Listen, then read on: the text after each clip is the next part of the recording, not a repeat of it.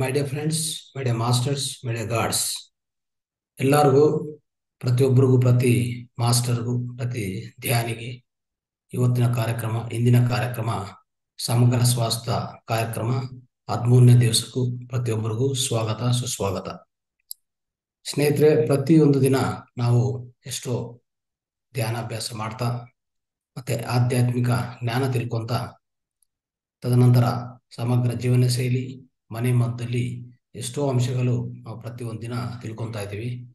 So ಅದನ್ನ continuation ಆಗಿ ಇವತ್ತಿನ ದಿನ, ಇಂದಿನ ಕಾರ್ಯಕ್ರಮನು ಒಂದ್ಸರಿ ನಾವು ವೇಳಾಪಟ್ಟಿ, ಅದು ಏನು ಕಾರ್ಯಕ್ರಮ ವಿವರಗಳಿದೆ ನೋಡ್ಕೊಳ್ಳೋಣ ಇಂದಿನ ಐದು ಗಂಟೆಯಿಂದ ಆರು ಗಂಟೆವರೆಗೂ ಧ್ಯಾನ ಅಭ್ಯಾಸ ನಡೀತದೆ. ಆಮೇಲೆ ಆರರಿಂದ ಆರೂವರೆವರೆಗೂ ಆಧ್ಯಾತ್ಮಿಕ ಜ್ಞಾನ ನಡೀತದೆ. ಜ್ಞಾನ ನೀಡ್ತಾರೆ. ಒಂದು ಸೀನಿಯರ್ ಮಾಸ್ಟರ್ ಇಂದ ಇವ, ಇಂದಿನ ಆಧ್ಯಾತ್ಮಿಕ ಜ್ಞಾನ ನಾವು ತಿಳ್ಕೊಳ್ಳೋಕ್ಕೂ ಪ್ರಯತ್ನ ಮಾಡೋಣ. ಸೊ ಆದ್ಮೇಲೆ ಸಮಗ್ರ ಜೀವನ ಶೈಲಿಯಲ್ಲಿ, ಸಮಗ್ರ ಜೀವನ ಶೈಲಿ ಬಗ್ಗೆ ಒಂದು ಹತ್ತು ನಿಮಿಷ, ಮತ್ತೆ ಆದ್ಮೇಲೆ ಮನೆ ಮದ್ದು ಒಂದು ಹತ್ತು ನಿಮಿಷ, ಅದಾದ್ಮೇಲೆ ಕೊನೆಯದು ಪ್ರಶ್ನೆ ಉತ್ತರ ಸಮಯ. ಇವತ್ತಿನ ಕಾರ್ಯಕ್ರಮಗಳು, ಇಂದಿನ ಕಾರ್ಯಕ್ರಮ ವಿವರಗಳು ಏನಿದೆ ಅಂತ ನೋಡೋಣ. ಇಂದಿನ ಕಾರ್ಯಕ್ರಮಗಳು ಮೊದಲನೇದು ಧ್ಯಾನ ಅಭ್ಯಾಸ ಆಳವಾದ ಧ್ಯಾನ ಅಭ್ಯಾಸ ಐದು ಗಂಟೆಯಿಂದ ಆರು ಗಂಟೆ ಆಗುತ್ತೆ. ಆರಿಂದ ಆರೂವರೆವರೆಗೂ ಒಂದು ಮೂವತ್ತು ನಿಮಿಷ ಕಾಲ ಆಧ್ಯಾತ್ಮಿಕ ಜ್ಞಾನ ಇವತ್ತಿನ ಆಧ್ಯಾತ್ಮಿಕ ಪರಿಕಲ್ಪನವಾಗಿ ನಾವು ತಿಳ್ಕೊಂತಾರಂತ ಅಂಶ ಏನು ಅಂದ್ರೆ ನಮ್ಮ ಜೀವನಕ್ಕೆ ಮೂರನೇ ಕಣ್ಣು ಏಕೆ ಬೇಕಾಗಿದೆ, ಏಕೆ ಅವಶ್ಯಕತೆ, ಅದಕ್ಕೆ ಅದರ ಅವಶ್ಯಕತೆ ಏನು? ಅಂದ್ರೆ ನಮ್ಮ ಜೀವನದಲ್ಲಿ, ನಮ್ಮ ಜೀವನಕ್ಕೆ ಮೂರನೇ ಕಣ್ಣು ಅವಶ್ಯಕತೆ ಏನು? ಅನ್ನೋದು ಸುಪ್ರಧಾನವಾಗಿ, ಪ್ರಾಥಮಿಕವಾಗಿ ನಮಗೂ ಇಂಥ ಜ್ಞಾನ ನೀಡಕ್ಕೆ ಈಗಾಗಲೇ ಸೀನಿಯರ್ ಮಾಸ್ಟರ್ ಆಗ ಗೀತ ಮೇಡಮ್ ಗೀತಾ ಶ್ರವಣ್ ಅವರು ಆಲ್ರೆಡಿ ಜಾಯ್ನ್ ಆಗಿದ್ದಾರೆ. ಅವ್ರನ್ನು ಸ್ವಾಗತ ಸ್ವಾಗತ ಸ್ವಾಗತ ಕೋರೋಣ. ಸ್ವಲ್ಪ ಹೊತ್ತಲ್ಲಿ ಆಮೇಲೆ ಸಮಗ್ರ ಜೀವನ ಶೈಲಿ ಭಾಗ ಅಂದ್ರೆ ಧ್ಯಾನ, ಆಧ್ಯಾತ್ಮಿಕ ಜ್ಞಾನ ಆದ್ಮೇಲೆ, ಆಧ್ಯಾತ್ಮಿಕ ಜ್ಞಾನ ಹಂಚಿದ ಮೇಲೆ ಸಮಗ್ರ ಜೀವನ ಶೈಲಿಯಲ್ಲಿ ಇವತ್ತಿನ ಕಾರ್ಯಕ್ರಮದಲ್ಲಿ ನಾವು ತಿಳ್ಕೊಂತ ಇರೋದು ಅಭ್ಯಂಗ ಸ್ನಾನ ಅಂದ್ರೆ ಎಣ್ಣೆ ಸ್ನಾನ. ಅಭ್ಯಂಗ ಸ್ನಾನ ಅಂದ್ರೆ ಏನು? ಅದಕ್ಕೆ ಅದ ಅದ ಅವಶ್ಯಕತೆ ಏನು? ಅದರಿಂದ ಏನೇನು ನಮಗೆ ಪ್ರಯೋಜನಗಳಿದೆ, ಪ್ರತಿದಿನ ನಾವು ಯಾಕೆ ಮಾಡಬೇಕು, ಇದೆಲ್ಲ ತಿಳ್ಕೊಳ್ಳೋಣ. ಅದಾದ್ಮೇಲೆ ಮನೆ ಮದ್ದು. ಮನೆ ಮದ್ದಲ್ಲಿ ಆಕುಪ್ರೆಸರ್ ನಮ್ಮ ಪಾದಕ್ಕೆ, ಎರಡು ಪಾದಕ್ಕೆ ಆಕುಪ್ರೆಸರ್ ಪ್ರತಿದಿನ ಮಾಡ್ಕೋಬೇಕು. ಅದು ಯಾಕೆ ಮಾಡ್ಕೋಬೇಕು, ಏನು, ಅದನ್ನ ನೋಡೋಣ. ಸೊ ಇದೆಲ್ಲ ನಾವು, ಇಷ್ಟೆಲ್ಲ ಅಂಶಗಳು ಹೇಳ್ತಾ ಇಂದಿನ ಆಧ್ಯಾತ್ಮಿಕ ಜ್ಞಾನ, ಇದಕ್ಕೆ ಮುಂಚೆ ನಾವು ಧ್ಯಾನ ಅಭ್ಯಾಸ ಏನ್ ಮಾಡ್ತೀವೋ, ಈ ಧ್ಯಾನ ಅಭ್ಯಾಸನು ನಮ್ಗೆಲ್ಲರಿಗೂ ಮಾರ್ಗದರ್ಶನ ಕೊಡಕ್ಕೆ ಈಗಾಗಲೇ senior senior master Geeta Shravan madam ಅವರಿದ್ದಾರೆ. ಮೇಡಮ್ ತಮಗೂ ಸ್ವಾಗತ. ಥ್ಯಾಂಕ್ ಯು ಸರ್ ನಮಸ್ತೆ sir yes madam so madam ಬಗ್ಗೆ ಚಿಕ್ಕಿರು ಪರಿಚಯ ಅಂದ್ರೆ ಮೇಡಮ್ ಸೀನಿಯರ್ ಮಾಸ್ಟರ್ ಅವರೇ ಆದ ಒಂದು ಚಾನಲ್ ನಡೆಸ್ತಾ ಇದ್ದಾರೆ. ಸೊ ಎಷ್ಟೋ ಕಾರ್ಯಕ್ರಮಗಳು ಮಾಡ್ತಾ ಇರ್ತಾರೆ. ಧ್ಯಾನ ಕಾರ್ಯಕ್ರಮಗಳು ಆಧ್ಯಾತ್ಮಿಕ ಜ್ಞಾನ ಅನ್ನೋದು ಹಂಚ್ತಾ ಇರ್ತಾರೆ. ಸೊ ಅದು ಭಾಗವಾಗಿ ಇವತ್ತಿನ ನಾವು ಅವ್ರನ್ನ ರಿಕ್ವೆಸ್ಟ್ ಮಾಡಿದಕ್ಕೂ ಇವತ್ತು ನಮ್ಗೆ ಇಂತ ಅಂದ್ರೆ ನಮ್ಮ ಧ್ಯಾನ ಧ್ಯಾನ ಮಾರ್ಗದರ್ಶನ ಮಾಡಕ್ಕೆ ಮತ್ತೆ ಜೊತೆಗೆ ಆಧ್ಯಾತ್ಮಿಕ ಚಿಂತನೆ ಮಾಡಕ್ಕೆ ಚಿಂತನೆ ಅನ್ನೋದು ಹೇಳ್ಕೊಡಕ್ಕೆ ಬಂದಿದ್ದಾರೆ. So thank you madam so ಸ್ವಾತ್ ಮತ್ತೊಂದು ಸರಿ. ಸೊ ನೀವು ಮುಂದುವರಿಸಬಹುದು madam thank you okay sir thank you sir ಎಲ್ಲರಿಗೂ ನಮಸ್ಕಾರಗಳು. ಎಲ್ಲ ನನ್ನ ಆತ್ಮ ಬಂಧುಗಳಿಗೂ ನಮಸ್ಕಾರಗಳು. ಮೊದಲಿಗೆ ನಮ್ಮೆಲ್ಲರ ಅಚ್ಚುಮೆಚ್ಚಿನ ಗುರುಗಳಾಗಿರ್ತಕ್ಕಂಥ ಪಿತಾಮಹ, ಪತ್ರಿಜಿ ಸರ್ ಮತ್ತು ಸ್ವರ್ಣಮಾಲ ಅಮ್ಮನವರೆಗೂ ಕೂಡ ಅನಂತ ಅನಂತ ಕೋಟಿ ನಮಸ್ಕಾರಗಳನ್ನ ತಿಳಿಸುತ್ತಾ ಮಹಾವತಾರ್ ಫೌಂಡೇಶನ್ ಈ ಒಂದು ಅದ್ಭುತವಾಗಿರ್ತಕ್ಕಂಥ ಚಾನೆಲ್ ಅವರು ಈ ಒಂದು ಅದ್ಭುತವಾಗಿರ್ತಕ್ಕಂಥ ಇಪ್ಪತ್ತೊಂದು ದಿನಗಳ ಕಾಲ ಅದ್ಭುತವಾಗಿರ್ತಕ್ಕಂಥ ಎಚ್ ಡಬ್ಲ್ಯೂ ಪಿ ಎನ್ನುವ ಕಾರ್ಯಕ್ರಮವನ್ನು ಹಮ್ಮಿಕೊಂಡಿದ್ದಾರೆ ಮಾಸ್ಟರ್ಸ್. ಸೊ ಈ ಒಂದು ಕಾರ್ಯಕ್ರಮದಲ್ಲಿ ನನಗೂ ಈ ಒಂದು ಅದ್ಭುತವಾಗಿರ್ತಕ್ಕಂಥ ಅವಕಾಶವನ್ನು ಕೊಟ್ಟಿರ್ತಕ್ಕಂಥ ಓಲ್ಡ್ ಟೀಮ್ಗೆ ಅಂದ್ರೆ ಬರೀ ರಂಗನಾಥ್ ಸರ್ ಅಷ್ಟೇನೆ ಅಲ್ಲ, ಈ ಒಂದು ಓಲ್ಡ್ ಟೀಮ್ಗೆ ನಾನು ಫಸ್ಟ್ ಆಫ್ ಆಲ್ ಕೃತಜ್ಞತೆಗಳನ್ನ ಹೇಳಕ್ ಇಷ್ಟಪಡ್ತೀನಿ ಮಾಸ್ಟರ್ಸ್. ಹಾಗೇನೆ ಈಗಾಗ್ಲೇ ಸರ್ ಅವರು ಹೇಳಿದ್ರು. ಅಂದ್ರೆ ಈ ದಿನದ ಕಾರ್ಯಕ್ರಮದ ಪಟ್ಟಿ ಯಾವ ತರ ಇರುತ್ತೆ ಅಂತಂತ ಹೇಳಿ ಮಾಸ್ಟರ್ಸ್ ಸೊ ಪ್ರತಿನಿತ್ಯನೂ ಇದೇ ತರ ನಡ್ಸ್ಕೊಂಡ್ ಬರ್ತಾ ಇದಾರೆ. ತುಂಬಾ ಅದ್ಭುತವಾಗಿ ಬರ್ತಾ ಇದೆ ಅಂತ ಹೇಳ್ಬೋದು. ಸೊ ನನ್ನ ಈ ಒಂದು ಟಾಪಿಕ್ ನೀವಾಗ್ಲೇ ಕೇಳಿರ್ಬೋದು ಮಾಸ್ಟರ್ಸ್ ಮೂರನೇ ಕಣ್ಣು. ಸೊ ಆ ಒಂದು ಮೂರನೇ ಕಣ್ಣಿನ, ಮೂರನೇ ಕಣ್ಣು ಅಂದ್ರೆ ಏನು? ಅದರ ಒಂದು ಲಾಭಗಳು ಏನು? ಆ ಒಂದು ಬೆನಿಫಿಟ್ಸ್ ಅಂತ ಏನು ಅಂತ ಹೇಳಿ ಸೊ ಈ ದಿನ ನಾವು ತಿಳಿತಾ ಹೋಗೋಣ ಮಾಸ್ಟರ್ಸ್ ಸೊ ಅದಕ್ಕೂ ಮುಂಚೆ ನಾವು ಒಂದು ಗಂಟೆಗಳ ಕಾಲ ಆನಾಪಾನಸತಿ ಧ್ಯಾನವನ್ನು ನಾವೆಲ್ಲರೂ ಸೇರ್ಬಿಟ್ಟು ಮಾಡೋಣ ಮಾಸ್ಟರ್ಸ್ ಈ ಒಂದು ಸಾಮೂಹಿಕ ಧ್ಯಾನ. ಸೊ ಈಗಾಗ್ಲೇ ನಿಮ್ಗೆ ಎಲ್ಲರಿಗೂ ಗೊತ್ತಿದೆ ಯಾವ ತರ ಕುತ್ಕೋಬೇಕು ಅಂತ ಹೇಳಿ. ಸೊ ಕೆಳಗಡೆ ಕುತ್ಕೊಂಡಿರೋರು, ಚಪ್ಪಾಳ ಮುಕ್ಕಳ ಹಾಕೊಳ್ರಿ ಫಸ್ಟ್ ಕನ್ನಡಕ ಹಾಕೊಂಡಿದ್ರೆ ಕನ್ನಡಕವನ್ನ ತೆಗೆದು ಸೈಡಿಗೆ ಇಟ್ಬಿಡಿ ಮಾಸ್ಟರ್ಸ್ ಚೇರ್ ಮೇಲೆ ಅಥವಾ ಸೋಫಾ ಮೇಲೆ ಏನಾದ್ರೂ ಕುತ್ಕೊಂಡಿದ್ರೆ ನಿಮ್ಮ ಎರಡು ಕಾಲ್ಗಳನ್ನ ಕೆಳೆ ಬಿಟ್ಕೊಂಡು ಕ್ರಾಸ್ ಮಾಡ್ಕೊಳ್ಳಿ ಮಾಸ್ಟರ್ಸ್ ನಿಮ್ಮ ಎರಡು ಕೈಗಳನ್ನು ಪರಸ್ಪರವಾಗಿ ಬೆರಳಲ್ಲಿ ಬೆರಳುಗಳನ್ನ ಸೇರಿಸ್ಕೊಳ್ಳಿ ಮಾಸ್ಟರ್ಸ್ ಹಾಗೆ ನಿಧಾನವಾಗಿ ನಿಮ್ಮ ಎರಡು ಕಣ್ಣುಗಳನ್ನ ಮುಚ್ಕೊಳ್ಳಿ ಮಾಸ್ಟರ್ಸ್ ಧ್ಯಾನ ಎಂದರೆ ಶ್ವಾಸದ ಮೇಲೆ ಗಮನ.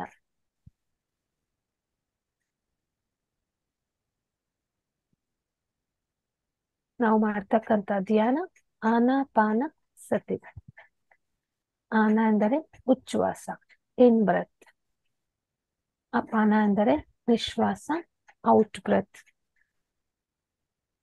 ಸತಿ ಎಂದರೆ ಜೊತೆಗಿರುವುದು, ಕೂಡಿಕೊಂಡಿರುವುದು, ಬಿ ಒನ್ ವಿತ್ ಈ ಉಚ್ಛ್ವಾಸ ಮತ್ತು ನಿಶ್ವಾಸ ಜೊತೆ ಇರುವುದೇ ಆನಾಪಾನ ಸತಿ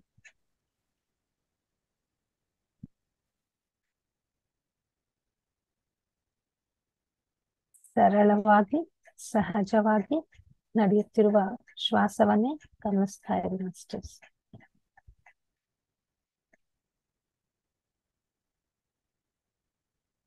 Observe your normal and natural breath.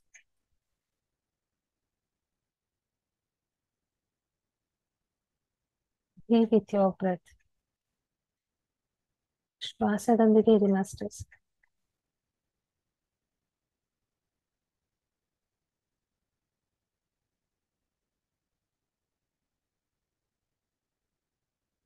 ನೀವು ಮತ್ತೆ ನಿಮ್ಮ ಶ್ವಾಸ ಅಷ್ಟೇನೆ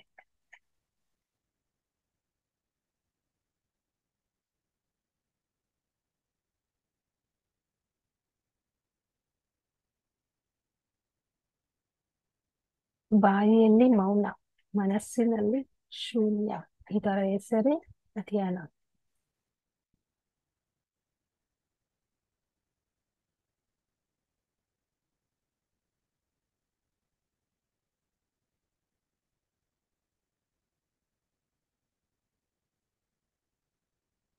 Be with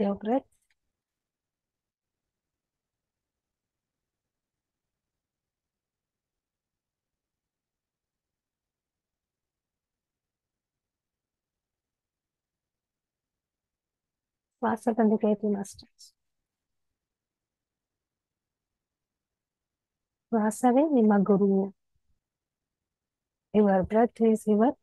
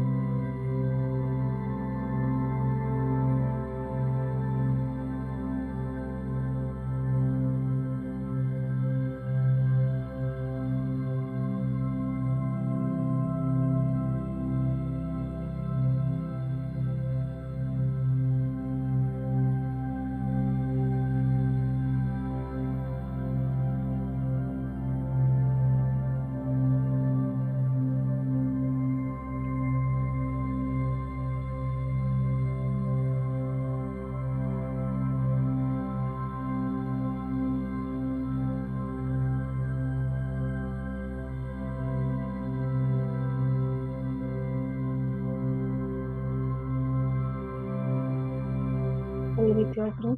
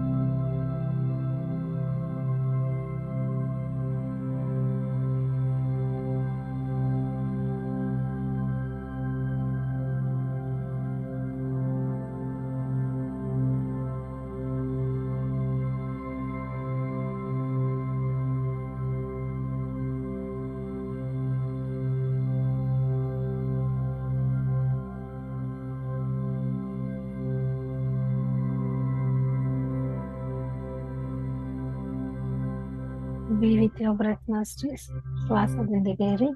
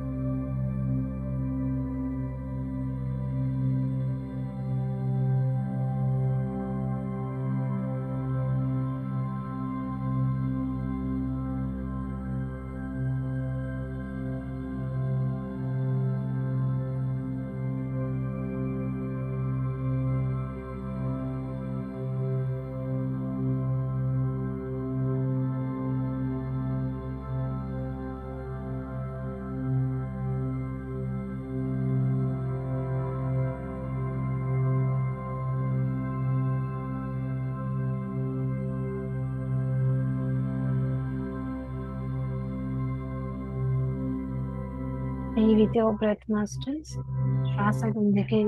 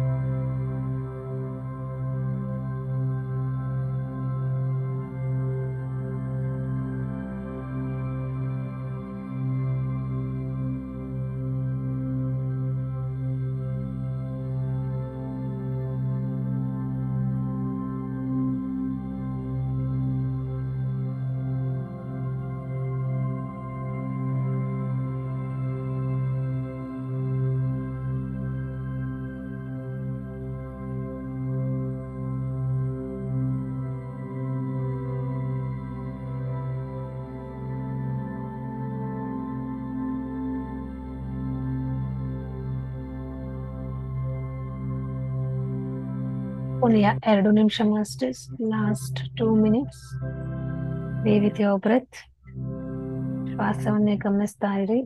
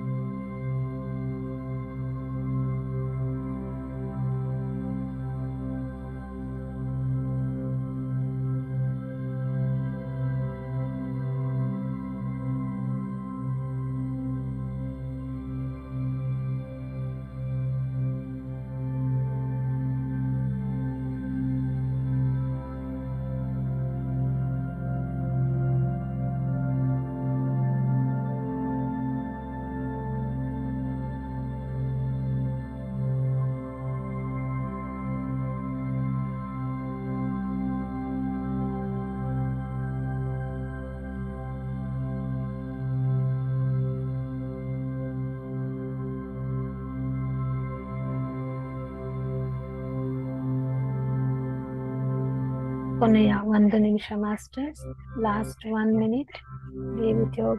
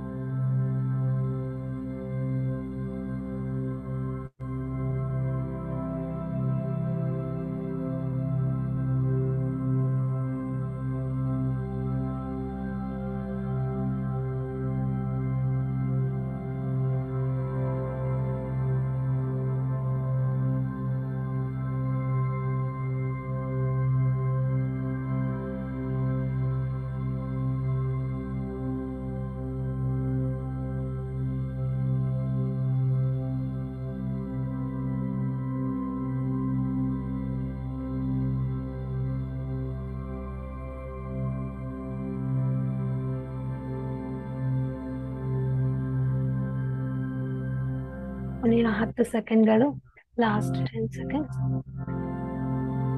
ಹತ್ತು, ಒಂಬತ್ತು, ಎಂಟು, ಏಳು, ಆರು, ಐದು, ನಾಲ್ಕು, ಮೂರು, ಎರಡು, ಒಂದು, ಸೊನ್ನೆ.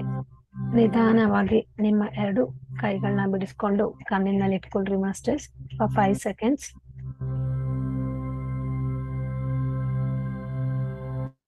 five four three two one zero ಅಷ್ಟೇ ನಿಧಾನವಾಗಿ ನಿಮ್ಮ ಎರಡು ಅಂಗಗಳನ್ನ ನೋಡುತ್ತಾ ಕಣ್ಬಿಡಿ masters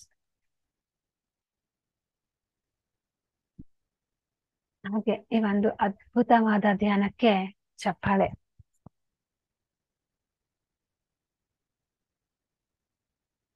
Thank you thank you masters thank you so much ನಾವು ಅದ್ಭುತವಾಗಿ ಒಂದು ಗಂಟೆಗಳ ಕಾಲ ಸಾಮೂಹಿಕ ಧ್ಯಾನವನ್ನು ಮಾಡಿದ್ವಿ. ಸೊ ತುಂಬಾ ಎನರ್ಜೀಸ್ ಮಾಸ್ಟರ್ಸ್ ಈ ಒಂದು ಮುಂಜಾನೆ ಸಮಯದಲ್ಲಿ ಮಾಡುವ ಧ್ಯಾನ ತುಂಬಾ ಅದ್ಭುತವಾಗಿರುತ್ತೆ. ಸೊ ಸರ್ ಕಂಟಿನ್ಯೂ ಮಾಡ್ಬೋದಾ ಸರ್ ಓಕೆ ಮಾಸ್ಟರ್ಸ್ ಮತ್ತೊಮ್ಮೆ, ಮಗದೊಮ್ಮೆ, ಮಹಾವತಾರ್ ಫೌಂಡೇಶನ್ ಅವರು ಎಚ್ ಡಬ್ಲ್ಯೂ ಪಿ ಎನ್ನುವ ಅದ್ಭುತವಾಗಿರ್ತಕ್ಕಂತ ಕಾರ್ಯಕ್ರಮ ನಡ್ಸ್ಕೊಂಡ್ ಬರ್ತಾ ಇದ್ದಾರೆ ಸೊ ಈ ದಿನ ಹದ್ಮೂರನೇ ದಿನ ಮಾಸ್ಟರ್ಸ್ ಈ ಒಂದು ಟ್ವೆಂಟಿ ಒನ್ ಡೇಸ್ ಅಲ್ಲಿ so today is the thirteenth day so ಈ ಒಂದು ಹದಿಮೂರನೇ ದಿನಗಳಲ್ಲಿ ನನ್ಗೆ ಕೊಟ್ಟಿರ್ತಕ್ಕಂತ ಟಾಪಿಕ್ ಅಂತಂದ್ರೆ ಮೂರನೆಯ ಕಣ್ಣು ಅಂತಂತ ಹೇಳಿ. ಸೊ ಆ ಮೂರನೆಯ ಕಣ್ಣು ಅಂದ್ರೆ ಏನು? ಅದರ ಒಂದು ಲಾಭಗಳು ಏನು? ಸೊ ಆ ಒಂದು ತಡೈನ ಆ ನಾವು ಇಂಗ್ಲಿಷ್ ಅಲ್ಲಿ ಏನಂತ ಹೇಳ್ತೀವಿ? ಥರ್ಡ್ ಐ ಅಂತ ಹೇಳ್ತೀವಿ ಅಲ್ವಾ ಮಾಸ್ಟರ್ಸ್ ಈ ಥರ್ಡ್ ಐನ ನಾವು ಯಾವ ತರ ಆಕ್ಟಿವೇಟ್ ಮಾಡ್ಕೊಳೋದಾಗಿರ್ಬೋದು ಸೊ ಇದರಿಂದ ನಮ್ಗೆ ಏನೆಲ್ಲ ಲಾಭಗಳು ಅಂತಂತ ನಾವು ಸ್ವಲ್ಪ ಇನ್ಫಾರ್ಮೇಶನ್ ತಿಳಿತಾ ಹೋಗೋಣ ಮಾಸ್ಟರ್ಸ್ ಸೊ ನನಗೆ ಗೊತ್ತಿರ್ತಕ್ಕಂತ ಒಂದು ಸ್ವಲ್ಪ ಇನ್ಫಾರ್ಮೇಶನ್ ನಾನು ಈ ದಿನ ನಿಮ್ಮ ಜೊತೆ ಹಂಚ್ಕೊಳಕ್ ಇಷ್ಟಪಡ್ತೀನಿ ಮಾಸ್ಟರ್ಸ್ ಸೊ ಮೂರನೇ ಕಣ್ಣು. ಅಂದ ತಕ್ಷಣ ನಮ್ಗೆ ಎಲ್ಲರಿಗೂ ಜ್ಞಾಪಕ ಆಗೋದು ಅಂತಂದ್ರೆ ಮಾಸ್ಟರ್ಸ್ ಸೊ ನಾವು ಅಂದ್ರೆ ಈ ಒಂದು ಮುಂಚಿನ ಬಂದು, ಅಂದ್ರೆ ಚಿಕ್ಕವರಿದ್ದಾಗಿಂದನು ನಮ್ಗೆ ಮೂರನೇ ಕಣ್ಣು ಅಂದ್ರೆ ಏನು ಅಂತ ಅನಿಸ್ತಾ ಇತ್ತು ಅಂತಂದ್ರೆ, ಆ, ಮೂರನೇ ಕಣ್ಣು ಅಂದ ತಕ್ಷಣ ನಾಪ್ಕ ಬರೋದು ಅಂದ್ರೆ ಶಿವ ಅಂತಂತ ಹೇಳ್ತಾ ಇದ್ವಿ ಅಲ್ವಾ ಮಾಸ್ಟರ್ಸ್ ಏನಕ್ಕಂತಂದ್ರೆ ನಮ್ಮ ಮನೆಯಲ್ಲೆಲ್ಲ ನಮಗೆ ಅದೇ ತರನೇ ಹೇಳ್ಕೊಟ್ಟಿರ್ತಾ ಇದ್ರು. ಸೊ ಮೂರನೇ ಕಣ್ಣು ಅಂದ ತಕ್ಷಣ ಏನು ಅಂತಂದ್ರೆ ಕೇವಲ ಶಿವನಿಗೆ ಮಾತ್ರ ಮೂರನೇ ಕಣ್ಣಿರುತ್ತೆ. ಸೊ ಶಿವ ಏನಾದ್ರು ಮೂರನೇ ಕಣ್ಣನ್ನ ತೆಗೆದ್ಬಿಟ್ರೆ ಇಡೀ ಭೂಮಂಡಲ ಎಲ್ಲ ಭಸ್ಮ ಆಗ್ಬಿಡುತ್ತೆ ಅಂತಂತ ನಮ್ಗೆ ಚಿಕ್ಕವ್ರು ಇರ್ಬೇಕಾದ್ರೆ ನಮ್ಮ ಮನೆಯಲ್ಲಿ ಅಜ್ಜ, ಅಜ್ಜಿಯರೆಲ್ಲ ಹೇಳ್ಕೊಟ್ಟಿರ್ತಿದ್ರು. ಹೌದಲ್ವಾ ಮಾಸ್ಟರ್ಸ್? ನಿಜ ಹೇಳ್ಬೇಕಂದ್ರೆ ಈ ಒಂದು ಥರ್ಡ್ ಐ ಬಗ್ಗೆ ನಾವು ಈ ಒಂದ್ ಸ್ಕೂಲ್ ಡೇಸ್ ಅಲ್ಲಿ ಆಗಿರ್ಬೋದು, ಕಾಲೇಜ್ ಡೇಸ್ ಅಲ್ಲಿ ಆಗಿರ್ಬೋದು, ನಾನಂತೂ ಓದಿಲ್ಲ ಮಾಸ್ಟರ್ಸ್. ಥರ್ಡ್ ಐ ಬಗ್ಗೆ ನಿಜವಾಗ್ಲೂ ಈ ಒಂದು ಇದ್ರ ಬಗ್ಗೆ ನನ್ಗೆ ಇನ್ಫಾರ್ಮೇಶನ್ ಕೂಡ ಗೊತ್ತಿಲ್ಲ. ಸೊ ಥರ್ಡ್ ಐ ಇದೆ ಅಂತ ಗೊತ್ತಿತ್ತು. ಬಟ್ ಅದು ನಾವು ಯಾರ ಮುಖಾಂತರ ತಿಳ್ಕೊಂಡಿದ್ವಿ? ನಮ್ಮ ಮನೆಯಲ್ಲಿ ಇರ್ತಕ್ಕಂತ ಅಜ್ಜ, ಅಜ್ಜಿಯರ ಮುಖಾಂತರ ಥರ್ಡ್ ಐ ಇದೆ ಅಂತಂತ ಗೊತ್ತಿತ್ತು. ಸೊ ಆಮೇಲೆ ಯಾವಾಗ ನಾವು ಒನ್ಸ್ ಈ ಒಂದು ಆಧ್ಯಾತ್ಮಿಕಕ್ಕೆ ಬಂದಾಗೆ ಮಾಸ್ಟರ್ಸ್ ಈ ಒಂದು ಸ್ಪಿರಿಚುಯಾಲಿಟಿಯಲ್ಲಿ ಬಂದಾಗೆ ಆ ತಡೆ ತಡೆ ಅಂದ್ರೆ ಆ ಒಂದು ಮೂರನೇ ಕಣ್ಣು ಕೂಡ ಎಲ್ಲರಲ್ಲೂ ಇದೆ. ಬರೀ ಶಿವನಿಗೆ ಅಷ್ಟೇನೆ ಅಲ್ಲ ಮೂರನೇ ಕಣ್ಣಿರೋದು. ಪ್ರತಿ ಒಬ್ಬ ಮನುಷ್ಯನಲ್ಲಿ ಕೂಡ ಆ ಮೂರನೇ ಕಣ್ಣು ಅನ್ನೋದು ಇರುತ್ತೆ ಅಂತ ಹೇಳಿ ಗೊತ್ತಾಯ್ತು ಮಾಸ್ಟರ್ಸ್. ಸೊ ನೋಡಿ ಆ, ಪಿತಾಮಹ ಅಂದ್ರೆ ಬ್ರಹ್ಮಶ್ರೀ ಪಿತಾಮಹ ಪತ್ರಿಜಿ ಸರ್ ಅವರು ಎಷ್ಟು ಅದ್ಭುತವಾಗಿರ್ತಕ್ಕಂತ ಮೂರನೇ ಕಣ್ಣಿನ ಬಗ್ಗೆ ಎಲ್ಲಾ ಕಡೆನೂ ಹಂಚ್ಕೊಂಡಿದ್ದಾರೆ ಮಾಸ್ಟರ್ಸ್. ಎಷ್ಟು ಅದ್ಭುತವಾಗಿ ಹೇಳಿದ್ದಾರೆ ಅಂದ್ರೆ ಪತ್ರಿ ಸರ್ ನಿಜ, ಹ್ಮ್, ಎಂತೆಂತ ಅದ್ಭುತವಾಗಿರ್ತಕ್ಕಂತ ಕಾನ್ಸೆಪ್ಟ್ಸ್ನ ನಮ್ಗೆ ಪತ್ರಿ ಸರ್ ಕೊಡ್ತಾನೆ ಬಂದಿದ್ದಾರೆ ಮಾಸ್ಟರ್ಸ್. ಸೊ ಅದ್ರಲ್ಲಿ ಕೂಡ ಈ ಒಂದು ಮೂರನೇ ಕಣ್ಣು ಅನ್ನೋದು ತುಂಬಾ ಇಂಪಾರ್ಟೆಂಟ್ ಟಾಪಿಕ್ ಮಾಸ್ಟರ್ಸ್. ಯಾಕಂತಂದ್ರೆ ನಾನು ಈಗ್ಲೇ ಹೇಳ್ದೆ ಹ್ಮ್, ಇದಕ್ಕೂ ಮುಂಚೆ ನಮ್ಗೆ ಅಂದ್ರೆ ಈ ಒಂದು ಸ್ಪಿರಿಚುಯಾಲಿಟಿ ಈ ಒಂದು ಆಧ್ಯಾತ್ಮಿಕಕ್ಕೆ ಬರಕ್ಕೂ ಮುಂಚೆ ನಮ್ಗೆ ಮೂರನೇ ಕಣ್ಣು ಅಂದ್ರೆ ಏನಂತ ಗೊತ್ತಿರ್ಲಿಲ್ಲ. ಸೊ ಯಾರಾದ್ರೂ ಒಬ್ಬ ಧ್ಯಾನಿ ಆಗ್ಲಿ, ಯಾರಾದ್ರೂ ಒಬ್ರು ಬಂದು ಮಾತಾಡ್ತಿರ್ಬೇಕಾದ್ರೂ ಏನಪ್ಪಾ ಇದು ಮೂರನೇ ಕಣ್ಣು, ಇವ್ರೇನೋ ಒಂದ್ ಹೇಳ್ತಾರೆ, ಸೋದಿ ಹೇಳ್ತಾರೆ ಅಂತ ನಾವು ಎಷ್ಟೋ ಸತಿ ಅನ್ಕೋತಾ ಇದ್ವಿ. ಸೊ ನೋಡಿ ಒನ್ಸ್ ನಾವ್ ಯಾವಾಗ ಈ ಒಂದು ಆಧ್ಯಾತ್ಮಿಕಕ್ಕೆ ಸ್ಟೆಪ್ ಅನ್ನು ಬಳಸ್ದಾಗ ಅವಾಗ ನಮ್ಗೂನು ಗೊತ್ತಾಯ್ತು. ನಮ್ಗುನು ಮೂರನೇ ಕಣ್ಣಿದೆ. ಅಂದ್ರೆ ಶಿವನಿಗೆ ಯಾವ ತರ ಮೂರನೇ ಕಣ್ಣಿದೆಯೋ ನಮ್ಮಲ್ಲಿ ಕೂಡ ಆ ಮೂರನೇ ಕಣ್ಣು ಅನ್ನೋದು ಇದೆ ಅಂತಂತ ಗೊತ್ತಾಯ್ತು ಮಾಸ್ಟರ್ಸ್. ಸೊ ಅದಕ್ಕೆ ಪತ್ರಿ ಸರ್ ಏನ್ ಹೇಳ್ತಾರೆ ಅಂತಂದ್ರೆ ಮಾಸ್ಟರ್ಸ್ ಈ ಮೂರನೇ ಕಣ್ಣು ಅನ್ನೋದು ಆ ಹುಟ್ಟಿದಾಗ್ನಿಂದ ಆ, ಯಾವಾಗ ಒಂದು ಮಗು ಒಂದು ಜನನ ಆಗುತ್ತಲ್ಲ ಸೊ ಆ ಮಗುಗೆ ಮಾಸ್ಟರ್ಸ್ ಹುಟ್ಟಿನಿಂದಲೇ ಮೂರನೇ ಕಣ್ಣು ಅನ್ನೋದು ಓಪನ್ ಆಗಿರುತ್ತಂತೆ ಮಾಸ್ಟರ್ಸ್. ಅದು ಎಷ್ಟನೇ ವಯಸ್ಸಿನವರೆಗೂ ಓಪನ್ ಆಗಿರುತ್ತೆ ಮಕ್ಕಳಲ್ಲಿ ಅಂತಂದ್ರೆ, ಅವ್ರಿಗೆ ಐದಿಂದ ಆರು ವರ್ಷದವರೆಗೂ ಅವ್ರಿಗೆ ಓಪನ್ ತಡ ಇರುತ್ತಂತೆ ಮಾಸ್ಟರ್ಸ್. ಸೊ ನೋಡಿ, ಅಂದ್ರೆ ಮಕ್ಳು, ಅದಕ್ಕೆ ಹೇಳ್ತಾರೆ ಚಿಕ್ಕ ಮಕ್ಳು ಎಲ್ಲರೂ. ಮಕ್ಳು ಅಂದ್ರೆ ಅಂತಂದ್ರೆ ದೇವರು ದೇವರು ಅಂತಂತ ಹೇಳ್ತಾರೆ. ಸೊ ನಮ್ಗೇನು ಬರೀ ಇಲ್ಲಿ ಚಿಕ್ಕ ಚಿಕ್ಕ ಮಕ್ಳು ಅಷ್ಟೇನೆ ದೇವ್ರನ ಅಂತ ಅನ್ಕೋಬಹುದು ಅದಕ್ಕೆ ನೋಡಿ ನಮ್ಮ ಪತ್ರಿ ಸರ್ ಏನ್ ಹೇಳ್ತಿದ್ದಾರೆ? Dear masters dear friends and my dear gods ಅಂತ ಅಂತ ಹೇಳ್ತಾರೆ ಮಾಸ್ಟರ್ಸ್ ನೋಡಿ ಪತ್ರಿ ಸರ್ ಮಾತ್ರ ಆ ತರ ಹೇಳಿರೋದು. My dear friends my dear masters and my dear gods ಅಂತ ಅಂತ ಹೇಳಿ. ಸೊ ಮೈ ಡಿಯರ್ ಗಾಡ್ಸ್ ಅಂತಂದ್ರೆ ಮಾಸ್ಟರ್ಸ್ ನೋಡಿ, ಅಂದ್ರೆ ಆ ಒಂದು ನಾವ್ಗೆ ಶಿವನಿಗೆ ನಾವು ಯಾವ ತರ ಮುಕ್ಕಣ್ಣ ಅಂತ ಹೇಳ್ತೀವಿ, ಆ ತ್ರಿನೇತ್ರ ಅಂತಂತ ಹೇಳ್ತೀವಿ ಮಾಸ್ಟರ್ಸ್, ಆ ಮೂರು ಕಣ್ಣು ಉಳ್ಳವನ ಮುಕ್ಕಣ್ಣ ಅಂತಂತ ಹೇಳ್ತೀವಿ. ತ್ರಿನೇತ್ರ, ತ್ರಿ ಅಂತಂದ್ರೆ ಮೂರು. ಸೊ ನೇತ್ರ ಅಂದ್ರೆ ಆ ಕಣ್ಣು. ಸೊ ಮೂರು ಕಣ್ಣು ಉಳ್ಳವನು ಶಿವ ಅಂತಂತ ಹೇಳ್ತೀವಿ, ಮುಕ್ಕಣ್ಣ ಅಂತಂತ ಹೇಳ್ತೀವಿ. ಮುಕ್ಕಣ್ಣ ಅಂದ್ರೆ ಮೂರು ಕಣ್ಣುಗಳಿರ್ತಕ್ಕಂಥನು ಶಿವ ಅಂತ ಅಂತ ಹೇಳ್ತೀವಿ. ಸೊ ಎಲ್ಲರಲ್ಲೂ ಆ ಒಂದು ಶಿವ ಶಕ್ತಿ ಅನ್ನೋದಿದೆ ಮಾಸ್ಟರ್ಸ್. ಪ್ರತಿ ಒಬ್ಬರಲ್ಲಿ ಕೂಡ ಆ ಶಿವ ಶಕ್ತಿ ಅನ್ನೋದಿದೆ ಮಾಸ್ಟರ್ಸ್. ಸೊ ಅಂದ್ರೆ ಶಿವ ಶಕ್ತಿ. ಸೊ ಎಲ್ಲರಲ್ಲೂ ಆ ಒಂದು ಮೂರನೇ ಕಣ್ಣು ಅನ್ನೋದಿದೆ. ಸೊ ನೋಡಿ, ಮಕ್ಕಳಲ್ಲಿನೇ ಹುಟ್ಟಿದಾಗಿನಿಂದನೇ ಅವ್ರಿಗೆ ಮೂರನೇ ಕಣ್ಣು ಅನ್ನೋದು ಓಪನ್ ಆಗಿರುತ್ತೆ ಮಾಸ್ಟರ್ಸ್. ಅದೇ ನೋಡಿ, ನಮ್ಗೆ ಯಾಕೆ ಕ್ಲೋಸ್ಡ್ ಯಾಕೆ ಅಂತಂದ್ರೆ ಮಾಸ್ಟರ್ಸ್, ನಾವು ಧ್ಯಾನವನ್ನು ಮಾಡೋಲ್ಲ ಸೊ ಯಾವಾಗೆ ನಾವು ಈ ಒಂದು ಆಧ್ಯಾತ್ಮಿಕತೆ ಕಡೆಗೆ ಪಯಣವನ್ನು ಬೆಳೆಸಿದಾಗ, ನಮ್ಮ ಒಳಗೆ ನಮ್ಮ ಒಂದು ಪಯಣವನ್ನು ಮಾಡಿದಾಗ ಆಟೋಮೆಟಿಕ್ ಆಗಿ ಮೂರನೇ ಕಣ್ಣು ಅನ್ನೋದು ಓಪನ್ ಆಗುತ್ತೆ ಮಾಸ್ಟರ್ಸ್ ಸೊ ನೋಡಿ ಅದು ಎಲ್ಲರಿಗೂ ಇರುತ್ತೆ. ಅದು ಓಪನ್ ಆಗ್ಬೇಕು ಅಂತಂದ್ರೆ ನಾವು ಮುಖ್ಯವಾಗಿ ಏನ್ ಮಾಡ್ಬೇಕು? ಧ್ಯಾನ ಧ್ಯಾನ ಧ್ಯಾನ. ಧ್ಯಾನ ಸಾಧನೆಯನ್ನು ಮಾಡ್ಬೇಕು ಮಾಸ್ಟರ್ಸ್. ಧ್ಯಾನ ಸಾಧನೆಯನ್ನು ಮಾಡಿದಾಗ ಮಾತ್ರ ಮೂರನೇ ಕಣ್ಣು ಅನ್ನೋದು ಕ್ಲೋಸ್ ಆಗಿರೋದು ಓಪನ್ ಆಗುತ್ತೆ ಮಾಸ್ಟರ್ಸ್. ಹಾಗಂತಂತ ಹೇಳಿ ನಮ್ಗೆ ಯಾರಿಗೂ ಮೂರನೇ ಕಣ್ಣು ಇಲ್ಲ ಅಂತಂತ ಅನ್ಕೋಬಾರ್ದು. ಎಲ್ಲರಲ್ಲೂ ಮೂರನೇ ಕಣ್ಣು ಅನ್ನೋದು ಇದೆ ಮಾಸ್ಟರ್ಸ್.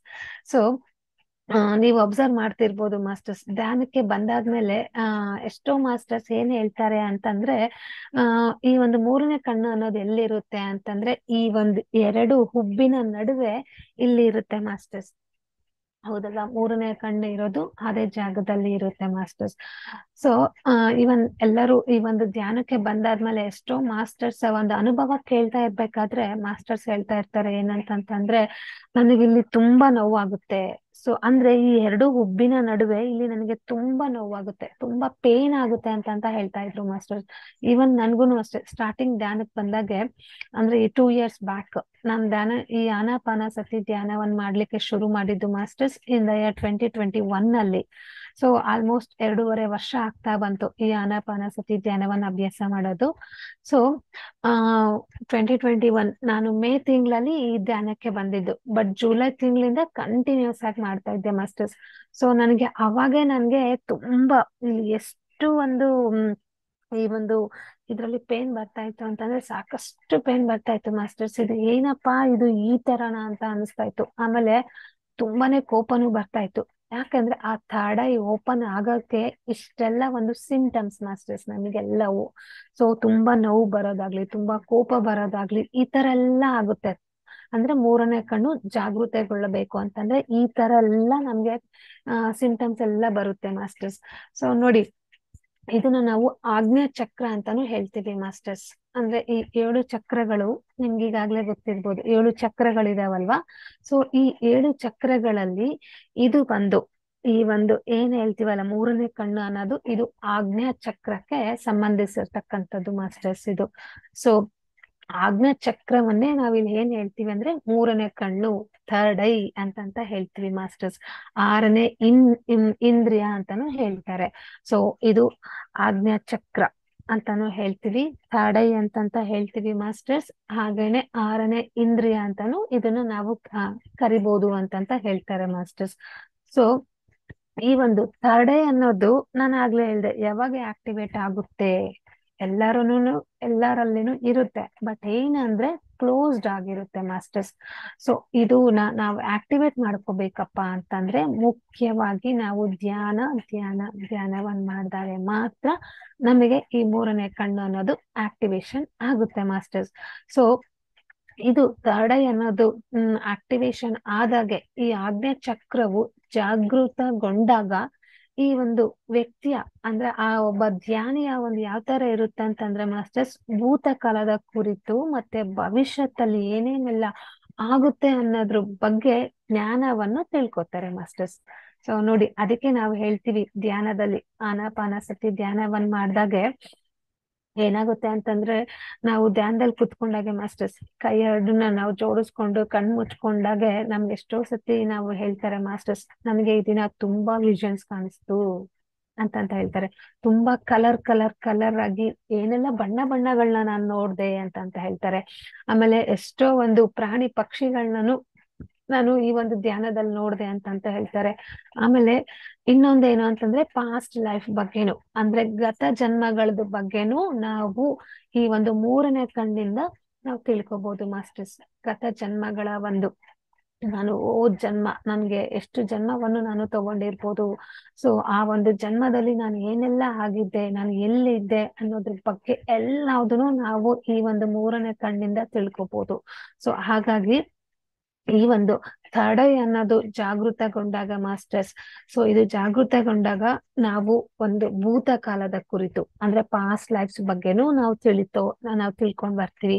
ಹಾಗೇನೆ ಮತ್ತೆ ಭವಿಷ್ಯತ್ತಿನ ಕುರಿತು ಕೂಡ ಮಾಸ್ಟರ್ಸ್, ಅಂದ್ರೆ ಈ ಒಂದು ಫ್ಯೂಚರ್ದು ಕೂಡ ನಮ್ಗೆ ಏನಾಗುತ್ತೆ ಅಂತಂತ ಗೊತ್ತಾಗುತ್ತೆ ಮಾಸ್ಟರ್ಸ್. ಸೊ ಎಷ್ಟೋ ಮಾಸ್ಟರ್ಸ್ ಹೇಳ್ತಾ ಇರ್ತಾರೆ ಅವರ ಒಂದು ಅನುಭವಗಳು ಕೇಳ್ತಾ ಇರ್ಬೇಕಾದ್ರೆ ಮಾಸ್ಟರ್ಸ್ ಇವ್ ಯಾವ್ದೋ ಒಂದು ಕ್ಲಾಸ್ ಇತ್ತು ಅಂತ ತಿಳ್ಕೊಳ್ಳೋಣ. ಸೊ, ಅವ್ರಿಗೆ ಈ ತರ ಕ್ಲಾಸ್ ಇದೆ ಅಂತ ಗೊತ್ತಾಗುತ್ತೆ. ಬಟ್ ಇದೇ ಟಾಪಿಕ್ ನಾಳೆ ಹೇಳ್ತಾರೆ. ಇವ್ರು ಹಿಂಗೆ ಹೇಳ್ತಾರೆ ಅಂತಾನು ಗೊತ್ತಾಗುತ್ತೆ ಮಾಸ್ಟರ್ಸ್. ಆಮೇಲೆ ಎಷ್ಟೋ ಸತಿ ಒಂದು ಎಕ್ಸಾಂಪಲ್ಸ್ ಅಂತಂದ್ರೆ ಚಿಕ್ಕ ಚಿಕ್ಕ ಮಕ್ಕಳಲ್ಲಿ ಆ ಸ್ಕೂಲ್ಗೆ ಹೋಗೋ ಮಕ್ಕಳಲ್ಲಿ ಎಕ್ಸಾಮ್ಸ್ ಟೈಮಲ್ಲಿ ಏನ್ ಹೇಳ್ತಾರೆ ಅಂತಂದ್ರೆ, ನಾನು ಧ್ಯಾನ ಮಾಡಿ ಹೋಗಿದ್ದೀನಿ. ನಾನು ಧ್ಯಾನದಲ್ಲಿ ಕುತ್ಕೊಂಡಾಗ ಇಡೀ ನನ್ಗೆ ಕ್ವಶನ್ ಪೇಪರ್ ಎಲ್ಲ ಗೊತ್ತಾಯ್ತು ಅಂತಾನು ಹೇಳ್ತಾರೆ ಮಾಸ್ಟರ್. ಸೊ ಇದೆಲ್ಲ ಹೆಂಗೆ ಸಾಧ್ಯ? ನಿಜ ಮಾಸ್ಟರ್ಸ್ ಯಾರು ಆ ಒಂದು ಧ್ಯಾನವನ್ನು ಮಾಡಿದಾಗ ಇದೆಲ್ಲವುದನ್ನು ಸಾಧ್ಯ ಮಾಸ್ಟರ್ಸ್. ಸೊ ನೋಡಿ ಆ ಫ್ಯೂಚರ್ ಬಗ್ಗೆನೂ ತಿಳ್ಕೊಂಡಂಗ್ ಆಯ್ತು ತಾನೆ. ಸೊ ನಾಳೆ ಎಕ್ಸಾಮ್ ಇರೋದು ಪೇಪರ್ ನಮ್ಗೆ ಇವತ್ತೇ ಗೊತ್ತಾಗುತ್ತೆ ಮಾಸ್ಟರ್ಸ್ ಸೊ ಆ ತರ ಧ್ಯಾನಕ್ಕೆ ಅಷ್ಟೊಂದು ಶಕ್ತಿ ಇದೆ. ಈವನ್ ಈ ಥರ್ಡ್ ಐ ಈ ಆಜ್ಞೆ ಚಕ್ರಕ್ಕೆ ಅಷ್ಟೊಂದು ಶಕ್ತಿ ಇದೆ ಮಾಸ್ಟರ್ಸ್ ಅದಕ್ಕೆ ಶಿವಶಕ್ತಿ ಅಂತಾನೆ ಹೇಳ್ತಾರೆ ಇದನ್ನ.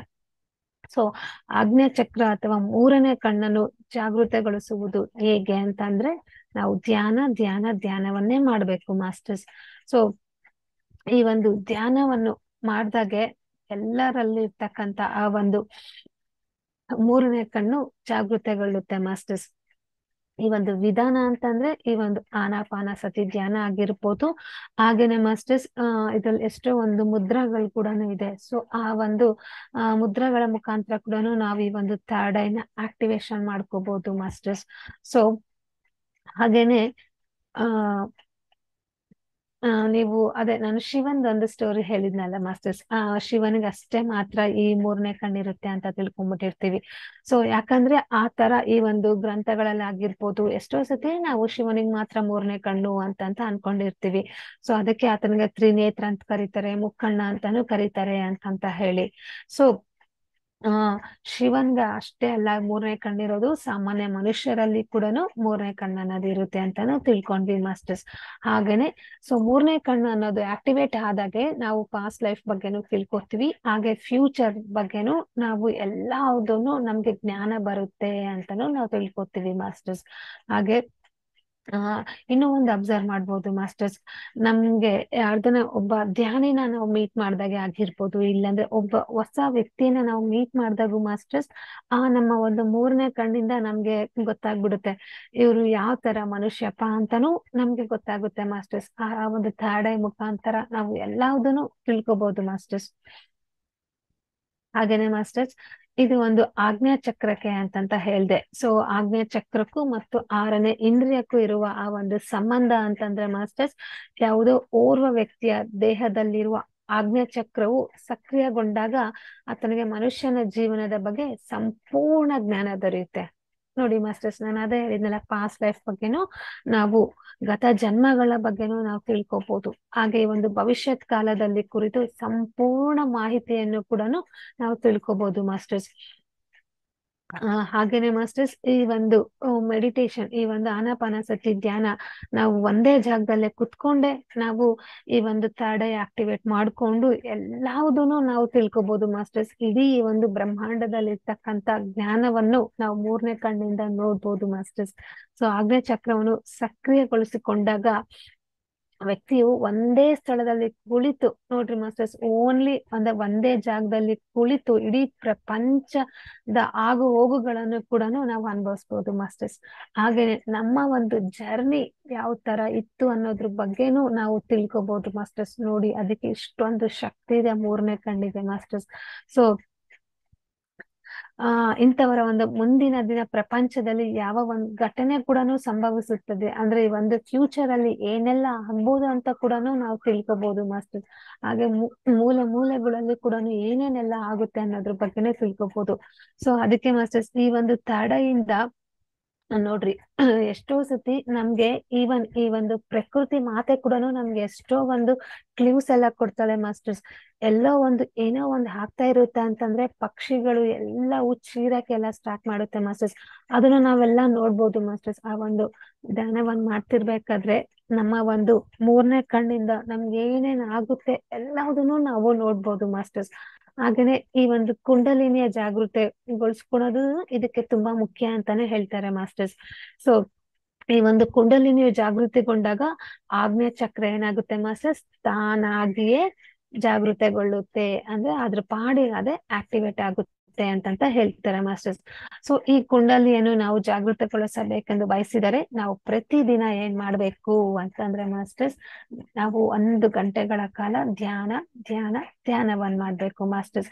ಆ ಒಂದು ಎಲ್ಲಾದ್ರೂ ನಾವು ಕೂತ್ಕೊಂಡು ಈ ಒಂದು ಧ್ಯಾನವನ್ನ ಮಾಡ್ಬೋದು. ಇದೇ ಪ್ಲೇಸ್ ಅಂತಂತ ಏನಿಲ್ಲ, ನಮ್ಮ ಮನೆಯಲ್ಲಿ ಎಲ್ಲಾದ್ರೂ ಕೂತ್ಕೋಬಹುದು ಮಾಸ್ಟರ್ಸ್. ಎಲ್ಲಾದ್ರೂ ಆ ಒಂದು ಏಕಾಂತ ಒಂದು ಸ್ಥಳದಲ್ಲಿ ಕುತ್ಕೊಂಡು ನೀವು ಈ ಒಂದು ಧ್ಯಾನವನ್ನ ಮಾಡಿದ್ರೆ ನಿಮ್ಗೆ ಮೂರನೇ ಕಣ್ಣು ಕೂಡ ಆಕ್ಟಿವೇಟ್ ಆಗುತ್ತೆ ಮಾಸ್ಟರ್ಸ್ ಸೊ ಆ ಒಂದು ಥರ್ಡ್ ಐ ಆಕ್ಟಿವೇಟ್ ಆದಾಗ ಅಷ್ಟೊಂದು ಶಕ್ತಿ, ಅಷ್ಟೊಂದು it's a very very powerful masters ಈ ಥರ್ಡ್ ಐ ಅನ್ನೋದು ಒಂದು ಟೂಲ್ ಅಂತಾನೆ ಹೇಳ್ಬೋದು masters it's a third eye tool ಅಂತಾನೆ ಹೇಳ್ಬೋದು. ಸೊ ನೋಡಿ, ನಾವ್ ಹಿಂದೆ ನಡೆದಿದ್ದೆಲ್ಲಾನು ತಿಳ್ಕೊತೀವಿ. ಮುಂದೆ ಏನೇನಾಗುತ್ತೆ ಅಂತಾನು ನಮ್ಗೆ ಎಲ್ಲದೂ ಗೊತ್ತಾಗುತ್ತೆ ಮಾಸ್ಟರ್ಸ್ ಸೊ ಅದಕ್ಕೆ ಇದಕ್ಕೆ ಅಷ್ಟೊಂದು ಶಕ್ತಿ ಇದೆ ಅಂತಾನು ಹೇಳ್ತಾರೆ. ಸೊ ಇದು ಆ ಒಂದು ಮನಸ್ಸಿನ ಒಂದು, ಹ್ಮ್, ಆ ಒಂದು ಆರನೇ ಇಂದ್ರ ಕೂಡನು ಅಂತಾನು ಹೇಳ್ತೀವಿ ಮಾಸ್ಟರ್ಸ್.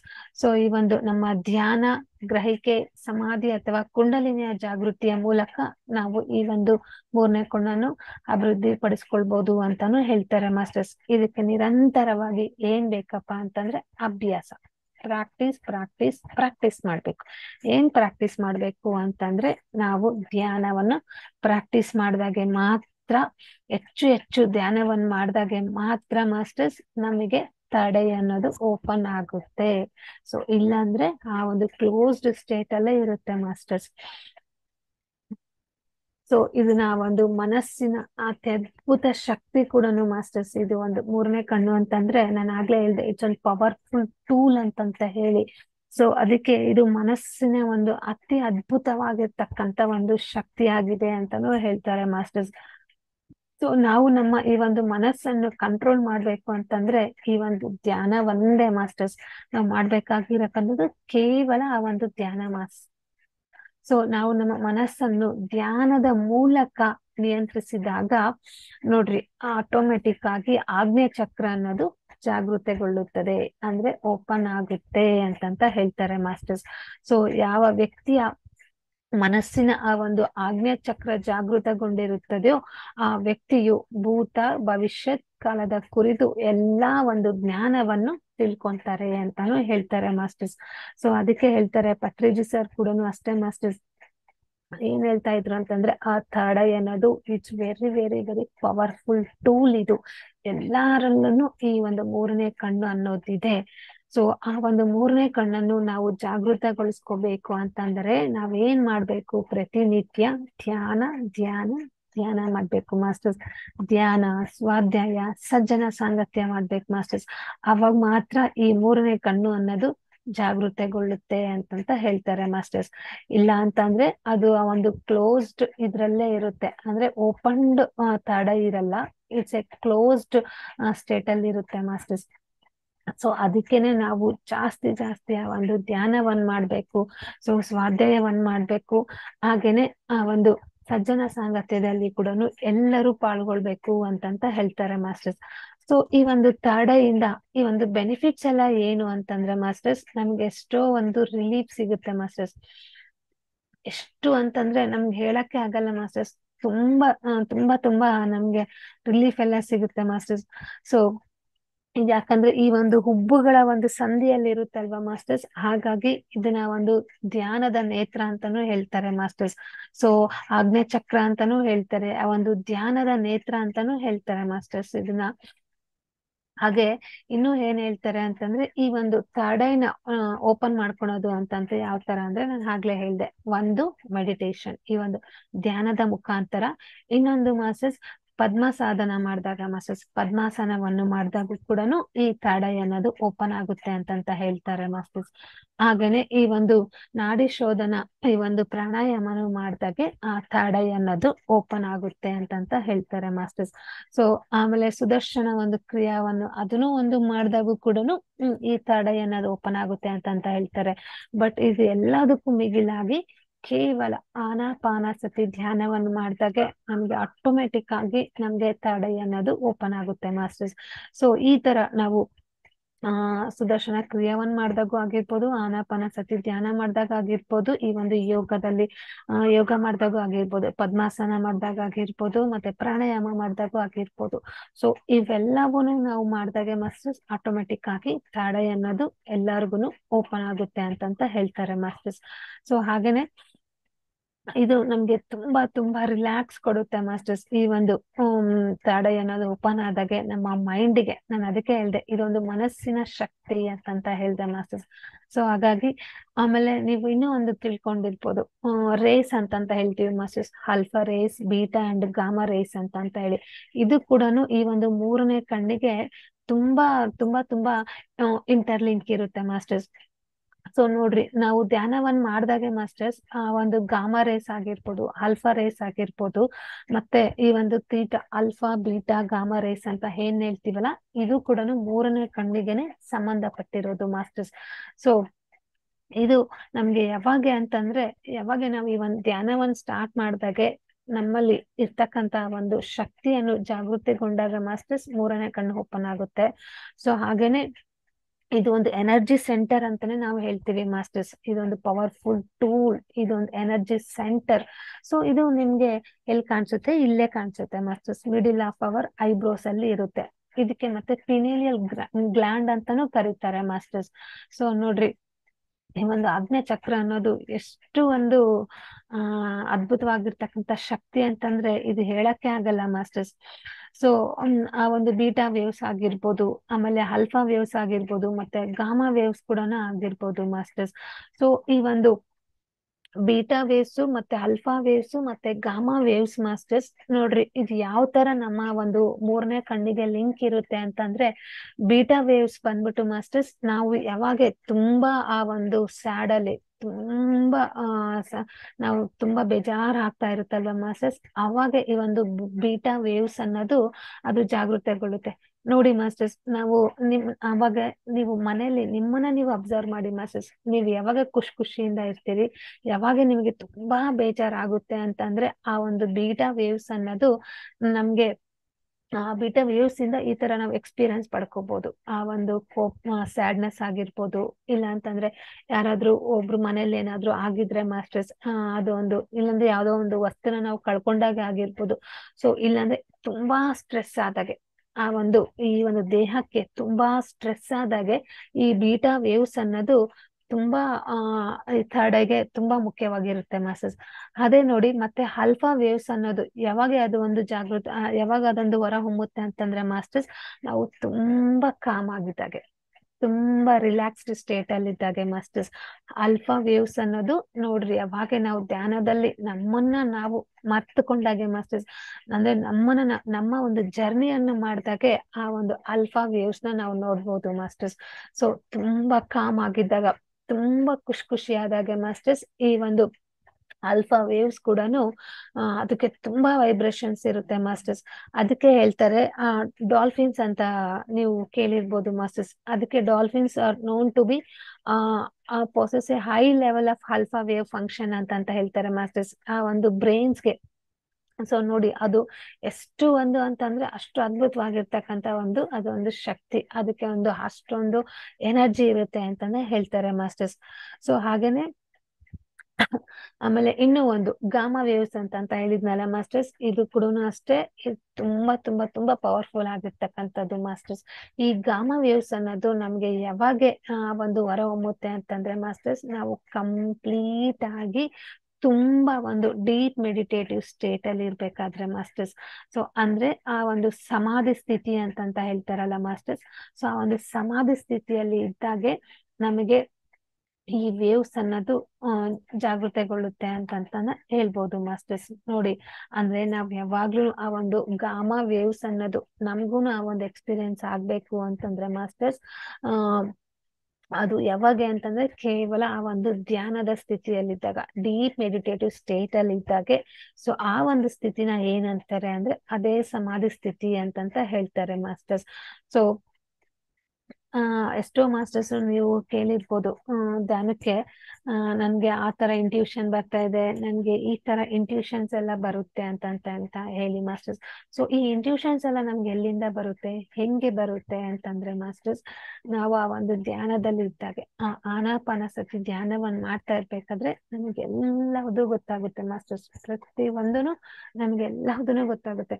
ನೀವು ನಮ್ಮ ಫೇಸಸ್ ಮೂಮೆಂಟ್ ಅಲ್ಲಿನೇ ನೋಡಿರ್ಬೋದು. ಎಷ್ಟೋ ಮಾಸ್ಟರ್ಸ್ ಎಕ್ಸಾಂಪಲ್ಸ್ ಇದೆ ಮಾಸ್ಟರ್ಸ್ ಅವರ ಒಂದು ಅನುಭವಗಳು ಕೇಳ್ಬೇಕು ಮಾಸ್ಟರ್ಸ್ ನಾವು ಒಬ್ರೊಬ್ರ ಒಂದು ಥರ್ಡ್ ಎಕ್ಸ್ಪೀರಿಯನ್ಸಸ್ನ ಕೇಳ್ಬೇಕು. ಆ ಐ ವಿಷನ್ಸ್ನ ಕೇಳ್ಬೇಕು ಮಾಸ್ಟರ್ಸ್ ಎಷ್ಟು ಅಮೇಝಿಂಗ್ ಆಗಿರುತ್ತೆ ಅಂತಂದ್ರೆ, ಅಷ್ಟು ಅಮೇಝಿಂಗ್ ಆಗಿರುತ್ತೆ ಮಾಸ್ಟರ್ಸ್ ನನಗೂ ಈ ಒಂದು ಐ ಮುಖಾಂತರ ಎಷ್ಟೊಂದೆಲ್ಲ ಎಕ್ಸ್ಪೀರಿಯನ್ಸಸ್ ಆಗಿದೆ ಮಾಸ್ಟರ್ಸ್ ನಾನು ಧ್ಯಾನಕ್ಕೆ ಬಂದಾದ್ಮೇಲೆ ಆ ಒಂದು ಮೂರನೇ ಕಣ್ಣು ಅನ್ನೋದು ಓಪನ್ ಆದಾಗೆ ಮಾಸ್ಟರ್ಸ್ ನಿಜ ಹೇಳ್ಬೇಕಂತಂದ್ರೆ ನನ್ಗೆ ಒಂದು ಪ್ಲೇಸ್ಗೆ ವಿಸಿಟ್ ಮಾಡ್ಬೇಕಾಗಿತ್ತು. ಆ ಪ್ಲೇಸ್ ನನಗೆ ಎಲ್ಲಿದೆ ಅಂತಂದ್ರೆ, ಆ ಒಂದು ಪಿರಮಿಡ್ಗೆ ನಾನು ವಿಸಿಟ್ ಮಾಡ್ಬೇಕಾಗಿತ್ತು ಮಾಸ್ಟರ್ಸ್ ಜಸ್ಟ್ ಆ ಪಿರಮಿಡ್ ಹೆಸರು ಮಾತ್ರ ಗೊತ್ತಿತ್ತು. ಸೊ ನನಗೆ ಆ ಪಿರಮಿಡ್ ಎಲ್ಲಿದೆ ಹೆಂಗಿದೆ ಅಂತ ಏನೂ ಗೊತ್ತಿರ್ಲಿಲ್ಲ. ಸೊ ಏನಾಗ್ತು ಅಂತಂದ್ರೆ, ಒಂದಿನ, ಹ್ಮ್, ಆ ಒಂದು ಪ್ಲಾ ಪ್ಲೇಸಿಗೆ ಹೋಗ್ಬೇಕಾದ್ರೆ ಬಿಫೋರ್ ನಾನು ಒಂದು ಅರ್ಧ ಗಂಟೆಗಳ ಕಾಲ ಧ್ಯಾನಕ್ಕೆ ಕುತ್ಕೊಂಡಿದ್ದೆ ಮಾಸ್ಟರ್ಸ್. ಧ್ಯಾನಕ್ಕೆ ಕುತ್ಕೊಂಡಾಗ ಏನಾಯ್ತು ಅಂತಂದ್ರೆ ಆ ಪಿರಮಿಡ್ ನಾನು ಯಾವ ಯಾವ ಒಂದು ಪಿರಮಿಡ್ಗೆ ಹೋಗ್ಬೇಕಾಗಿತ್ತಲ್ಲ?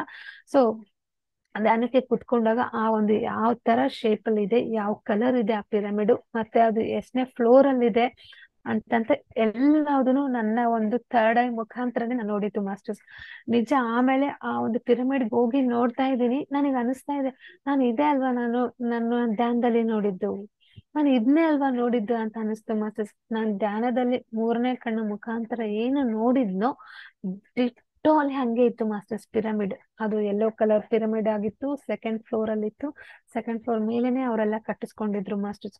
ನೋಡ್ರಿ, ಆ ಒಂದು ಪವರ್ಫುಲ್ ಟೂಲ್ ಅಂತ ಹೇಳಕ್ಕೆ ಇದನ್ನು ನನ್ನ- ನನ್ನ ಒಂದು ಎಕ್ಸ್ಪೀರಿಯನ್ಸ್ ಮಾಸ್ಟರ್ಸ್, ಇದು ಕೂಡ ಆಮೇಲೆ ಎಷ್ಟೋ ಒಂದು ನನಗೆ ಒಂದು ಥರ್ಡ್ ಐ ವಿಷನ್ಸ್ ಕಾಣಿಸುತ್ತೆ. ಮಾಸ್ಟರ್ಸ್ ಸ್ಟಾರ್ಟಿಂಗ್ ಅಲ್ಲಿ ಎಲ್ಲ ಬಣ್ಣಗಳು ಯಾವ ತರ ಕಾಣಿಸುತ್ತೋ ಸ್ಟಾರ್ಟಿಂಗ್ ಮೆಡಿಟೇಟರ್ಸ್ಗೆ ರೀಸೆಂಟ್ ಆಗಿ ಬಂದಿರ್ತಕ್ಕಂಥ ಮೆಡಿಟೇಟರ್ಸ್ಗೆ ನನ್ಗೂನು ಅಷ್ಟೇ ಎಲ್ಲದು ಆ ಒಂದು ಬಣ್ಣಗಳನ್ನು ಕಾಣಿಸ್ತಾ ಇತ್ತು. ಆಮೇಲೆ ಎಲ್ಲಾ ಮಾಸ್ಟರ್ಸ್ ಕೂಡ ಕಾಣಿಸ್ತಾ ಇದ್ರು ಮಾಸ್ಟರ್ಸ್ ಈವನ್ ಪತ್ರಿ ಸರ್ ಎಷ್ಟೋ ಸತಿ ನಂಗೆ ಕನೆಕ್ಟ್ ಆಗಿ ಎಷ್ಟೊಂದೆಲ್ಲ ಮೆಸೇಜಸ್ ಕೊಡ್ತಾ ಇರ್ತಾರೆ ಮಾಸ್ಟರ್ಸ್ ಸೊ ಎಷ್ಟೊಂದು ಮಾಸ್ಟರ್ಸ್ನ ಕೂಡ ನಾವು ಧ್ಯಾನದಲ್ಲಿ ಕುತ್ಕೊಂಡಾಗೆ ನೋಡ್ಬೋದು ಮಾಸ್ಟರ್ಸ್. ಆಮೇಲೆ ಈ ಒಂದು ಮೆಂಟಲ್ ಸ್ಟ್ರೆಸ್ ಅನ್ನೋದು ಕೂಡ ಕಮ್ಮಿ ಆಗುತ್ತೆ. ಸೊ, ಈ ಒಂದ್ ಜಾಸ್ತಿ ಆದಾಗೆ ನೋಡಿ ಅದು ಯಾವ ವೇವ್ಸ್ ಆಕ್ಟಿವೇಟ್ ಆಗಿರುತ್ತೆ ಅಂತಾನು ಹೇಳ್ದೆ ನಾನು. So alpha beta, gamma rays ಈ ಒಂದು ಮೂರು ರೇಸ್ಗಳು ಈ ಮೂರನೇ ಕಣ್ಣಿಗೆ ಸಂಬಂಧಪಟ್ಟಿರೋದು ಮಾಸ್ಟರ್ಸ್. ಅದಕ್ಕೆ ಪ್ರತಿನಿತ್ಯ ನಾವು ನಮ್ಮನ್ನ ನಾವು ಅಬ್ಸರ್ವ್ ಮಾಡ್ಕೋಬೇಕು. ನಮ್ಮನ್ನ ನಾವು ಅಬ್ಸರ್ವ್ ಮಾಡ್ಕೊಂಡಾಗೆ ಪ್ರತಿ ಕ್ಷಣನು ನಾವು ಯಾವ ತರ ಇರ್ತೀವಿ. ನಮ್ಗೆ alpha waves gamma waves beta waves ಅಂತ ನಮ್ಮಲ್ಲೇ ಗೊತ್ತಾಗುತ್ತೆ ಮಾಸ್ಟರ್ಸ್ ನೋಡಿ, ಸಮಾಧಿ ಸ್ಥಿತಿಯಲ್ಲಿ ಇರ್ಬೇಕಾದ್ರೆ ಗಾಮಾ ರೇಸ್ ಸೊ ಅದೇ ತುಂಬಾ ಆ, ನೋವಲ್ಲಿ ಇರ್ತೇವೆ ನೋವಲ್ಲಿ ಇದ್ದಾಗ ಆಲ್ಫಾ ರೇಸ್ ಆಕ್ಟಿವೇಟ್ ಆಗುತ್ತೆ ಮಾಸ್ಟರ್ಸ್ ಸೊ ಎಲ್ಲಾ ರೇಸುನು ನಮ್ಮಲ್ಲಿದೆ. ಎಲ್ಲಾ ಶಕ್ತಿನೂ ನಮ್ಮಲ್ಲಿದೆ ಮಾಸ್ಟರ್ಸ್ ನಾವು ಮುಖ್ಯವಾಗಿ ಮಾಡ್ಬೇಕಾಗಿರೋದು ಏನು ಅಂತಂದ್ರೆ ಧ್ಯಾನ ಸಾಧನೆ ಧ್ಯಾನ ಸಾಧನೆ ಧ್ಯಾನ ಸಾಧನೆ ಮಾಡ್ಬೇಕು. ನಾವ್ ಯಾವಾಗ ಆ ಒಂದು ಧ್ಯಾನ ಸಾಧನೆಯನ್ನು ಮಾಡಿದಾಗ ಆಟೋಮೆಟಿಕ್ ಆಗಿ ಕ್ಲೋಸ್ ಆಗಿರೋ ಮೂರನೇ ಕಣ್ಣು ಓಪನ್ ಆಗುತ್ತೆ ಮಾಸ್ಟರ್ಸ್ ಮೂರನೇ ಕಣ್ಣು ಓಪನ್ ಆದಾಗೆ ಆಮೇಲೆ ಎಷ್ಟೋ ಮಾಸ್ಟರ್ಸ್ ಹೇಳ್ತಾರೆ ಆಮ್ ಯಾರೋ ಒಬ್ರು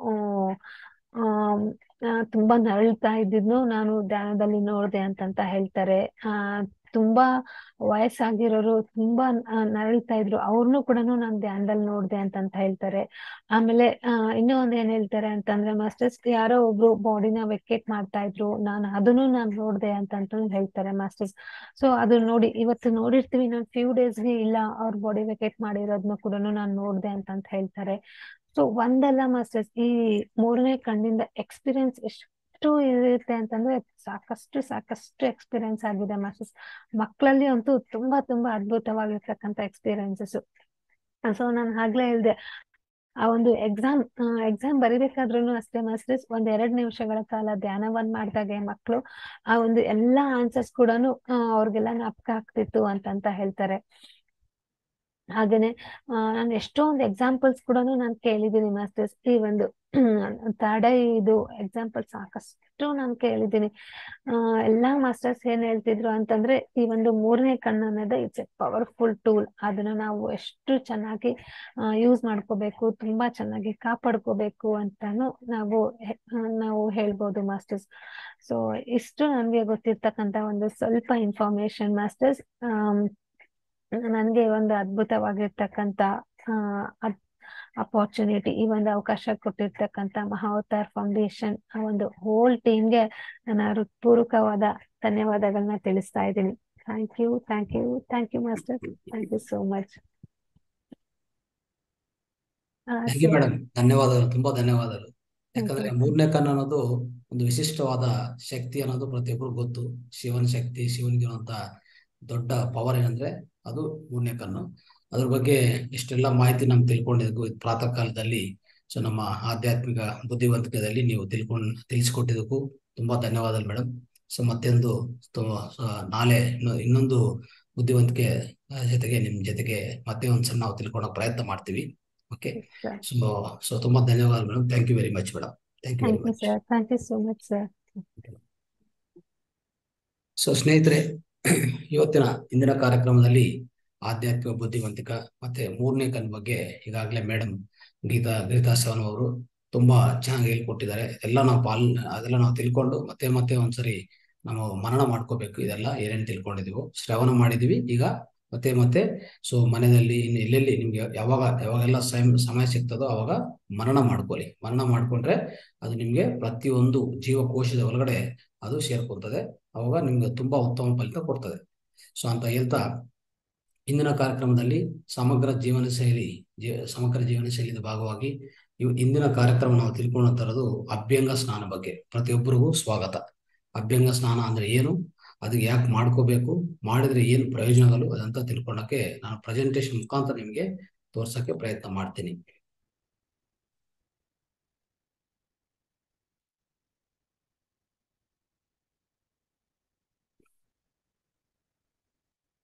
ಸ್ನೇಹಿತರೆ, ಅಭ್ಯಂಗ ಸ್ನಾನ ಅನ್ನೋದು ನಮ್ಗೆ ಪ್ರಾಚೀನ ಕಾಲದಿಂದ ಅಂದ್ರೆ, ಸೊ ನಮ್ಮ ಪ್ರಾಚೀನ ಭಾರತದಲ್ಲಿ ಇದೊಂದು ಅತ್ಯುತ್ತಮ ಪ್ರಕ್ರಿಯೆ ಆಗಿತ್ತು. ಆದ್ರೆ ನಾವು ಬರ್ತಾ ಬರ್ತಾ ಏನಾಗಿದೆ, ಕಾಲ ಕಾಲ ಬದಲಾವಣೆ ಆಗ್ತಾ ನಾವೆಲ್ಲ ಮರ್ತು ಬಿಟ್ಟಿದೀವಿ. ಅದು ನಾವು ಮಾಡಬೇಕು, ಮಾಡಿದ್ರೆ ಏನು ಪ್ರಯೋಜನ ಅಂತ ಅದು ಅದನ್ನು ಮರ್ತು ಬಿಟ್ಟಿದ್ವಿ. ಈಗ ಇದೆಲ್ಲ ಮತ್ತೆ ತಿರ್ಗಾ ನಾವು ಇದ್ರ ಬಗ್ಗೆ ತಿಳ್ಕೊಂಡು ಪ್ರಾಚೀನ ಪದ್ಧತಿಯೇ ಬಟ್ ತಿಳ್ಕೊಂಡು ನಮ್ಮ ಆಯುರ್ವೇದದಲ್ಲಿ ನೀವೆಲ್ಲ ಈಗಾಗಲೇ ಕೇಳಿರ್ತೀರಿ. ಆಯುರ್ವೇದ ಸೆಂಟರ್ಗೆ ಹೋದ್ರೆ ನಿಮಗೆ ಅಭ್ಯಂಗ ಸ್ನಾನ ಮಾಡಿಸ್ತಾರೆ, ಆಮೇಲೆ ಸ್ಟೀಮ್ ಕೊಡ್ತಾರೆ, ಆಮೇಲೆ ಇನ್ನೊಂದು ಅವರು ಪಂಚಕರ್ಮಗಳೆಲ್ಲ ಮಾಡ್ತಾ ಇರ್ತಾರೆ. ಸೊ ಇದೆಲ್ಲ ಪದ್ಧತಿಗಳಲ್ಲಿ ಯಾಕೆ ಮಾಡ್ಕೋಬೇಕು, ಏನು ನಮಗೆ ಲಾಭ ಏನಿದೆ ಇದರಿಂದ ಅಂತ ಸ್ವಲ್ಪ ತಿಳ್ಕೊಳಕ್ಕೆ ಪ್ರಯತ್ನ ಮಾಡೋಣ. ಈಗ ನೋಡಿ, ನಾವು ಯಾವ್ದಾವ್ದು ಕಾಯಿಲೆ ಬಂದ್ರೆ ನಾವು ಅಲೋಪತಿ ಡಾಕ್ಟ್ರು ಅಂದ್ರೆ ಇಂಗ್ಲಿಷ್ ಮೆಡಿಸನ್ಗೆ ಹೋಗಿ ನಾವೆಲ್ಲ ಅಲ್ಲಿ ಎಷ್ಟೋ ಟೆಸ್ಟ್ಗಳು ಟೆಸ್ಟ್ಗಳು ಮಾಡಕ್ಕೆ ನಿಮ್ಗೆ ಒಂದು ನೂರಾರು, ಸಾವಿರಾರು ರೂಪಾಯಿ ಆಗುತ್ತೆ. ಸಾವಿರಾರು ರೂಪಾಯಿ ಖರ್ಚು ಮಾಡಿದ ಮೇಲೆ ನಿಮ್ಗೆ ಏನ್ ತೊಂದರೆ ಇದೆ ಅಂತ ಅವ್ರು ಹೇಳಕ್ಕೆ ಪ್ರಯತ್ನ ಮಾಡ್ತಾರೆ, ಅಲ್ವಾ? ಸೊ ಅಷ್ಟುವರೆಗೂ ನಿಮ್ಗೆ ಗೊತ್ತಾಗಲ್ಲ, ನಿಮ್ಮ ನಿಮ್ಮ ದೇಹ ಒಳಗಡೆ ಏನಾಗಿದೆ, ನಿಮ್ಗೆ ಏನ್, ಯಾವ ತರ ತೊಂದರೆ ಆಗಿದೆ ಅಂತ ಯಾವುದು ನೀವು ತಿಳ್ಕೊಳ್ಳೋಕ್ಕೂ ಸಾಧ್ಯವಿಲ್ಲ. ಸೊ ಅವಾಗ ಅಷ್ಟೆಲ್ಲ ಖರ್ಚು ಮಾಡಿ, ಖರ್ಚು ಮಾಡಿದ ಮೇಲೇನು ಅದನ್ನು ಕರೆಕ್ಟ್ ಆಗಿ ಈ ಪ್ರಾಬ್ಲಮ್ ಆಗಿದೆ, ಇಷ್ಟು ಈ ತರ ಆಗಿದೆ ಅಂತ ಹೇಳಕ್ಕೂ ಅವ್ರು ಪ್ರಯತ್ನ ಮಾಡ್ತಾರೆ, ಬಟ್ ಆದ್ರೆ ಅದು ಖಚಿತ ಅಲ್ಲ. ಸೊ ಅವಾಗ ನೀವು ಮತ್ತೆ ಸ್ವಲ್ಪ ಗೊಂದಲ ಆಗಿ, ಆಮೇಲೆ ಏನಪ್ಪ ಇಷ್ಟ ಆಯ್ತು ನಮ್ಮ ಈ ಆರೋಗ್ಯ ಹಿಂಗಾಗ್ತಾ ಇದೆ ದಿನ ದಿನಕ್ಕೆ ಏನೇನೋ ಹೇಳ್ತೆ ಡಾಕ್ಟರ್ಗಳು ಹೇಳ್ತಾರೆ, ಈ ತೊಂದರೆ ಇದೆ, ಆ ತೊಂದರೆ ಇದೆ ಅಂತ ಎಷ್ಟೋ ಹೇಳ್ತಾ ಇರ್ತಾರೆ. ಅವಾಗ ನೀವು ಇನ್ನೂ ಗೊಂದಲೆ ಗೊಂದಲೆ ಮಾಡಿಕೊಂಡು ಒಂಥರ ಅನಾರೋಗ್ಯಕ್ಕೂ ಇನ್ನೂ ಉಂಟಾಗ್ತದೆ. ಅಂದ್ರೆ ಹೆಚ್ಚು ಅನಾರೋಗ್ಯ ಆಗುತ್ತೆ ಬಿಟ್ಟು ನಿಮಗೂ ಅದರಿಂದ ಯಾವುದು ವಾಸಿ ಆಗಲ್ಲ. ಸ್ವಲ್ಪ ಸ್ವಲ್ಪ ಮಟ್ಟು ವಿಶ್ರಾಂತಿನೂ ರಿಲೀಫು ಸಿಗಲ್ಲ ಫ್ರೆಂಡ್ಸ್ ಸೊ ಅಂಥದ್ದು ಈ ಮಾಡರ್ನ್ ಪದ್ಧತಿಯಲ್ಲಿ ನಾವು ಯಾವುದೇ ಗುಣ ನಾವು ಆರೋಗ್ಯ ಅನಾರೋಗ್ಯ ಗುಣ ಮಾಡ್ಕೋಬೇಕಂದ್ರೂ ಆರೋಗ್ಯ ಸರಿಪಡಿಸ್ಕೋಬೇಕಂದ್ರೂ ಅಲ್ಲಿ ಪದ್ಧತಿಗಳು ಇಲ್ಲ. ಸೊ ಪದ್ಧತಿಗಳು ಏನಿದ್ರು ನಾವು ಸನಾತನ ಧರ್ಮದಿಂದ ಬರಬೇಕು. ಸನಾತನ ಧರ್ಮದಲ್ಲಿ ಈಗಾಗಲೇ ನಾವು ಹೇಳ್ಕೊಂತ ಬಂದ್ವಿ, ಆರೋಗ್ಯ ಜೀವನ ಶೈಲಿಯನ್ನು, ಏನು ಏನ್ ತಿನ್ಬೇಕು, ಏನ್ ತಿನ್ಬಾರ್ದು, ಎಂತ ಪದಾರ್ಥ ತಿನ್ಬೇಕು, ನಾವು ನಾವು ಬದುಕು ಜೀವನ ಯಾವ ತರ ಮಾಡ್ಕೊಂಡು ಹೋಗ್ಬೇಕು. ಸೊ ಮತ್ತೆ ಎಷ್ಟೋ ಪದ್ಧತಿಗಳು ಈಗಾಗಲೇ ಒಂದು ಹನ್ನೆರಡು ದಿವಸದಲ್ಲಿ ನಾವು ಹೇಳ್ಕೊಂಡು ಬಂದಿದ್ದೀವಿ ಪ್ರತಿಯೊಂದು ನೀವು ಪಾಲನೆ ಮಾಡಿ, ನಿಮ್ಮ ಆರೋಗ್ಯ ಚೆನ್ನಾಗಿರ್ತದೆ. ಅಷ್ಟು ಬಿಟ್ಟು ನಮ್ಗೆ ಏನೋ ಅನಾರೋಗ್ಯ ಆಗಿದೆ ಸಡನ್ ಆಗಿ ಯಾವ್ದೋ ಡಾಕ್ಟರ್ ಹತ್ರ ಹೋಗೋದು ನಮ್ಮ ಫ್ಯಾಮಿಲಿ ಡಾಕ್ಟರ್ ಇದಾರೆ ಅಲ್ಲಿಗೆ ಹೋಗ್ತೀನಿ ಯಾವುದೇ ಹೋದ್ರು ಯಾವ ಡಾಕ್ಟರ್ ಹತ್ರ ಹೋದ್ರು ಇಂಗ್ಲಿಷ್ ಮೆಡಿಸನ್ ಆಗುವಾಗ ಅದು ಕೆಮಿಕಲ್ ಆಗಿ ಕೆಮಿಕಲ್ ಮೆಡಿಸಿನ್ ಮತ್ತೆ ಅದರಲ್ಲಿ ಯಾವುದು ಕಾಯಿಲೆಗಳ ಗುಣ ಆಗಕ್ಕೂ ಅಲ್ಲಿ ಯಾವ ತರ ಸಾಧ್ಯವಿಲ್ಲ, ಅವಕಾಶ ಇಲ್ಲ. ಯಾಕಂದ್ರೆ ಅವ್ರು ಏನ್ ಮಾಡ್ತಾರೆ, ನಿಮ್ಮ ದೇಹ ನೋಡೋದು ಒಂದು ಮೆಷಿನ್ ತರ ನೋಡ್ತಾರೆ. ಅಂದ್ರೆ ನಿಮ್ಮ ದೇಹ ಒಳಗಡೆ ಏನೇನಿದೆ ಲಿವರ್ ಇದೆ ಕಿಡ್ನಿ ಇದೆ ಹಾರ್ಟ್ ಇದೆ, ಇನ್ನೇನೇನೋ ಇದೆ. ಎಲ್ಲಾ ಅವಯವಗಳು, ಎಷ್ಟು ಅವಯವಗಳು ಇದೆಯೋ, ಆ ಅವಯವ ಎಲ್ಲಾನು ಸಪರೇಟ್ ಒಂದು ಪಾರ್ಟ್ ತರ, ಒಂದು ಮೆಷಿನ್ ತರ ನೋಡ್ತಾರೆ. ಆ ತರ ಸಾಧ್ಯವಾಗಲ್ಲ. ಇಲ್ಲಿ ನೋಡಿ, ನಾವು ಈಗಾಗಲೇ ತುಂಬಾ ಕ್ಲಾಸಸ್ ಅಲ್ಲಿ ನಾವು ಹೇಳ್ಕೊಂತ ಬಂದಿದ್ವಿ. ನಾವು ದೇಹ ಒಂದಿಲ್ಲ ದೇಹ ಜೊತೆಗೆ ನಾವು ಏನಿದೀವಿ? ಮನಸ್ಸು ಇದೆ, ಬುದ್ಧಿ ಇದೆ, ಮತ್ತೆ ಆತ್ಮ ಇದೆ. ಅಂದ್ರೆ ನಮ್ಮ ಕಾನ್ಶಿಯಸ್ನೆಸ್ ಇದೆ. ಇದೆಲ್ಲ ಇಟ್ಕೊಂಡು ನಾನು ಓನ್ ಓನ್ ನಾನು ಬರೀ ಈ ಈ ದೇಹಕ್ಕೆ ಮಾತ್ರ ಒಂದು ಟ್ರೀಟ್ಮೆಂಟ್ ಕೊಡ್ತೀನಿ, ದೇಹಕ್ಕೆ ಮಾತ್ರ ಚಿಕಿತ್ಸೆ ಮಾಡ್ತೀನಿ ಅಂದ್ರೆ ಆಗಲ್ಲ. ಆ ತರ ವಾಸಿ ಆಗೋದಿಲ್ಲ. ಯಾಕಂದ್ರೆ ಇಬ್ರಿಗೂ ತಲೆನೋವು ಬಂದ್ರೆ ಇಬ್ಬರನ್ನು ಟೆಸ್ಟ್ ಮಾಡಿ ನೋಡಿ. ಅಂದ್ರೆ ಅವ್ರನ್ನ ಒಂದ್ಸರಿ ಚರ್ಚೆ ಮಾಡಿ ನೋಡಿ ಅವ್ರ ಜೊತೆಗೆ. ಇಬ್ರಿಗೂ ತಲೆನೋವೇ. ಬಟ್ ಆದ್ರೆ ಈ ಒಬ್ರಿಗೂ ತಲೆನೋವಲ್ಲಿ, ಒಬ್ರಿಗೂ ತಲೆನೋವು ಬಂದಿರೋದು ಒಂದು ಕಾರಣದಿಂದ. ಏನೋ ಏನೋ ಪದಾರ್ಥ ತಿಂತಾರೆ ಒಂದು ಯಾವ್ದು ಕೆಟ್ಟ ಪದಾರ್ಥ ತಿಂದು, ಅದರಿಂದ ಗ್ಯಾಸ್ಟ್ರಿಕ್ ಆಗಿ ಗ್ಯಾಸ್ಟ್ರಿಕ್ ಇಂದ ಹೆಡೇಕ್ ಬರುತ್ತೆ. ಸೊ ಈ ತರ ಒಬ್ರಿಗೂ, ಇನ್ನೊಬ್ರಿಗೆ ಏನಾಗ್ತದೆ, ಯಾವುದೋ ಒಂದು ಗೊಂದಲೆ ಬಂದು, ಯಾವುದೋ ಒಂದು ಮನಸ್ಸಲ್ಲಿ ಒಂಥರ ನೋವಾಯ್ತು ಏನೋ ತೊಂದರೆ ಆಯ್ತು, ಏನೋ ಒಂದು ಪ್ರಾಬ್ಲಮ್ ಫೇಸ್ ಮಾಡಿದ್ದಾರೆ, ಒಂದು ಸಮಸ್ಯೆ ಬಂದಿದೆ, ಆ ಸಮಸ್ಯೆಯಿಂದ ತಲೆನೋವು ಬರುತ್ತೆ. ಈಗ ಇಬ್ರಿಗೂ ಒಂದೇ ಮೆಡಿಸಿನ್ ವರ್ಕ್ ಆಗತ್ತಾ? ಈಗ ಅಲೋಪತಿಯಲ್ಲಿ ಏನ್ ಮಾಡ್ತಾರೆ, ಇಬ್ರಿಗೂ ಒಂದೇ ಟ್ಯಾಬ್ಲೆಟ್ ಕೊಟ್ಬಿಡ್ತಾರೆ, ಅಲ್ವಾ? ಅದೇನು, ಅದೇನ್ ಮಾಡ್ತದೆ, ನಿಮ್ಮ ಬ್ರೈನ್ ಒಳಗಡೆ ಒಂದು ಪಾಯಿಂಟ್ಸ್ ಇರುತ್ತೆ, ಆ ನರ, ಆ ನರಗಳ ಒಂದು, ಏನೋ, ಒಂದು ನಾಲಗಲ್ ಇರ್ತದೆ, ಅಲ್ಲಿ ಅಲ್ಲಿ ನಿಮ್ಗೆ ಕಟ್ ಮಾಡತ್ತೆ. ಅವಾಗ ಇಬ್ರಿಗೂ ಪೇನ್ ಹೋಗುತ್ತೆ. ಇಬ್ರಿಗೂ ಪೇನ್ ಕಂಟ್ರೋಲ್ ಬರುತ್ತೆ, ನಿಯಂತ್ರಣ ಬರುತ್ತೆ. ಬಟ್ ಆದ್ರೂ ವಾಸಿ ಆಗಿಲ್ಲ. ಅದು ನಿಮ್ಮ ಬೇಸಿಕ್ ಅಂದ್ರೆ ರೂಟ್ಸ್ ಮೂಲಗಳಿಂದ ವಾಸಿ ಆಗಿಲ್ಲ. ಬರೇ ಮೇಲೆ ಏನ್ ಮಾಡಿದೆ? ಸ್ವಲ್ಪ ನಿಮ್ಗೆ ಸುಧಾರವಾಗಿ ಸ್ವಲ್ಪ ಏನೋ ಪೇನ್ ಕಡಿಮೆ ಮಾಡಕ್ಕೆ ಅದು ಒಂದು ಪ್ರಯತ್ನ ಮಾಡಿರ್ತಾರೆ. ಆ ಒಂದು ಕೆಮಿಕಲ್ ಒಂದು ಪೇನ್ ಕಿಲ್ಲರ್ ಕೊಟ್ಟು. ಆ ಪೇನ್ ಕಿಲ್ಲರ್ ಜಾಸ್ತಿ ಜಾಸ್ತಿ ತಗೊಂತಾ ಹೋದ್ರೆ ಅದು ಹಾರ್ಟ್ ಅಟ್ಯಾಕ್ನು ಉಂಟಾಗ್ತದೆ ಫ್ಯೂಚರ್ ಅಲ್ಲಿ. ಯಾರು ಜಾಸ್ತಿ ಯಾರು ಜಾಸ್ತಿ ಪೇನ್ ಕಿಲ್ಲರ್ ತಗೊಂತಾ ಇರ್ತಾರೋ ಒಂದು ಫೈವ್ ಇಯರ್ಸ್ ಅಲ್ಲಿ ಹಾರ್ಟ್ ಅಟ್ಯಾಕ್ ಗ್ಯಾರಂಟಿ ಬರುತ್ತೆ. ಸೊ ಅಂತ ಪರಿಸ್ಥಿತಿಗಳು ತುಂಬಾ ಇದೆ. ಅದಕ್ಕೋಸ್ಕರ ನಾವೆಲ್ಲ ಗಮನ ಇಟ್ಕೊಂಡು ನಾವು ಸಾಧ್ಯವಾಗಿ, ಸಾಧ್ಯವಾದ, ಸಾಧ್ಯವಾಗಿ ನಾವು ಏನ್ ಮಾಡ್ಬೇಕಂದ್ರೆ ನಮ್ಮ ಸಮ, ಸಮಗ್ರ ಸಮಗ್ರ ಜೀವನ ಶೈಲಿ ಅನ್ನೋದು ನಡ್ಸ್ಕೊಂಡು ಹೋಗ್ಬೇಕು. ಅಂದ್ರೆ ಇದರಲ್ಲಿ ಎಷ್ಟೋ ಹಲವಾರು ಪದ್ಧತಿಗಳಿದೆ. ಈಗ ಅಭ್ಯಂಗ ಸ್ನಾನ ಬಗ್ಗೆ ತಿಳ್ಕೊಂತ ಇದ್ವಿ. ಇನ್ನು ಉಪವಾಸ ಉಪವಾಸ ಬಗ್ಗೆ ತಿಳ್ಕೊಳ್ಳೋ ಪ್ರಯತ್ನ ಮಾಡ್ತೀವಿ. ಇದಕ್ಕೆ ಮುಂಚೆನೆ ನಾವು ಎಷ್ಟೋ ಪದ್ಧತಿಗಳಿಂದ ನಾವು ಏನೇನು ಮಾಡ್ಕೋಬಹುದು ನಾವು ನಿನ್ನೆ ಎನಿಮಾ ಬಗ್ಗೆ ತಿಳ್ಕೊಂಡಿದ್ವಿ. ಎನಿಮಾದಿಂದ ಎಷ್ಟು ವಾಸಿ ಆಗತ್ತೆ, ಎಷ್ಟು ರೋಗಗಳು ಹೋಗುತ್ತೆ, ನಮ್ಮ ಹೊಟ್ಟೆಲಿಂದ, ನಮ್ಮ ದೊಡ್ಡ ಕರ್ಲಿಂದ, ಅಲ್ಲಿಂದ ಅಂದ್ರೆ ನಮ್ಮ ಗುದೇದ ದ್ವಾರದಿಂದ ಎಷ್ಟೋ ಮಾಲಿನ್ಯ ನಾವು ತೆಗಿಬಿಟ್ಟಿದ್ರೆ ಏನಾಗ್ತದೆ? ಗ್ಯಾಸ್ ಎಲ್ಲ ಹೋಗುತ್ತೆ. ನೀವು ಗ್ಯಾ, ಅದೇ ಗ್ಯಾಸ್ ಇಂದಾನೆ ಅದನ್ನ ಹಂಗೆ ಇಟ್ಕೊಂಡ್ರೆ ಮಲ ಹಂಗೆ ಸಂಗ್ರಹಿಸ್ಕೊಂಡು ಅಲ್ಲೇ ಅಲ್ಲೇ ಇಟ್ಟರೆ ಏನಾಗ್ತದೆ? ಅದರಿಂದ ನಿಮ್ಗೆ ಹೆಡ್ಏಕ್ ಬರುತ್ತೆ. ಆಮೇಲೆ ಬ್ಯಾಕ್ ಪೇನ್ ಬರುತ್ತೆ. ಏನೇನೋ ಬರ್ತಾ ಇರ್ತದೆ. ಪೇನ್ ಬರೋದು ಹೆಡ್ ಅಲ್ಲಿ ಬ್ಯಾಕ್ ಅಲ್ಲಿ. ಬಟ್ ಇರೋದು ಪ್ರಾಬ್ಲಮ್ ನಿಮ್ಮ ನಿಮ್ಮ ರಕ್ತಮ್ ಅಲ್ಲಿ, ಅಂದ್ರೆ ನಿಮ್ಮ ಬೌಲ್ಸ್ ಅಲ್ಲಿ ಕಾಲೋನ್ ಅಲ್ಲಿ. ಸೊ ಕಾಲೋನ್ ಅಲ್ಲಿ ಪ್ರಾಬ್ಲಮ್ ಇದೆ. ಅಲ್ಲಿ ಮಾಲಿನ್ಯ ಜಾಸ್ತಿ ಇದೆ. ಅಂದ್ರೆ ವಿಸರ್ಜನೆ ಸರಿ ಆಗ್ತಾ ಇಲ್ಲ. ಸೊ ಈ ತರ ನನಗೂ ಬಾಡಿಯಲ್ಲಿ ಒಂದೇ ಪಾರ್ಟ್ ನೋಡ್ತೀನಿ ಅಂದ್ರೆ ಆಗಲ್ಲ. ಈ ಪಾರ್ಟ್ ನೋಡಿ, ಈ ಪಾರ್ಟ್ ಈ ಪಾರ್ಟ್ ಈ ಅವಯವಲ್ಲಿ ಪ್ರಾಬ್ಲಮ್ ಇದೆ, ಆ ಅವಯವಕ್ಕೆ ನಾವು ಒಂದು ಮೆಡಿಸಿನ್ ಕೊಡ್ತೀನಿ, ಇಲ್ಲ ಅವಯವಕ್ಕೆ ನಾನು ಚೆಸ್ಟ್ ಚಿಕಿತ್ಸೆ ಮಾಡ್ತೀನಿ ಅಂದ್ರೆ ಆಗಲ್ಲ. ಯಾವಾಗ ನೋಡ್ಬೇಕಾಗಿರೋದು ನಿಮ್ಮ ಮೂಲ ಕಾರಣ ಏನಿದೆ ಅಂತ ತಿಳ್ಕೊಂಡು ಅದು ಅದ್ರ ಮೇಲೆ ನೀವು ಚಿಕಿತ್ಸೆ ಕೊಟ್ರೆ ಅದು ಸಮಗ್ರ ಚಿಕಿತ್ಸಾ ಅಂತ ಕರಿಬಹುದು holistic holistic method holistic healing ಅಂತ ಕರಿಬಹುದು ಸೊ ಆ ನಾವು ಅರ್ಥ ಮಾಡ್ಕೋಬೇಕು. ಸೊ ಅದರಲ್ಲಿ ಭಾಗವಾಗಿ ಇಷ್ಟೆಲ್ಲ ಪದ್ಧತಿಗಳನ್ನ ತಿಳ್ಕೊಂತಾ ಇದೆ ಇವತ್ತಿನ ಒಂದು ವಿಶೇಷ ಪದ್ಧತಿ ಏನದಪ್ಪ ಅಂದ್ರೆ ಅಭ್ಯಂಗ ಸ್ನಾನ. ಇದನ್ನು ಅಷ್ಟೇ, ನಿಮ್ಗೆ ಎಷ್ಟು ಒಳ್ಳೇದಂದ್ರೆ ಅದು ಹೇಳಕ್ಕೆ ಆಗಲ್ಲ. ಅಷ್ಟು ಫಲಿತ ನಿಮ್ಗೆ ಸಿಗತ್ತೆ ಇದರಿಂದ. ಬಟ್ ಆದ್ರೆ ನಾವು ಯಾರು ಹೇಳ್ಕೊಟ್ರು ಅವರು? ನಮ್ಮ ಮನೆಯಲ್ಲಿ ಮಾಡ್ತಾ ಇದ್ವಿ ಯಾವಾಗೋ ಅಂದ್ರೆ ಮುಂಚಿನ ದಿವಸದಲ್ಲಿ, ಈ ಇತ್ತೀಚಿನ ದಿವಸದಲ್ಲಿ ಸ್ವಲ್ಪ ಸ್ವಲ್ಪ ಜನ ಅವ್ರವ್ರು ಮಾಡ್ಕೊತಾ ಇರ್ತಾರೆ. ಏನಂತಂದ್ರೆ ಯಾವ್ದೋ ಒಂದು ಫೆಸ್ಟಿವಲ್ ಬಂದಿದೆ, ಹಬ್ಬ ಬಂದಿದೆ. ಅವಾಗ ಮೈಯೆಲ್ಲ ಒಂದು ಯಾವುದೋ ಒಂದು ಆಯಿಲ್ ಹಚ್ಕೊಂಡು, ಅಂದ್ರೆ ಎಣ್ಣೆ ಹಚ್ಕೊಂಡು, ಸೊ ಸ್ವಲ್ಪ ಹೊತ್ತು ವಿರಾಮ ಮಾಡಿ ಆಮೇಲೆ ಸ್ನಾನ ಮಾಡ್ತಾರೆ. ಅವ್ರು ಸ್ವಲ್ಪ ಪದ್ಧತಿಗಳು ಅಲ್ಲಲ್ಲಿ ಫಾಲೋ ಮಾಡ್ತಾ ಇದ್ದಾರೆ, ಪಾಲನೆ ಮಾಡ್ತಾ ಇದ್ದಾರೆ ಬಟ್ ಎಲ್ಲರೂ ಮಾಡ್ತಾ ಇಲ್ಲ. ಸೊ ಒಂದು ನೈಂಟಿ ಪರ್ಸೆಂಟ್ ಅಂತ ಬಿಟ್ಬಿಟ್ಟಿದ್ದಾರೆ. ಒಂದು ಹತ್ತು ಪರ್ಸೆಂಟ್ ಏನಾದ್ರು ಪಾಲನೆ ಮಾಡ್ತಾ ಇರ್ಬೋದು. ಆದ್ರೆ, ಈ ನೈಂಟಿ ಪರ್ಸೆಂಟ್ ಅವರು ಏನಿದಾರೋ, ಅವ್ರು ಪಾಲನೆ ಮಾಡಕ್ಕೆ ಪ್ರಯತ್ನ ಪ್ರಯತ್ನ ಮಾಡಕ್ಕೆ ಇಷ್ಟೆಲ್ಲ ಮಾಹಿತಿ, ಇಷ್ಟೆಲ್ಲ ಜ್ಞಾನ ಕೊಡೋಕೆ ಅವ್ರು ಪ್ರಯತ್ನ ಮಾಡೋಣ. ಈಗ ನೋಡಿ, ಅಭ್ಯಂಗ ಸ್ನಾನ ಮಾಡಿದ್ರೆ ಏನಾಗ್ತದೆ ಅಂದ್ರೆ, ಅಭ್ಯಂಗ ಸ್ನಾನ ಅಂದ್ರೆ ಏನು? ನಾವೇನ್ ಮಾಡ್ಬೇಕು? ಎಲ್ಲಾ ಔಷಧಗಳಿಂದ ಅವ್ರಿಗೂ ಅಂದ್ರೆ ಅದಕ್ಕೆ ಏನೇನು ಲಾಭಗಳಿದೆಯೋ ಅಂದ್ರೆ ಅಭ್ಯಂಗ ಅಭ್ಯಂಗ ಸ್ನಾನ ಅನ್ನೋದು ಮಾಡಕ್ಕೆ ಅಭ್ಯಂಗ ಸ್ನಾನ ಅನ್ನೋದು ಮಾಡೋದೇ ಒಂದು ಎಣ್ಣೆ ಹಚ್ಕೊಂಡು ಮಾಡುವಂತ ಸ್ನಾನ.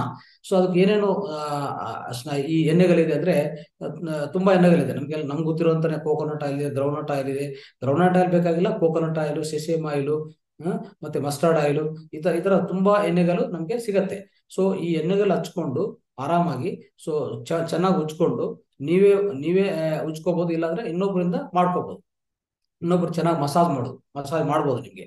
ಸೊ ಇದೆಲ್ಲ ನಮ್ಮ ಕೈಯಲ್ಲಿ ಆಗ್ತಾ ಇಲ್ಲ ಅಂತರುವಾಗ ನೀವು ಆಯುರ್ವೇದ ಸೆಂಟರ್ಗೆ ಹೋದ್ರೆ ಅವರು ಅಭ್ಯಂಗ ಸ್ನಾನ ನಿಮ್ಗೆ ಮಾಡಿಸ್ತಾರೆ. ಅಂದ್ರೆ ಚೆನ್ನಾಗಿ ಅವ್ರು ಮಸಾಜ್ ಮಾಡಿ, ಆಯಿಲ್ ಆಯಿಲ್ ಹಚ್ಚಿ ಮತ್ತೆ ಚೆನ್ನಾಗಿ ಮಸಾಜ್ ಮಾಡಿ ಅದಾದ್ಮೇಲೆ ಸ್ನಾನ ಮಾಡಿಸಿ ಕಲಿಸ್ತಾರೆ. ಸೊ ಒಂದು ಸ್ಟೀಪ್ ಬಾತ್ ಕೊಟ್ಟು ಕಲಿಸ್ತಾರೆ. ಅದನ್ನು ಒಳ್ಳೆ ಪದ್ಧತಿನೇ. ಅದು ತುಂಬಾ ಒಳ್ಳೆಯದು ಬಟ್ ಅದು ಖರ್ಚಾಗತ್ತೆ. ಆ ಖರ್ಚಾಗೋದು ಬೇಡ ಅಂತಂದ್ರೆ ಅವಾಗ ನೀವು ನಿಮ್ಮ ಮನೆಯಲ್ಲಿ ನೀವು ಮಾಡ್ಕೊಳ್ಳೋ ಪದ್ಧತಿ ನಾನು ಹೇಳ್ಕೊಡಕ್ಕೆ ಪ್ರಯತ್ನ ಮಾಡ್ತೀನಿ. ಸೊ ಆದ್ರೆ ಈಗ ಆಯುರ್ವೇದ ಸೆಂಟರ್ಸ್ ಅಂದ್ರೆ ನಮ್ಮ ನಮ್ಮ ಕೇಂದ್ರದ ಒಂದು ಆಯುರ್ವೇದ ಸೆಂಟರ್ ಇದೆ. ಅಂದ್ರೆ ಮಹಾ, ಮಹಾತಾರ್ ಫೌಂಡೇಶನ್ ಹತ್ರ ನಮ್ಮ ಆಯುರ್ವೇದ ಕ್ಲಿನಿಕ್ ಏನಿದೆಯೋ, ಅಲ್ಲೆಲ್ಲ ನಾವು ಈ ಪಂಚಕರ್ಮದಿಂದ ಪಂಚಕರ್ಮದ ಎಲ್ಲ ಮಾಡ್ತಾ ಇರ್ತೀವಿ. ಅದ್ರ ಭಾಗವಾಗಿ ಈ ಅಭ್ಯಂಗ ಸ್ನಾನ ಮಾಡಿಸ್ತೀವಿ. ಸೊ ಅದು ನಿಮ್ಗೆ ಎಷ್ಟು ಪ್ರಯೋಜನಕಾರಿ. ಸೊ ಯಾವ ಯಾವಾಗ ನಿಮ್ಗೆ ಅನುಕೂಲ, ಅನನುಕೂಲ ಇದೆ, ನಾನು ಮಾಡ್ಕೊಳಕ್ ಆಗಲ್ಲ ಅಂದ್ರೆ ಅಲ್ಲಿಗೆ ಬನ್ನಿ. ಇಲ್ಲ ಅಂದ್ರೆ ನಿಮ್ ಮನೆಯಲ್ಲೇ ಮಾಡ್ಕೊಳಕ್ಕೆ ಪ್ರಯತ್ನ ಮಾಡಿ. ಈಗ ಇದು ತಿಳ್ಕೊಳಕ್ಕೆ ಪ್ರಯತ್ನ ಮಾಡೋಣ. ನೋಡಿ. ಅಭ್ಯಂಗ ಸ್ನಾನ ಪರಮ ಔಷಧಂ. ಎಣ್ಣೆ ಸ್ನಾನದಿಂದ ಮಹತ್ವ ಲಾಭಗಳು ಹಾಗೂ ಮಹತ್ವ ಲಾಭಗಳು ಇದೆ. ಸೊ ಇದೊಂದು ಅಭ್ಯಂಗ ಸ್ನಾನ ಪರಮ ಔಷಧ. ಇನ್ನೊಂದಿದೆ. ಇನ್ನೊಂದು ನಾಳೆ ನಾಡಿದು ಬರೋದ ಸಬ್ಜೆಕ್ಟ್ ಲಂಗನಂ ಪರಮ ಔಷಧಂ. ಆತರ ಅಂದ್ರೆ ಪರಮ ಔಷಧಂ ಅಂದ್ರೆ ಏನು? ಪ್ರತಿಯೊಂದು ಇದರಿಂದ ವಾಸಿ ಆಗತ್ತೆ.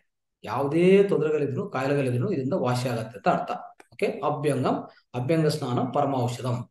ಎಲ್ಲ ಔಷಧದಿಂದ ಆಗುವ ಲಾಭಕ್ಕಿಂತ ಎಲ್ಲ ಎಲ್ಲ ಔಷಧಗಳಿಂದ ಆಗುವ ಲಾಭಕ್ಕಿಂತ ದೇಹಕ್ಕೆ ಅಭ್ಯಂಗ ಸ್ನಾನ ಅಂದ್ರೆ ವಿವಿಧ ಎಣ್ಣೆಗಳಿಂದ ಮೈಗೆ ಮೈಗೆ ಸವರಿಕೊಂಡು ಅಥವಾ ಮಸಾಜ್ ಮಾಡಿಕೊಂಡು ಅನಂತರ ಬಿಸಿ ನೀರು ಸ್ನಾನ ಮಾಡೋದ್ರಿಂದ ದೇಹದಲ್ಲಿ ಚೈತನ್ಯ ಹೆಚ್ಚಿ ಆರೋಗ್ಯ ವೃದ್ಧಿಯಾಗುತ್ತದೆ. ಇದು ಇದರ ಪ್ರಧಾನ ಪ್ರಧಾನ ಉದ್ದೇಶ, ಪ್ರಧಾನ ಫಲಿತಾಂಶ. ಅಂದ್ರೆ ಸ್ನೇಹಿತರೆ, ಇದು ಹಚ್ಕೊಂಡು ನಾವು ಸ್ನಾನ ಮಾಡಿದ್ರೆ, ಇದು ಹಚ್ಕೊಂಡು ಸ್ವಲ್ಪ ವಿರಾಮ, ಅಂದ್ರೆ ಸ್ವಲ್ಪ ಟೈಮ್ ಒಂದು ಹದಿನೈದು ನಿಮಿಷ, ಇಪ್ಪತ್ತು ನಿಮಿಷ, ಮೂವತ್ತು ನಿಮಿಷ ನಾವು ವೆಯ್ಟ್ ಮಾಡಿ, ಇನ್ನೂ ನಿಮ್ಗೆ ಅನುಕೂಲ ಆದ್ರೆ ಸ್ವಲ್ಪ ಈ ಎಣ್ಣೆ ಎಣ್ಣೆ ಹಚ್ಕೊಂಡಿದ ಮೇಲೆ ನಿಮ್ಗೆ ಏನಾದ್ರೂ ಬಿಸಿಲಿದ್ರೆ, ಅಂದ್ರೆ ಬಿಸಿಲು ಏಳು ಗಂಟೆಯಿಂದ ಎಂಟು ಗಂಟೆ ಆ ಬಿಸಿಲಲ್ಲಿ ನಿಂತ್ಕೋಬೇಕು. ಅದು ಬಿಟ್ಟು ಒಂದು ಹನ್ನೆರಡು ಗಂಟೆ, ಒಂದು ಗಂಟೆ ಆ ಬಿಸಿಲಲ್ಲಿ ನಿಂತ್ಕೋಬಾರ್ದು. ಎಣ್ಣೆ ಹಚ್ಕೊಂಡು ಓಕೆ ಎಣ್ಣೆ ಹಚ್ಕೊಂಡು ನಿಮ್ಗೆ ಏನಾದ್ರೂ ಸನ್ ಬಾತ್ ತರ ಆಗ್ಬೇಕಂದ್ರೆ, ಅಂದ್ರೆ ಸೂರ್ಯನ ಶಕ್ತಿನೂ ನೀವು ನೀವು ಸ್ವೀಕರಿಸಬೇಕು ಅಂತ ಅನ್ಕೊಂಡ್ರೆ ಒಂದು seven to eight o'clock ಅಂದ್ರೆ ಸೆವೆನ್ ಏಳು ಗಂಟೆಯಿಂದ ಎಂಟು ಗಂಟೆ ಆ ಪ್ರಾಂತದಲ್ಲಿ ಎಣ್ಣೆ ಹಚ್ಕೊಂಡು ಅಲ್ಲಿ ಬಿಸಿಲಲ್ಲಿ ಆ ಬಿಸಿಲು, ಆ ಸೂರ್ಯರಶ್ಮಿಗೆ ಸ್ವಲ್ಪ ಫೋಕಸ್ ಮಾಡ್ಕೊ, ಅಂದ್ರೆ ಎಕ್ಸ್ಪೋಸ್ ಆಗಿ ಒಂದು ಹತ್ತು ನಿಮಿಷ, ಹದಿನೈದು ನಿಮಿಷ ಎಕ್ಸ್ಪೋಸ್ ಆಗಿ ಮತ್ತೆ ಬಂದು ನೀವು ಸ್ನಾನ ಮಾಡ್ಕೊಳ್ಳಿ ಅವಾಗ ಅದನ್ನು ಅಲ್ಲಿಂದ ಬಂದಿರುವಂತ ಅಲ್ಲೇನಾಗ್ತದೆ ಅಂದ್ರೆ ನೀವು ಎಣ್ಣೆ ಹಚ್ಕೊಂಡು ಆತರ ಈ ಸೂರ್ಯನ ಬೆಳಕಲ್ಲಿ ಇದ್ರೆ ಏನಾಗ್ತದೆ? ನಿಮ್ಮ ದೇಹ ಒಳಗಡೆ ಡಿ ವಿಟಮಿನ್ ಜಾಸ್ತಿ ಪ್ರೊಡ್ಯೂಸ್ ಆಗುತ್ತೆ. ಅಂದ್ರೆ ಡಿ ವಿಟಮಿನ್ ಅನ್ನೋದು ಹೆಚ್ಚು ಹೆಚ್ಚು ಹೆಚ್ಚು ಪರಿಣಾಮದಲ್ಲಿ ಉತ್ಪನ್ನ ಆಗುತ್ತೆ. ಅದನ್ನು ತುಂಬಾ ಒಳ್ಳೆಯದೇ. ಆಯ್ತು, ಈಗ ಒಂದೊಂದು ಪಾಯಿಂಟ್ ತಿಳ್ಕೊಳ್ಳೋ ಪ್ರಯತ್ನ ಮಾಡೋಣ. ಎಣ್ಣೆ ಸ್ನಾನದ ಬಗ್ಗೆ ಕೆಲವು ಮಾಹಿತಿಗಳು ಕೆಳಗಡೆ ಕೊಟ್ಟಿದೀವಿ ಅದು ಅನುಸರಿಸಿ ಮತ್ತೆ ಆರೋಗ್ಯ ಹೊಂದಿರಿ. ಮಸಾಜ್ ಮಾಡೋ ಎಣ್ಣೆಗಳು ಅದೊಂದು ಮಾಹಿತಿ ತಿಳ್ಕೋಬೇಕು. ಮಸಾಜ್ ಈ ಮಾಲಿಶ್ ದಿನಾಲು ದಿನಾಲು ಮಾಡ್ಬೋದು. ಪ್ರತಿದಿನ ಮಾಡ್ಕೋಬಹುದು ಹಾಗೂ ಕನಿಷ್ಠ ವಾರಕ್ಕೊಂದ್ಸರಿ ಮಾತ್ರ ಖಂಡಿತವಾಗಿ ಮಾಡ್ಬೇಕಾಗತ್ತೆ. ಪ್ರತಿದಿನ ಮಾಡ್ಕೊಂಡ್ರು ಮಾಡ್ಕೊಳ್ಳಿ. ಇಲ್ಲಾಂದ್ರೆ ಅಟ್ಲೀಸ್ಟ್ ಒಂದು ಕನಿಷ್ಠ ಪಕ್ಷ ಅಂದ್ರೆ ವಾರಕ್ಕೊಂದ್ಸರಿ ಮಾಡ್ಲೇಬೇಕು. ಖಂಡಿತವಾಗಿ ಮಾಡ್ಲೇಬೇಕು. ಈ ಮಸಾಜ್ ಮಾಡೋದ್ರಿಂದ ಈಗಾಗಲೇ ಹೇಳ್ಕೊಟ್ಟಿದ್ದು ಎಷ್ಟೋ ಫಲಿತಗಳಿದೆ ಅಂತ ನಾವು ಹೇಳ್ತಾ ಇದೀವಿ ಅಂದ್ರೆ ಮಸಾಜ್ ಮಾಡೋದ್ರಿಂದ ಬಾಡಿ ದೇಹ ಹೊರಗಡೆ ಏನಾಗತ್ತೆ? ಅದೊಂದು ತಿಳ್ಕೊಬೇಕು. ಮಸಾಜ್ ಯಾವಾಗ ಮಾಡ್ತೀವೋ ಏನಾಗ್ತದೆ ಅಂದ್ರೆ ನಿಮ್ಮ ದೇಹ ಒಳಗಡೆ ಆಗುವಂತ ಪರಿಣಾಮ, ಒಳ್ಳೆ ಪರಿಣಾಮ ಏನಂತಂದ್ರೆ ಬ್ಲಡ್ ಸರ್ಕ್ಯುಲೇಷನ್ ಕರೆಕ್ಟ್ ಆಗ್ತದೆ. ಎಲ್ಲೆಲ್ಲಿ ನಿಮ್ಮ ದೇಹ ಮೇಲೆ, ಎಲ್ಲೆಲ್ಲಿ ಏನೋ ಬ್ಲಾಕೇಜ್ ಇದ್ರೆ, ಈ ನಮ್ಮ ಒಳಗಡೆ ಇರುವಂತ ಈ ಹಾರ್ಟ್ ರೇಸು ಅಂದ್ರೆ ಈ ಈ ನಾಲಗಲು ರಕ್ತ ನಾಲಗಲ್ ಏನಿದೆಯೋ ಅದೆಲ್ಲಾನು ರಕ್ತ ಹರಿತಾ ಇರ್ತದೆ. ಆದ್ರೆ ಅಲ್ಲೆಲ್ಲೆಲ್ಲಿ ಬ್ಲಾಕ್ಸ್ ಫಾರ್ಮ್ ಆಗ್ತಾ ಇರ್ತದೆ. ಆ ಬ್ಲಾಕ್ಸ್ ಫಾರ್ಮ್ ಆಗಿ ನಮಗೆ ಅದರಿಂದ ಬಂದಿರೋ ಬರುವಂತ ಬೇರೆ ಬೇರೆ ಕಾಯಿಲೆಗಳೆಲ್ಲ ಬರ್ತಾ ಇರ್ತದೆ. ಅದು ಬರಬಾರ್ದು. ಮುಂಚಿನ ದಿವಸದಲ್ಲಿ ನಾವು ಚೆನ್ನಾಗಿ ಆಟೋಕ್ಕೆ ಚೆನ್ನಾಗಿ ಇಟ್ಕೋಬೇಕಂದ್ರೆ, ಇವ, ಈಗಾಗಲೇ ನಾವು ಈ ಅಭ್ಯಂಗ ಸ್ನಾನ ಮಾಡ್ತಾ ಹೋದ್ರೆ, ಈ ಬ್ಲಾಕೇಜಸ್ ಏನಿದೆಯೋ, ಅಂದ್ರೆ ರಕ್ತನಾಳ ಒಳಗಡೆ ಏನೇನು ಅಡ್ಡ ಇದೆಯೋ, ಎಲ್ಲೆಲ್ಲಿ ಬ್ಲಾಕ್ ಆಗಿರ್ತಾ ಇದೆಯೋ ಈ ರಕ್ತನಾಳಗಳು ನಮ್ಮ ಇಡೀ ದೇಹದಲ್ಲಿ, ಯಾವುದೇ ಯಾವುದೇ ಪ್ರಾಂತದಲ್ಲಿ ಆದ್ರೂ ದೇಹ, ದೇಹದ ಮೇಲೆ, ಅದೆಲ್ಲ ಉಜ್ತಾ ಇದ್ರೆ, ಚೆನ್ನಾಗಿ ಎಣ್ಣೆ ಹಾಕ್ಬಿಟ್ಟು ಉಜ್ತಾ ಇದ್ರೆ, ಆ ರಕ್ತ ಅನ್ನೋದು ಪ್ರಸರಣ ಚೆನ್ನಾಗ್ ಆಗ್ತದೆ ಅಂದ್ರೆ ಅಲ್ಲಿ ಬ್ಲಾಕ್ ಏನಾದ್ರೆ ಬ್ಲಾಕ್ ಹುಟ್ಟೋಗ್ತದೆ. ಆ ಬ್ಲಾಕ್ ಹುಟ್ಟೋಗ ತಕ್ಷಣ ನಿಮ್ಗೆ ಏನಾಗ್ತದೆ? ರಕ್ತ ಪ್ರಸರಣ ಚೆನ್ನಾಗಾಗ್ತಾ ಇರ್ತದೆ. ಅವಯವ ಪ್ರತಿ ಅವಯವ ರಕ್ತ ಪ್ರಸರಣ ಕರೆಕ್ಟ್ ಆಗುವಾಗ ಏನಾಗ್ತದೆ? ಪ್ರತಿ ಅವಯವನು, ಪ್ರತಿ ಅಂಗನು ಅದು ಆರೋಗ್ಯವಾಗಿರುತ್ತದೆ. ತಾನಂತ ಕೆಲಸ ಅದು ಮಾಡ್ಕೊಂತ ಹೋಗ್ತದೆ. ಸೊ ಈ ಇದಕ್ಕೋಸ್ಕರನೇ ರಕ್ತ, ಈ ಇದಕ್ಕೋಸ್ಕರ ನಾವು ಈ ಎಣ್ಣೆ ಹಚ್ಚಿ ಅಭ್ಯಂಗ ಸ್ನಾನ ಮಾಡೋದು. ಎಣ್ಣೆ ಹಚ್ಚಿ ಅಭ್ಯಂಗ ಸ್ನಾನ ಮಾಡುವಾಗ ಇಂತ ಇಷ್ಟು ಫಲಿತ ನಮ್ಗೆ ಸಿಗತ್ತೆ. ಅಂದ್ರೆ ರಕ್ತ ಪ್ರಸರಣ ನಿಮ್ಮ ದೇಹದಲ್ಲಿ ಚೆನ್ನಾಗಾಗಕ್ಕೆ ಇದೊಂದು ಪ್ರಧಾನ ಪ್ರಕ್ರಿಯೆ ಅಂತ ನಾನು ಹೇಳಕ್ಕೆ ಇಷ್ಟಪಡ್ತೇನೆ ಫ್ರೆಂಡ್ಸ್ ಈಗ ನೋಡಿ, ದೇಹದಲ್ಲಿ ಉಷ್ಣವಿದ್ರೆ ಅಥವಾ ವಾತಾವರಣದಲ್ಲಿ ಉಷ್ಣ ಉಷ್ಣ ವಾತಾವರಣ ಇರುವಾಗ ಎಳ್ಳೆಹಣ್ಣು ಮತ್ತೆ ಔಡಲನ್ನು, ಮತ್ತೆ ಹೆರಲನ್ನು ಅಂತಿದ್ವಲ್ಲ ಅಥವಾ ಕೊಬ್ಬರನ್ನು ಇವುಗಳಲ್ಲಿ ಯಾವ್ದಾದ್ರು ಒಂದು ಹಣ್ಣನ್ನು ನೀವು ಉಪಯೋಗಿಸ್ಕೋಬಹುದು ಅಂದ್ರೆ ದೇಹ, ದೇಹದಲ್ಲಿ ಉಷ್ಣ ಇರ್ಬೋದು, ವಾತಾವರಣದ ಉಷ್ಣ ಉಷ್ಣ ಅಂದ್ರೆ ಹೀಟ್ ಜಾಸ್ತಿ ಇರುವಾಗ ಈ ಎಣ್ಣೆಗಳು ಮಾತ್ರ ನೀವು ಉಪಯೋಗಕ್ಕೆ, ಉಪಯೋಗಿಸೋಕೆ ಪ್ರಯತ್ನ ಮಾಡಿ. ಆಮೇಲೆ ನೋಡಿ, ಅದೇ ರೀತಿ ತಂಪು ವಾತಾವರಣ ಇದ್ರೆ ಸಾವೆಯನ್ನು ಅಥವಾ ಬಾದಾಮಿಯನ್ನು ಕುಸುಬೆಯನ್ನು ಇದು ಯೂಸ್ ಉಪಯೋಗಿಸ್ಕೋಬಹುದು ಓಕೆ ತಂಪಿದ್ರೆ ವಾತಾವರಣ. ಆಮೇಲೆ ತಂಪು, ಉಷ್ಣ ಸಮಾನ, ಸಮಾನವಿದ್ದ, ಸಮಾನವಿದ್ದಲ್ಲಿ ಹಾಗೂ ಎಲ್ಲಾ ಕಾಲ ಎಲ್ಲಾ ಕಾಲಗಳಲ್ಲೂ ಏನ್ ಮಾಡ್ಬೋದು ಎಲ್ಲೆಯನ್ನು ಸಾವನ್ನ ಅನ್ನೋದು ಸಮ, ಸಮಾನ ಪ್ರಮಾಣದಲ್ಲಿ ಉಪಯೋಗಿಸ್ಕೋಬಹುದು ಅಂದ್ರೆ ಈ ತಂಪು, ಉಷ್ಣ ಈ ಸಮಾನವಿದ್ದಲ್ಲಿ ಮತ್ತೆ ಯಾವುದೇ ಕಾಲದಲ್ಲಿ, ಯಾವುದೇ ಕಾಲ ಇರಲಿ ತಂಪು ಇರಲಿ, ಉಷ್ಣ ಇರಲಿ, ಯಾವುದನ್ನ ಇರಲಿ, ಈ ಎಲೆಯನ್ನು, ಸಾವೆಯನ್ನು ಎರಡು ಮಿಕ್ಸ್ ಮಾಡಿಕೊಂಡು, ಸಮಾನವಾಗಿ ಮಿಕ್ಸ್ ಮಾಡಿಕೊಂಡು, ನೀವು ಅದು ಎಲ್ಲ ಮೈ, ಮೈಗೆಲ್ಲ ಹಚ್ಕೊಂಡು ಅದಾದ್ಮೇಲೆ ತದನಂತರ ಒಂದು ಇಪ್ಪತ್ತು ನಿಮಿಷ, ಮೂವತ್ತು ನಿಮಿಷ ಕಾಲ ಬಿಟ್ಟು ಅವಾಗ ಸ್ನಾನ ಮಾಡಿ. ಚೆನ್ನಾಗಿ ಹಚ್ಕೋಬೇಕು. ಚೆನ್ನಾಗಿ ಹಚ್ಚೋ, ಹಚ್ಚೋದ್ನು, ಎಣ್ಣೆ ಹಚ್ಚೋದ್ನು ಅಷ್ಟೇ. ತುಂಬಾ ಚೆನ್ನಾಗಿ ಮಸಾಜ್ ಮಾಡ್ಕೋಬೇಕು. ನೀವಾಗ ನೀವು ಮಸಾಜ್ ಮಾಡ್ಕೊಳ್ಳಿ ಇಲ್ಲಾಂದ್ರೆ ನಿಮ್ಮ ಮನೆಯವರು ಯಾರನ್ನ ಮಸಾಜ್ ಮಾಡಕ್ಕೆ ಅವ್ರ ಅವ್ರ ಸಹಾಯ ತಗೋಲಿ ಆಯ್ತಾ? ಸೊ ಅವಾಗ ಚೆನ್ನಾಗಿ, ಆ ಉಜ್ಜುವಾಗ ಚೆನ್ನಾಗಿ ಉಜ್ಬೇಕಾಗತ್ತೆ ಯಾಕಂದ್ರೆ ಆ ಎಣ್ಣೆ ಅನ್ನೋದು ಸ್ವಲ್ಪ ಒಳಗಡೆ ನಮ್ಮ ದೇಹ ಚರ್ಮ ಒಳಗಡೆ ಸ್ವಲ್ಪ ಒಳಗಡೆ ಇಂಗ್ತದೆ. ಎಲ್ಲಗಡೆ ಹೊರಗಡೆ ಹೋಗ್ತದೆ. ಸೊ ಅದೆಲ್ಲ ಆ ತರ ಚೆನ್ನಾಗಿ ಮಸಾಜ್ ಮಾಡ್ತಾ ಇದ್ರೆ ತುಂಬಾ ಫಲಿತಾಂಶ ಸಿಗತ್ತೆ. ಆಮೇಲೆ ಈ ಎಣ್ಣೆಯನ್ನು ಬಿಸಿ ನೀರಲ್ಲಿ ಇಟ್ಟು ಬಿಸಿ ಮಾಡಿಕೊಂಡು ಸೊ ಪದಗಾಗಿ ಕನಿಷ್ಠ ಇಪ್ಪತ್ತು ನಿಮಿಷ ಮಾಲಿಶ್ ಮಾಡಿಕೊಂಡು, ಹದಿನೈದು ನಿಮಿಷ ಅನಂತರ ಸ್ನಾನ ಸ್ನಾನ ಮಾಡೋದು ಒಳ್ಳೆಯದು ಅಂದ್ರೆ ಈ ಎಣ್ಣೆನು ಸ್ವಲ್ಪ ಬಿಸಿ ನೀರಲ್ಲಿ ಇಟ್ಟು, ಆ, ತುಂಬಾ ತಂಪಾಗಿರಬಾರ್ದು ಎಣ್ಣೆ. ಅದು ಸ್ವಲ್ಪ ಬಿಸಿ ನೀರಲ್ಲಿ ಇಟ್ಟು ಅದಾದ್ಮೇಲೆ ನೀವು ನೀಟಾಗಿ ಕನಿಷ್ಠ ಇರುವ ಇಪ್ಪತ್ತು ನಿಮಿಷ ಮಾಲಿಶ್ ಮಾಡ್ಕೋಬೇಕು. ಇಪ್ಪತ್ತು ನಿಮಿಷ ಮಸಾಜ್ ಮಾಡಿಕೊಂಡು ಆಮೇಲೆ ಹದಿನೈದು ನಿಮಿಷ ನಂತರ ಸ್ನಾನ ಮಾಡಬೇಕು. ಆಮೇಲೆ ಒಂದು ಹತ್ತು ವರ್ಷದ ಒಳಗಿನ ಮಕ್ಕಳಿಗೆ ಬಾದಾಮಿ ಎಣ್ಣೆ ಅಥವಾ ದೇಸಿ ಹಸು ತುಪ್ಪ ಮಸಾಜ್ ಮಾಡಿದ್ರೆ ತುಂಬಾ ಒಳ್ಳೆಯದು ಇದು ಹತ್ತು ವರ್ಷ ಕೆಳಗಡೆ ಮಕ್ಕಳಿಗೆ. ಸೊ ಮಕ್ಕಳಿಗೂ ಅಷ್ಟೇ ಎಲ್ಲರಿಗೂ ಪ್ರತಿಯೊಬ್ಬರಿಗೂ ಆರೋಗ್ಯ ಸಿಗ್ಬೇಕಂದ್ರೆ ಇದು ಬೇಕೇ ಬೇಕಾಗುತ್ತೆ ಫ್ರೆಂಡ್ಸ್ ಓಕೆ ಆಮೇಲೆ ಎಲ್ಲಾ ಕಾಲದಲ್ಲಿ ಎಲ್ಲರಿಗೂ ಬಾದಾಮಿ, ತೈಲ ಅನ್ನೋದು ತುಂಬಾ ಒಳ್ಳೆಯದು ಇದನ್ನು ಒಂದು ಗಮನಿಸಿ. ಓಕೆ ಆಮೇಲೆ ಸೊ ನಾವು ನಾವು ಮಾಡ್ಕೊಂಡಂತ ಮಾಲೀಸು ಸುರಿದಿರುವಂತ ಎಣ್ಣೆ ಹೆಚ್ಚಿಸ್ಕೊಂಡು ಉಜ್ಜಿಸ್ಕೊಳ್ಳೋದ, ಅದಕ್ಕೆ ಮಸಾಜ್ ಅನ್ನು ಅಂತ ಹೇಳ್ತೀವಿ. ಸ್ನಾನಕ್ಕೆ ಸಾಬೂನು ಬದಲಾಗಿ ಬೇಲೆ ಹಿಟ್ಟು ಸಿಗಪುಡಿ ಸೇರಿಸಿ ಉಪಯೋಗಿಸ್ಕೋಬೇಕು. ಅಂದ್ರೆ ನಾವು ಯಾವುದೇ ಮಸಾಜ್ ನಾವು ನಾವು ಮಾಡ್ಕೋಬಹುದು ಇಲ್ಲಾಂದ್ರೆ ನಾವು ಬೇರೆಯವರಿಂದ ಮಾಡಿಸ್ಕೋಬಹುದು ಓಕೆ? ಅದು ಚೆನ್ನಾಗಿ ಮಾಡಿಸ್ಕೊಂಡ್ರೆ ಎಷ್ಟು ಚೆನ್ನಾಗಿ ಮಾಡಿಸ್ಕೊಂಡ್ರೆ ಅಷ್ಟು ಒಳ್ಳೇದು. ಓಕೆ? ಈಗಾಗಲೇ ಹೇಳಿದ್ವಿ. ಆಮೇಲೆ ನೀವು ಸ್ನಾನಕ್ಕೆ ಸ್ನಾನ ಮಾಡುವಾಗ, ಅಂದ್ರೆ ಆ ಒಂದ್ಸರಿ ಮಸಾಜ್ ಆದ್ಮೇಲೆ ನೀವು ಸ್ನಾನ ಮಾಡ್ಬೇಕು. ಒಂದು ಹದಿನೈದು ನಿಮಿಷ, ಇಪ್ಪತ್ತು ನಿಮಿಷ ಬಿಟ್ಟು ನೀವು ಸ್ನಾನ ಮಾಡ್ತಿರಲ್ಲ. ಈ ಸ್ನಾನ ಮಾಡಕ್ಕೆ ಏನ್ ಮಾಡ್ಬೇಕು? ಸಾಬೂನು ಸಾಬೂನು ಬದಲಾಗಿ, ಸೋಪ್ ಬದಲಾಗಿ ಖಂಡಿತವಾಗಿ ಬೇಲೆ ಹಿಟ್ಟು ಇಲ್ಲಾಂದ್ರೆ ಸಿಗಪಡಿ. ಇದು ಖಂಡಿತವಾಗಿ ಯೂಸ್ ಮಾಡ್ಕೋಬೇಕು. ಯಾವುದೇ ಸೋಪ್ ಯೂಸ್ ಮಾಡಬಾರ್ದು. ಅಂದ್ರೆ ನೀವು ಈಗ ಮಸಾಜ್ ಮಾಡಿದಕ್ಕೂ ಎಷ್ಟೋ ಫಲಿತ ಸಿಕ್ಕಿರ್ತದೆ. ಒಳ್ಳೆ ಫಲಿತ ನಮ್ಮ ದೇಹ ಒಳಗಡೆ ರಕ್ತ ಪ್ರಸರಣ ಚೆನ್ನಾಗಿರ್ತದೆ ಮತ್ತೆ ನೀವು ಈ ಸೋಪ್ ಯೂಸ್ ಮಾಡಿದ್ರೆ ಏನಾಗ್ತದೆ? ಸೋಪ್ ಅನ್ನೋದು ಒಂದು ಕೆಮಿಕಲ್. ಆ ಕೆಮಿಕಲ್ ಇಂದ ನಿಮ್ಮ ದೇಹ ಒಳಗಡೆ ಆ ಕೆಮಿಕಲ್ ಸೇರ್ತಾ ಇರ್ತದೆ. ಅವಾಗ ರಕ್ತ ಮಾಲಿನ್ಯ ಆಗ್ತದೆ. ಅದಕ್ಕೆ ಈಗಾಗಲೇ ನೋಡಿ ಎಷ್ಟೋ ಸ್ಕಿನ್ ಡಿಸೀಸ್ ಬರ್ತಾ ಇದೆ. ಸ್ಕಿನ್ ಡಿಸೀಸ್ ಬರಕ್ ಪ್ರಧಾನ ಕಾರಣ ಏನಂದ್ರೆ ನಾವು ಯೂಸ್ ಮಾಡುವಂಥ ಸೋಪ್ ಅಷ್ಟೇ. ಆ ಸೋಪ್ ಅನ್ನೋದು ತೆಗಿಬೇಕಾಗತ್ತೆ. ಸೋಪ್ ತೆಗೆದ್ಬಿಟ್ಟು ಪ್ರತಿ ದಿನ ನೀವು ಪ್ರತಿ ದಿನ ಈ ಮಸಾಜ್ ಮಾಡ್ಕೊಂಡ ದಿನ ಅಂತ ಮಾತ್ರ ಅಲ್ಲ. ಅಂದ್ರೆ ವಾರಕ್ಕೆ ಒಂದ್ಸರಿ ಮಸಾಜ್ ಮಾಡಿ ಅವತ್ತು ದಿನ ಮಾತ್ರ ಸೋ ಸೋಪ್ ತೆಗಿಬೇಕು ಮಿಕ್ಕಿದು ದಿವಸ ಎಲ್ಲ ನಾನು ಸೋಪ್ ಯೂಸ್ ಮಾಡ್ತೇನೆ ಅಂತ ಅಲ್ಲ. ಸೋಪ್ ಅನ್ನೋದು ಯಾವಾಗ್ಲೂ ತೆಗಿಬೇಕು. ಸಾಬು ಅನ್ನೋದು ಬೇಕಾಗಿಲ್ಲ. ಓಕೆ ಸೊ ಯಾವಾಗ್ಲೂ ಒಂದು ಯಾವುದೋ ಒಂದು ಬೆಲೆ ಹಿಟ್ಟು. ಓಕೆ ಆ ಬೆಲೆ ಹಿಟ್ಟು ಯಾವುದನ್ನ ಬೆಲೆ ಇರಲಿ ಪರವಾಗಿಲ್ಲ. ಒಂದು ರೈಸ್ ಇರಲಿ, ಇಲ್ಲಾಂದ್ರೆ ಗ್ರೌಂಡ್ ನಟ್ ಆಗಲಿ, ಇನ್ನೊಂದು ಯಾವುದೋ ಒಂದು ಪೌಡರ್ ಓಕೆ ಆ ಪೌಡರ್ನು ಚೆನ್ನಾಗ, ಮೈಯೆಲ್ಲ ಚೆನ್ನಾಗಿ ಹಚ್ಕೊಂಡು, ಚೆನ್ನಾಗಿ ಉಜ್ಕೊಂಡು ಆಮೇಲೆ ಸ್ನಾನ ಮಾಡಿ. ಸೊ ನಾರ್ ಒಂದು ಸಾಮಾನ್ಯವಾಗಿ ನಾರ್ಮಲ್, ಸಾಧಾರಣವಾಗಿ ಮಾಡುವಂತ ಸ್ನಾನ ಹಂಗೆ ಮಾಡ್ಬೇಕು ಓಕೆ ಯಾವುದೋ ಒಂದು ಮಸಾಜ್ ಟೈಮಲ್ಲಿ ಮಾತ್ರ ಅಲ್ಲ ಪ್ರತಿದಿನ ಆ ಥರ ಮಾಡ್ಕೊ ಪ್ರಯತ್ನ ಮಾಡಿ. ಅದು ತುಂಬಾ ಒಳ್ಳೇದಾಗುತ್ತೆ ನಿಮ್ಗೆ.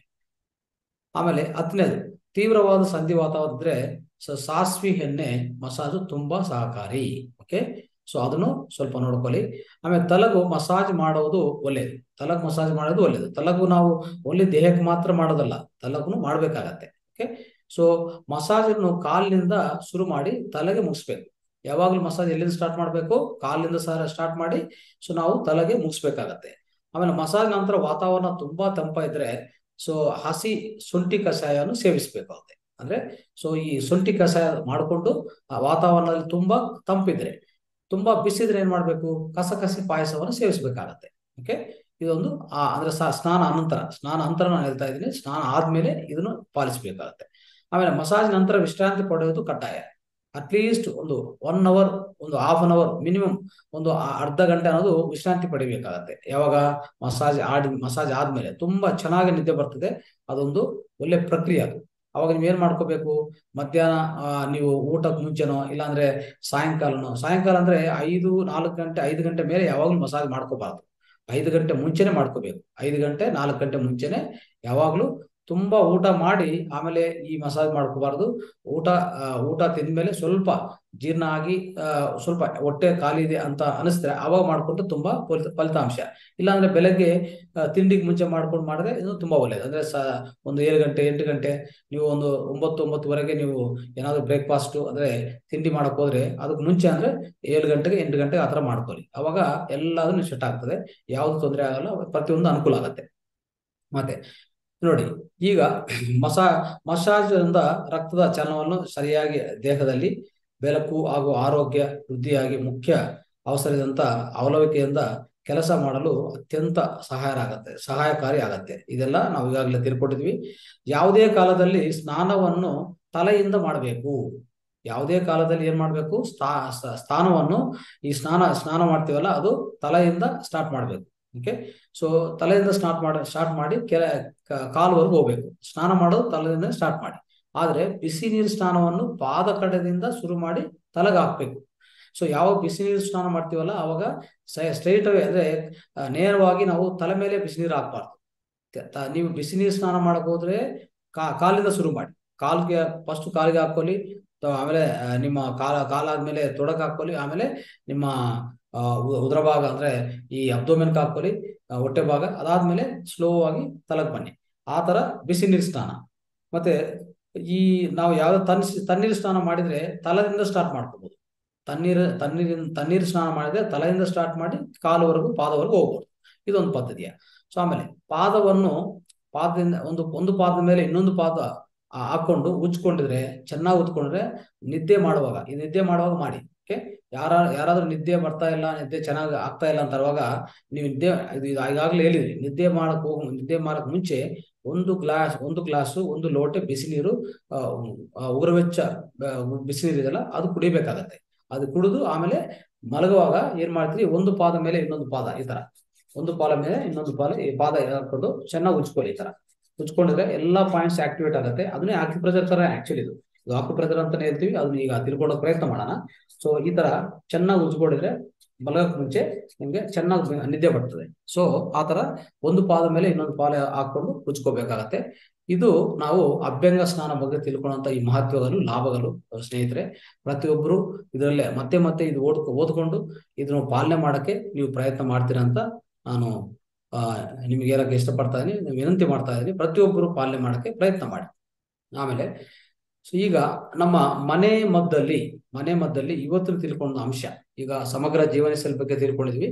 ಮನೆ ಮದ್ದಲ್ಲಿ ನಾವು ಇವತ್ತು ಇವತ್ತು ತಿಳ್ಕೊಳ್ಳುವಂತ ಅಂಶ ಏನಂದ್ರೆ, ಆಕು ಪ್ರೆಸರ್ ಅಂದ್ರೆ ಆಗು ಪ್ರೆಸರ್ ನಮ್ಮ ಪಾದಕ್ಕೆ, ಎರಡು ಪಾದಕ್ಕೆ ಯಾವ ತರ ಮಾಡ್ಕೋಬಹುದು ಮಾಡಿದ್ರೆ ಪ್ರಯೋಜನಗಳೇನು?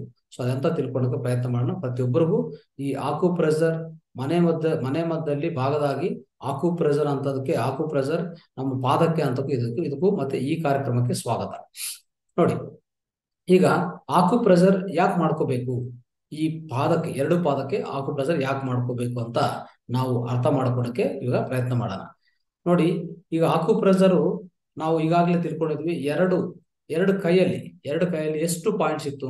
ಪ್ರತಿ ಒಂದು, ಅಂದ್ರೆ ಎಲ್ಲೆಲ್ಲಿ ನೋಡಿದ್ರೆ ಪ್ರತಿ ಒಂದು ಪ್ರಾಂತದಲ್ಲಿ ಈ ಕೈಯಲ್ಲಿ, ಎರಡು ಕೈಯಲ್ಲಿ, ಎರಡು ಕೈ ಹಿಂಭಾಗ, ಮುಂಭಾಗ. ಎರಡು ಕೈ ಎರಡದಲ್ಲೂ ಎಷ್ಟೋ ಕೇಂದ್ರಗಳಿದೆ, ಶಕ್ತಿ ಕೇಂದ್ರಗಳಿದೆ. ಅದನ್ನ ನಾವು ಆಕು ಪ್ರೆಸರ್ ಪಾಯಿಂಟ್ಸ್ ಅಂತ ಕರಿತೀವಿ. ಆಕು ಪಾಯಿಂಟ್ಸ್ ಅಂತ ಹೇಳ್ತೀವಿ. ಆ ಪಾಯಿಂಟ್ಸ್ ಅನ್ನೋದು ಪ್ರತಿ ಅವಯವಕ್ಕೆ ಅಲ್ಲಿಂದ ನಿಮಗೆ ಒಂದು ಕನೆಕ್ಷನ್ ನೇರ ನೇರ ಪ್ರತ್ಯಕ್ಷ ಒಂದು ಕನೆಕ್ಷನ್ ಇರುತ್ತೆ. ಅಂದ್ರೆ ಒಂದು ಅಲ್ಲಿಂದ ನಾಡಿ, ಒಂದು ಈ ಈ ಪಾಯಿಂಟ್ ಈ ಪಾಯಿಂಟ್ ತಗೊಂಡ್ರೆ ಈಗಾಗಲೇ ತಿಳ್ಕೊಂಡಿದ್ವಿ ಇಲ್ಲಿ ಒಂದು ಏನಿದೆ ಇಲ್ಲಿ?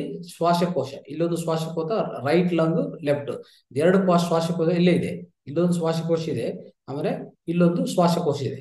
ಈ ತರ ನೋಡಿದೆ. ಇದು ನಮ್ಮ ತಲೆ ಭಾಗ ಇದು. ಇಲ್ಲಿ ತಲೆ ಭಾಗ ಯಾವುದು ನಮ್ಮ ಈ ತರ ನೋಡ್ತಾ ಹೋದ್ರೆ ಇದು ಈ ಇದೆಲ್ಲ ಹೆಬ್ಬೆರ್ಲಿ ಈ ಮುಂಭಾಗ, ಹಿಂಭಾಗ ನೋಡಿದ್ರೆ, ಮುಂಭಾಗ ನೋಡಿದ್ರೆ ಇದು ತಲೆ ತಲೆ ಕನೆಕ್ಟ್ ಇರ್ತದೆ. ಡೈರೆಕ್ಟ್ ತಲೆ ಕನೆಕ್ಟ್ ಇರ್ತದೆ. ಏನಾದ್ರೂ ತಲೆಯಲ್ಲಿ ತೊಂದರೆ ಇದ್ರೆ ಇಲ್ಲಿ ನಾವು ಪ್ರೆಸರ್ ಮಾಡ್ತಾ ಹೋದ್ರೆ ಪ್ರೆಸರ್ ನಿಧಾನವಾಗಿ ಪ್ರೆಸರ್ ಅಪ್ಲೈ ಮಾಡ್ತಾ ಹೋದ್ರೆ ಈ ತರ ಪ್ರೆಸರ್ ಅಪ್ಲೈ ಮಾಡ್ತಾ ಹೋದ್ರೆ ಏನಾಗ್ತದೆ? ತಲೆ ಭಾಗದಲ್ಲಿ ಏನೇ ತೊಂದರೆ, ತಲೆನೋವು ಇನ್ನೊಂದು ಇನ್ನೊಂದು ಏನಿದ್ರೆ ಅದೆಲ್ಲ ವಾಸಿ ಆಗ್ತಾ ಬರ್ತದೆ. ಅದು ದಿನಾಲು ಪ್ರತಿ ಮಾಡುವಾಗ ಒಂದು ಐದರಿಂದ ಹತ್ತು ನಿಮಿಷ ನಾವು ಇದಕ್ಕೂ ಒಂದು ಇಪ್ಪತ್ತು ಸಾರಿ, ಮೂವತ್ತು ಸಾರಿ ನಾವು ಈ ತರ ಪ್ರೆಸ್ ಮಾಡ್ತಾ ಹೋಗ್ಬೇಕು, ಒತ್ತಡ ಕೊಡ್ತಾ ಇರ್ಬೇಕು. ಸೊ ಈ ತರ ಎಷ್ಟೋ ನಮ್ಮ ಕೇಂದ್ರದಲ್ಲಿ ಏನೇನಿದೆಯೋ ಈ ಎರಡು ಕೈಯಲ್ಲಿ ನಾವು ಈಗಾಗಲೇ ಒಂದು ಸ್ವಲ್ಪ ರೋಗಗಳಿಗೆ ಯಾವ ತರ ಪಾಯಿಂಟ್ಸ್ ಮಾಡಬೇಕು, ಪ್ರೆಸರ್ ಮಾಡಬೇಕು, ಪ್ರೆಸರ್ ಪಾಯಿಂಟ್ಸ್ ತಿಳ್ಕೊಂಡಿದೀವಿ. ಅದು ನಾವು ಪ್ರಯತ್ನ ಮಾಡಕ್ಕೆ ಅದೊಂದು ಪಾಲನೆ ಮಾಡಕ್ಕೆ ಪ್ರಯತ್ನ ಮಾಡಿ. ಆಮೇಲೆ ಅದ್ ಜೊತೆಗೆ ಈಗ ಇವತ್ತಿನ ಕಾರ್ಯಕ್ರಮದಲ್ಲಿ ನಾವೇನಂದ್ರೆ ಈ ಪ್ರಥಮ, ಪ್ರಾಥಮಿಕವಾಗಿ ಎರಡು ಪಾದಗಳಲ್ಲಿ ಎಷ್ಟು ಪಾಯಿಂಟ್ಸ್ ಇದೆ? ಆ ಪಾಯಿಂಟ್ಸ್ ನಾವು ಯಾವ ತರ ಉಜ್ಕೊಂಡು, ಯಾವ ತರ ಪ್ರೆಸರ್ ಅಂದ್ರೆ ಒಂದು ಈ ಆಕು ಪ್ರೆಸರ್ ಅಪ್ಲೈ ಮಾಡಿದ್ರೆ ನಮ್ಗೆ ತುಂಬಾ ಒಳ್ಳೇದಾಗತ್ತ ಅಂತ ತಿಳ್ಕೊಂಡು ಪ್ರಯತ್ನ ಮಾಡೋಣ. ಈಗ ನೋಡಿ, ನಾ, ಈಗ ನೀವು ಇಲ್ಲಿ, ನೀವು ಚಿತ್ರದಲ್ಲಿ ನೋಡುವಾಗ, ಈ ಪಿಕ್ಚರ್ ನೋಡಿದ್ರೆ ನಿಮ್ಗೆ ಗೊತ್ತಾಗತ್ತೆ, Rai right leg left leg right leg ಅಂದ್ರೆ ಎರಡು ಎಡಗೈ ರೈಟ್ ಟು ಲೆಫ್ಟ್ ಅಂದ್ರೆ ಬಲಗೈ ನೋಡಿದ್ರೆ ಎರಡು ಪಾದಗಳು ನಾನು ತೋರಿಸಿದ್ದೀನಿ ಇಲ್ಲಿ ಪಿಕ್ಚರ್ ಅಲ್ಲಿ. ಅವಾಗ ನಿಮ್ಗೆ ಗೊತ್ತಾಗತ್ತೆ ಇಲ್ಲಿ. ನೀವು ಎಬ್ಬೆಲ್ ನೋಡಿದ್ರೆ, ನೋಡಿ, ಕಾಲು ಎಬ್ಬೆಲ್ ನೋಡಿದ್ರೆ ಕಾಲು ಇನ್ನೂ ನಾಲ್ಕು ಬೆರಳಿದೆ ಆ ಬೆರಲ್ ನೋಡಿದ್ರೆ ಅಲ್ಲೇ ನಿಮ್ಗೆ ಎಷ್ಟೋ ಪಾಯಿಂಟ್ಸ್ ಇದೆ. ಸೊ ಇಲ್ಲಿ ಒಂದು ನೋಡಿ ಮೌತ್ ಅಂತಾರೆ, ಮತ್ತೆ pineal gland pituitary gland throat ಅಂದ್ರೆ ನಮ್ಮ ಮೇಡ, ಮೇಡನ್ ಇದೆ ಇದಿದೆ ಆಮೇಲೆ ನೆಕ್ ಇದೆ. ಇದಾದ್ಮೇಲೆ ನೆಕ್ಸ್ಟ್ ಹೀಗೆ ಬರ್ತಾ ಇದ್ರೆ ನಿಮ್ಗೆ ಲಂಗ್ಸ್ ಇದೆ ರೈಟ್ ಲಂಗ್ ಅಂತ. ರೈಟ್ ಲಂಗ್ ಇದೆ, ಇಲ್ಲಿ ಲೆಫ್ಟ್ ಲಂಗ್ ಇದೆ. ಸೊ ಎರಡು ಕಾ ಎರಡು ಕಾ, ಎರಡು ಕಾಲು ತಗೊಂಡಿದ್ರೆ ಎರಡು ಪಾದ ತಗೊಂಡ್ರೆ ಎರಡು ಪಾದದಲ್ಲಿ ಲೆಫ್ಟ್ ಒಂದು ಕಡೆ ಇದ್ರೆ ರೈಟ್ ಒಂದು ಕಡೆ. ಈಗ ನೋಡಿ, ಇಲ್ಲಿ ನೋಡಿದ್ರೆ ಈ ರೈಟ್ ರೈಟ್ ರೈಟ್ ಲಂಗ್ ಇಲ್ಲಿದೆ. ಇಲ್ಲಿ ಲೆಫ್ಟ್ ಲಂಗ್ ಇದೆ. ಆಯ್ತಾ?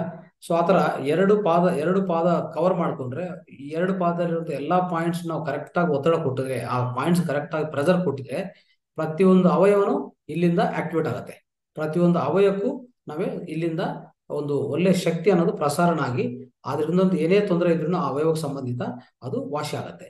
ಅದನ್ನು ಪ್ರಧಾನ ಉದ್ದೇಶ, ಇಲ್ಲಿ ನೋಡಿ, ಈ ಪಿಕ್ಚರ್ ನೀವು ನೋಡ್ಕೊಂಡ್ರೆ ಎಲ್ಲೆಲ್ಲಿ ಏ ಪಾಯಿಂಟ್ಸ್ ಇದೆ, ಯಾವ ಕಿಡ್ನಿ ಎಲ್ಲಿದೆ ಲಿವರ್ ಎಲ್ಲಿದೆ, ಮತ್ತೆ ಹಾರ್ಟ್ ಎಲ್ಲಿದೆ, ಇದೆಲ್ಲ ನಿಮಗೆ ತುಂಬಾ ಚೆನ್ನಾಗಿ ಅರ್ಥ ಆಗ್ತದೆ.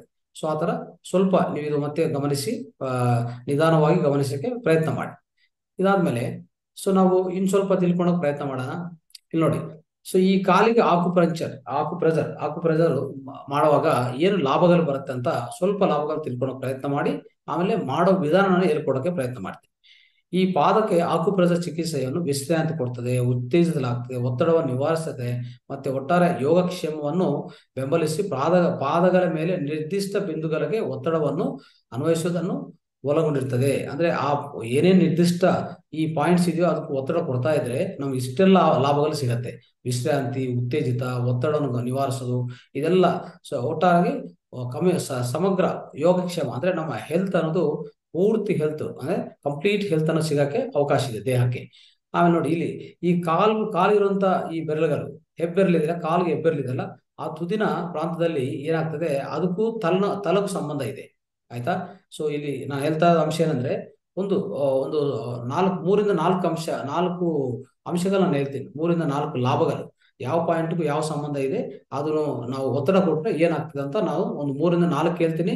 ಎಲ್ಲ ಎಷ್ಟೋ ಇದೆ, ಯಾವುದೇ ಪಾಯಿಂಟ್ ನೀವು ಆ ಕಾಲು ಪಾದ ಮೇಲೆ ಯಾವ ಪಾಯಿಂಟ್ ನೋಡ್ತೀರೋ ಆ ಪಾಯಿಂಟ್ ನೀವು ಪ್ರೆಸ್ ಮಾಡ್ತಾ ಹೋದ್ರೆ, ಆ ಪಾ, ಆ ಪಾದದಲ್ಲಿ ಆ ಪಾಯಿಂಟ್ ಪ್ರೆಸ್ ಮಾಡಿದ್ರೆ ಅಂತ ಅವಯವನೇ ಆಕ್ಟಿವೇಟ್ ಆಗುತ್ತೆ. ಅದನ್ನ ನೀವು ಅರ್ಥ ಮಾಡ್ಕೋ. ಅದು ನೀವು ಬೇಕಂದ್ರೆ ಚಿತ್ರ ನೋಡ್ಕೊಂಡು ಆಮೇಲೆ ಮಾಡ್ತಾ ಹೋಗ್ಬೋದು. ಆದ್ರೆ ಇಲ್ಲಿ ನಾನು ಹೇಳಕ್ಕೆ ಒಂದು ಮೂರ್ ನಾಲ್ಕು ಪಾಯಿಂಟ್ ಮೂರ್ ನಾಲ್ಕು ಪಾಯಿಂಟ್ ನಾನು ಎಕ್ಸ್ಪ್ಲೇನ್ ಮಾಡಕ್ಕೆ ಪ್ರಯತ್ನ ಮಾಡ್ತೀನಿ. ಕಾಲ್ ಎಬ್ಬೆರ್ಲಲ್ಲಿರೋದು ಆ ಪಾಯಿಂಟ್ ಪ್ರೆಸ್ ಮಾಡ್ತಾ ಹೋದ್ರೆ ತಲೆಗೆ ಕನೆಕ್ಷನ್ ಇದೆ. ಅಂದ್ರೆ ತಲೆಗೆ ಅಲ್ಲಿಂದ ಒಂದು ಕನೆಕ್ಷನ್ ಸಿಗತ್ತೆ. ಅದು ಪೆರ್ಸ್ ಮಾಡ್ತಾ ಹೋದ್ರೆ ನಿಮ್ಗೆ ಆ ತಲಕ್ ಈ ಪ್ರಸರಣ, ರಕ್ತ ಪ್ರಸರಣ ಚೆನ್ನಾಗಾಗ್ತದೆ ಈ, ಆ ಎನರ್ಜಿ ಅಂದ್ರೆ ಒಂದು ಶಕ್ತಿ ಪ್ರಸರಣ ಕರೆಕ್ಟ್ ಆಗಿ ನಿಮ್ಗೆ ಒಳ್ಳೆ ಆರೋಗ್ಯ ಸಿಗತ್ತೆ. ತಲೆಗೆ ಏನಾದ್ರು ತೊಂದರೆ ಇದ್ರು ತಲೆನೋವು ಮತ್ತೆ, ತಲೆನೋವು ನಿವಾರಿಸ್ತದೆ. ಒತ್ತಡವನ್ನು ಕಡಿಮೆ ಮಾಡಲು ಈ ಪ್ರದೇಶವನ್ನು ನಿಧಾನವಾಗಿ ಮಸಾಜ್ ಮಾಡಿ ಮಸಾಜ್ ಮಾಡ್ಬೇಕಾಗತ್ತೆ. ಯಾವುದು? ಈ ಈ ನಮ್ಮ ಕಾಲಿರುವಂತ ಹೆಬ್ಬೆರಳು ಓಕೆ ಹೆಬ್ಬೆರಳಿಗೆ ಚೆನ್ನಾಗೆ ಅಲ್ಲಿ ಪ್ರೆಸರ್ ಮಾಡ್ತಾ ಹೋದ್ರೆ ಇದು ಇದು ಕಾಲ್ ಅಂತ ಅನ್ಕೊಂಡಿದ್ರೆ ಕಾಲಲ್ಲಿ ಹೆಬ್ಬೆರಳು ಇದೆಯೋ ಆ ಹೆಬ್ಬೆರಳು ಕೊನೆ ಭಾಗದಲ್ಲಿ ಪ್ರೆಸ್ ಮಾಡ್ತಾ ಹೋದ್ರೆ ತಲದಲ್ಲಿ ಇರುವಂತ ಏನೇ ತೊಂದರೆಗಳು, ಒತ್ತಿಡ ಆಗ್ಬೋದು ಹೆಡ್ಡೇಕ್ ಆಗ್ಬೋದು, ಇದೆಲ್ಲ ನಿವಾರಿಸಕ್ಕೆ ಅದೊಂದು ಒಳ್ಳೆ ಲಾಭ ಕೊಡುತ್ತೆ. ಆಮೇಲೆ ಪಾದದ ಬೆಂಡ್ ಈ ಪಾದದ ಬೆಂಡ್ ಏನಿದೆಯೋ, ಈ ಪಾದದ ಬೆಂಡ್ ಅಂದ್ರೆ ಈ ಪ್ರದೇಶವು ಸೊ ಇಲ್ಲಿ ಹೃದಯಕ್ಕೆ ಹೃದಯಕ್ಕೆ ಸಂಬ, ಸಂಬಂಧ ಇದೆ. ಹೃದಯಕ್ಕೆ, ಅಂದ್ರೆ ಹಾರ್ಟ್ಗೆ ಇಲ್ಲಿ ಒತ್ತಡವನ್ನು ಏನೇ ತೊಂದರೆಗಳು ಆರ ಹೃದಯ ಆರೋಗ್ಯವನ್ನು ಏನೇ ತೊಂದರೆ ಇದ್ರೂ ಅದು ಸುಧಾರಿಸ್ತದೆ. ಸೊ ಅದಕ್ಕೋಸ್ಕರ ಈ ಪಾದದ ಬೆಂಡ್ ಅನ್ನೋದು ಏನಿದೆಯೋ ಅಲ್ಲಿನೂ ನಾವು ಪ್ರಯತ್ನ ಮಾಡ್ಕೋಬೇಕು. ಅಂದ್ರೆ ಈ ತರ ಪಾದ ಇದ್ರೆ, ಪಾದ ಇದೆಲ್ಲ ಇದರ ಬೆಂಡ್ ನಾವು ಎಲ್ಲಿದೆಯೋ, ಆ, ಅದು, ಆ ಪಾಯಿಂಟ್ ಇಲ್ಲಿದೆ ಪಾಯಿಂಟ್ ಹಾರ್ಟ್ ಪಾಯಿಂಟ್ ಅಂತ ಸಿಗತ್ತೆ ಇಲ್ಲಿ. ಹಾರ್ಟ್ ಪಾಯಿಂಟ್ ಇರ್ತದೆ ನೋಡಿ. ಸೊ ಹಾರ್ಟ್ ಪಾಯಿಂಟ್ ಹಾರ್ಟ್ ಪಾಯಿಂಟ್ಗೆ ನೀವು ಪ್ರೆಸ್ ಮಾಡ್ತಾ ಹೋಗ್ಬೇಕು. ಆಯ್ತಾ? ಸೊ ಇದೊಂದು ನಾವು ಒಂದು ಪ್ರಯತ್ನ ಮಾಡ್ಬೋದು. ಓಕೆ ಆಮೇಲೆ ನೆಕ್ಸ್ಟು ಇದು ಈ ಈ ತರ ಪಾದದ ಪಾದದ ಕಮಾನು. ಸೊ ಈ ಕಮಾನು, ಪಾದದ ಕಮಾನು ಏನಂತಂದ್ರೆ ಹೊಟ್ಟೆ ಮತ್ತು ಕರ್ಲಿಂತ ಈ ಜೀರ್ಣಕಾರಿ ಅಂಗಗಳಿಗೆ ಸಂಬಂಧ ಇರುತ್ತೆ. ಅಂದ್ರೆ ನೋಡಿ, ಆ ಪರ್ಟಿಕ್ಯುಲರ್ ಪಾಯಿಂಟ್ ಆ ಪಾದದ ಕಮಾನು ಅನ್ನೋದು ಅಲ್ಲಿ ಏನ್ ಸಿಗತ್ತೆ? ನಿಮ್ಮ ಕರ್ಲ್ಗೆ ಮತ್ತೆ ಜೀರ್ಣ ಜೀರ್ಣ ಅಂಗಗಳಿಗೆ ಒಳ್ಳೆ ಸಂಬಂಧ ಇರುತ್ತೆ. ಅದನ್ನ ಪ್ರೆಸ್ ಮಾಡ್ತಾ ಮಸಾಜ್ ಮಾಡ್ತಾ ಹೋದ್ರೆ ಜೀರ್ಣಕ್ರಿಯಕ್ಕೂ ತುಂಬಾ ಸಹಾಯ ಮಾಡುತ್ತೆ. ಈ ತರ ಒಂದು ಪ್ರಯತ್ನ ಮಾಡ್ಕೋಬಹುದು ಆಮೇಲೆ ಹಿಮ್ಮಡಿ. ಸೊ ಹೀಲ್ ಅಂತ ಇರ್ತೀವಲ್ಲ ಹೀಲ್ ಅಂದ್ರೆ ಇಲ್ಲಿ ಹೀಲ್ ಅಂತ ಇರ್ತದೆ ಹೀಲ್ ಭಾಗ. ಅಂದ್ರೆ ನಮ್ಮ ಕಾಲಿಗೆ ಹೀಲ್ ಅಂತ ಇರ್ತಲ್ಲ ಅಲ್ಲಿ ಸಂತಾನೋತ್ಪತ್ತಿ ಅಂಗಗಳಿಗೆ ಕನೆಕ್ಷನ್ ಇದೆ. ಸಂತಾನೋತ್ಪತ್ತಿ ಅಂಗಗಳಿಗೆ ಕನೆಕ್ಷನ್ ಇದೆ. ಅದು ನೀವು ಒಳ್ಳೆ ಒತ್ತಡ ಕೊಡ್ತಾ ಇದ್ರೆ ನಮ್ಗೆ ಏನೇ ಮುಟ್ಟಿನ ಸಮಸ್ಯೆಗಳು ಮತ್ತೆ ಸಂತಾನೋತ್ಪತ್ತಿ ಸಮಸ್ಯೆಗಳು ಏನೇ ಅನಾರೋಗ್ಯ ಇದ್ರೆ ಅದಕ್ಕೆಲ್ಲ ಸಹಾಯ ಮಾಡುತ್ತೆ ಇದು. ಆಮೇಲೆ ಪಾದದ ಹೊರ ಹಂಚು ಅಂದ್ರೆ ಪಾದದ ಒಂಥರ ಹೊರ ಹಂಚು ಇರುತ್ತಲ್ಲ ಹಂಚು ಆತರ ಆ ಹಂಚನ್ನು ನಾವು ಪ್ರೆಸ್ ಮಾಡ್ತಾ ಹೋದೆ ಅಲ್ಲಿಗೆ ಮೂಲೆಗೆ ಅನುಕೂಲವಾಗುತ್ತೆ ಅಂದ್ರೆ ಮೂಲಗೆ ಅಂದ್ರೆ ಬೆನ್ನು ಮೂಲಗೆ. ನಮ್ಮ ಸ್ಪೈನ್ ಏನಿದೆಯಲ್ಲ ಸ್ಪೈನ್ ಆ ಸ್ಪೈನ್ ಕನೆಕ್ಷನ್ ನಮ್ಮ ಪಾದ, ಈ ಪಾದದು ಅಂಚು. ಆ ಪಾದದ ಅಂಚು ನಾವು ಚೆನ್ನಾಗಿ ಉಸ್ತಾ ಇದ್ರೆ ಅಲ್ಲಿ ಪ್ರೆಸರ್ ಮಾಡ್ತಾ ಹೋದ್ರೆ ಸೊ ಅಲ್ಲಿ ನಮಗೆ ಫಲಿತ ಸಿಗತ್ತೆ. ಓಕೆ ಸೊ ಅದು ನಾವು ಈ- ತರ ನಾವು ಸ್ವಲ್ಪ ಸ್ವಲ್ಪ ನಾನು ಅಲ್ಲಿ ಹೇಳಕ್ ಪ್ರಯತ್ನ ಮಾಡಿದ್ರಿ. ಈ ತರನೇ ಹೆಚ್ಚು ಪ್ರಯೋಜನಗಳು ಪ್ರತಿಯೊಂದು ಪಾಯಿಂಟ್ಗೆ ಒಂದೊಂದು ಪ್ರಯೋಜನ ಇದೆ. ಆಯ್ತಾ? ಆಮೇಲೆ ಈಗ ಆಕು ಪ್ರೆಸರ್ ಮಾಡೋದು ಹೇಗೆ? ಯಾವ ತರ ನಾವು ಈ ಆಕು ಪ್ರೆಸರ್ ಮಾಡಬೇಕು ಅನ್ನೋದು ನಾವು ಪ್ರಯತ್ನ, ಇದು ತಿಳ್ಕೊಳ್ಳೋಕೆ ಪ್ರಯತ್ನ ಮಾಡೋಣ. ಈ ಪಾದದ ಆಕು ಪ್ರೆಸರ್ ಅನ್ನು ಹೇಗೆ ಮಾಡೋದು? ತಯಾರು ಮಾಡೋ ವಿಧಾನ, ಆರಾಮಾಗಿ ಕೂತ್ಕೋಬೇಕು ಮತ್ತು ನಿಮ್ಮ ಪಾದಗಳು ಸ್ವಚ್ಛ, ಸ್ವಚ್ಛಗೊಳಿಸ್ಕೊಂಡು ಆರಾಮಾಗಿ ಕೂತ್ಕೋಬೇಕು. ಯಾವಾಗ್ಲೂ ಈ ಪಾದ, ಈ ಆಕು ಪ್ರೆಸರ್ ನಿಮ್ಮ ಪಾದಕ್ಕೆ ಮಾಡುವಾಗ ನೀವೇನ್ ಮಾಡಬೇಕು? ಸ್ವಚ್ಛವಾಗಿ ನೀಟಾಗಿ ಕ್ಲೀನ್ ಮಾಡ್ಕೊಂಡು ಎರಡು ಪಾದಗಳು ಸ್ವಚ್ಛವಾಗಿ ಇಟ್ಕೊಳ್ಳಿ. ಆಮೇಲೆ ಸ್ವಲ್ಪ ತೈಲ, ನಿಮ್ಮ ಕೈಗೆ ಸ್ವಲ್ಪ ತೈಲ ತಗೊಳ್ಳಿ. ಯಾವುದೋ ತರ? ಅಂದ್ರೆ ಒಂದು ಕೊಬ್ಬರಿ, ಕೊಬ್ಬರಿನ ಆಗ್ಬೋದು, ಯಾವುದೋ ಒಂದು ತೈಲ ತಗೊಂಡು ಚೆನ್ನಾಗಿ ನೀಟಾಗಿ ನಿಮ್ಮ ಕೈನು ಆ ತೈಲದಿಂದ ಸ್ವಲ್ಪ ಇದು ಮಾಡ್ಕೊಳ್ಳಿ. ಆಮೇಲೆ ಕಾಲುಗಳನ್ನು ಸ್ವಲ್ಪ ಹಚ್ಕೋಬೇಕಾಗತ್ತೆ. ನೀಟಾಗಿ. ಜಾಸ್ತಿ ಬೇಡ ಲೈಟ್ ಆಗಿ ಯಾಕಂದ್ರೆ ಆ ಪ್ರೆಸರ್ ಪಾಯಿಂಟ್ ಅಪ್ಲೈ ಮಾಡುವಾಗ ನಿಮ್ಗೆ ಯಾವುದು ರಫ್ ಅಂತ ಇರಲ್ಲ. ಸ್ವಲ್ಪ ಸ್ಮೂತ್ ಆಗಿ ಆ ಸರ್ಫೇಸ್ ಅಂದ್ರೆ ಈ ಉತ, ಈ ಭಾಗ ಏನಾಗ್ತದೆ? ಚೆನ್ನಾಗಿರ್ತದೆ, ಸ್ಮೂತ್ ಆಗಿರ್ತದೆ. ನಮ್ಮ ಈ ಒತ್ತಡ ಕೊಡಕ್ಕೆ ಅನುಕೂಲ ಆಗತ್ತೆ. ಒತ್ತಡ ಕೊಡಕ್ಕೆ ಪಾದಕ್ಕೆ ಒತ್ತಡ ಕೊಡಕ್ಕೆ ಅದು ಅನುಕೂಲ ಆಗತ್ತೆ. ಸೊ ಅದಕ್ಕೋಸ್ಕರ ನೀವು ಸ್ವಲ್ಪ ಆಯಿಲ್ ಹಚ್ಕೋಬೇಕಾಗತ್ತೆ. ಸ್ವಲ್ಪ ತೈಲ ಅನ್ನೋದು ಹಚ್ಕೊಳ್ಳಿ. ಆಮೇಲೆ ವಿಶ್ರಾಂತಿ ತಂತ್ರಗಳಿಂದ ಪ್ರಾರಂಭಿಸಿ. ಅಂದ್ರೆ ನೀವೇನ್ ಮಾಡ್ಬೇಕು? ವಿಶ್ರಾ ವಿಶ್ರಾಂತಿ ಮಾಡೋದು ಈ ರಿಫ್ಲೆಕ್ಸ್ ಅಂದ್ರೆ ಈ ಈ ಆಕುಪ್ರೆಸರ್ ಮಾಡುವಾಗ ಸ್ವಲ್ಪ ವಿಶ್ರಾ ವಿಶ್ರಾಂತಿ ಮಾಡಿಕೊಂಡು ಕೂತ್ಕೋಬೇಕಾಗತ್ತೆ. ಯಾವುದು ಒತ್ತಡ ತಗೋಬಾರ್ದು. ಆರಾಮಾಗಿ ಸ್ವಲ್ಪ ಬ್ರೀತಿಂಗ್ ತಗೊಂಡು, ಒಂದು ಎರಡು, ಮೂರು ಸರಿ ನಾವು ಬ್ರೀತಿಂಗ್ ಒಂದು ಆಳವಾದ ಬ್ರೀತಿಂಗ್ ತಗೊಂಡು ಆರಾಮಾಗಿ ವಿಶ್ರಾಂತಿ ಇಟ್ಕೊಂಡು ಆಮೇಲೆ ನಾವು ಶುರು ಮಾಡ್ಬೇಕಾಗತ್ತೆ. ಈಗ ಒತ್ತಡವನ್ನು ಅನ್ವಯಿಸಿ. ನಿಮ್ಮ ಹೆಬ್ಬೆರಳು ಬೆರಗಲು ಅಥವಾ ರಿಫ್ಲೆಕ್ಸಾಲಜಿ ಉಪಕರಣಗಳನ್ನು, ಅಂದ್ರೆ ನೀವೇನ್ ಮಾಡ್ಬೋದು, ಈ ರಿಫ್ಲೆಕ್ಸಾಲಜಿ ಅಂದ್ರೂ ಆಕ್ಯುಪ್ರೆಸರ್ ಎರಡು ಒಂದೇ. ಈ ಒತ್ತಡವನ್ನು ಅನ್ವಯಿಸುವಾಗ ಏನ್ ಮಾಡ್ಬೋದು ಅಂದ್ರೆ, ನೀವು ಹೆಬ್ಬೆರಳು ಹೆಬ್ಬೆರಳು ಯೂಸ್ ಮಾಡ್ಬೋದು. ನಿಮ್ಮ ಹೆಬ್ಬೆರ್ಲು ಅನ್ನೋದು ತುಂಬಾ ಇಂಪಾರ್ಟೆಂಟು ಅಥವಾ ಬೇರೆ ಬೆರಳುಗಳಿದ್ರೆ ಆ ಬೆರಳಲ್ಲಿ ಯೂಸ್ ಮಾಡೋಕ್ಕೂ ಅಷ್ಟು ಇದಿಲ್ಲ. ಹೆಬ್ಬೆರಳು ಮಾತ್ರ ಯೂಸ್ ಮಾಡೋದು ತುಂಬಾ ಒಳ್ಳೇದು. ಆ ಜೊತೆಗೆ ಈ ಆಕ್ಯುಪ್ರೆಸರ್ ಮಾಡಕ್ಕೆ ಸ್ವಲ್ಪ ಪರಿಕರಗಳಿದೆ. ನೀವು ನೀವು ಹೆಬ್ಬೆರಳು ಮಾತ್ರ ಯೂಸ್ ಮಾಡಕ್ ಆಗ್ತಾ ಇಲ್ಲ ಅಂದ್ರೆ ಸೊ ಪರಿ, ಪರಿಕರಗಳಿದೆ. ಆ ಪರಿಕರ ಆ ಪರಿಕರ ಯೂಸ್ ಮಾಡಿದೆ ಅಂದ್ರೆ ಸಮಾನ, ಸಮಾನಾಂತರವಾಗಿ ಈ ಪ್ರೆಸರ್ ಅನ್ನೋದು ಒತ್ತಡ ಅನ್ನೋದು ಪ್ರತಿ ಪಾಯಿಂಟ್ಗೂ ಅನ್ವಯಿಸ್ತದೆ. ಆದ್ರೆ ನಾವು ಹೆಬ್ಬೆರಳಲ್ಲಿ ನಾವು ಪ್ರಯತ್ನ ಮಾಡಕ್ಕೆ ಮಾಡ್ಕೋಬಹುದು ಬಟ್ ಆ ಪ್ರೆಸರ್ ಅನ್ನೋದು ಅಷ್ಟು ಪ್ರೆಸರ್ ನಾವು ಅಪ್ಲೈ ಮಾಡಕ್ಕಾಗತ್ತಾ, ಅಷ್ಟು ಸಮಯ ಮಾಡಕ್ಕಾಗತ್ತಾ ಅಂದ್ರೆ ಮಾಡಕ್ ಆಗಲ್ಲ ಅಂದ್ರೆ ಅವಾಗ ನೀವು ಸ್ವಲ್ಪ ಪರಿಕರಗಳಿದೆ, ಅದನ್ನು ಯೂಸ್ ಮಾಡಕ್ಕೆ ಪ್ರಯತ್ನ ಮಾಡಿ. ಈಗ ನೋಡಿ ಏನಾಗ್ತದೆ, ಇದೊಂದು ನಿಮ್ಗೆ ಒಂದು ಸ್ವಲ್ಪ ತೋರಿಸೋಕೆ ಪ್ರಯತ್ನ ಮಾಡಿ.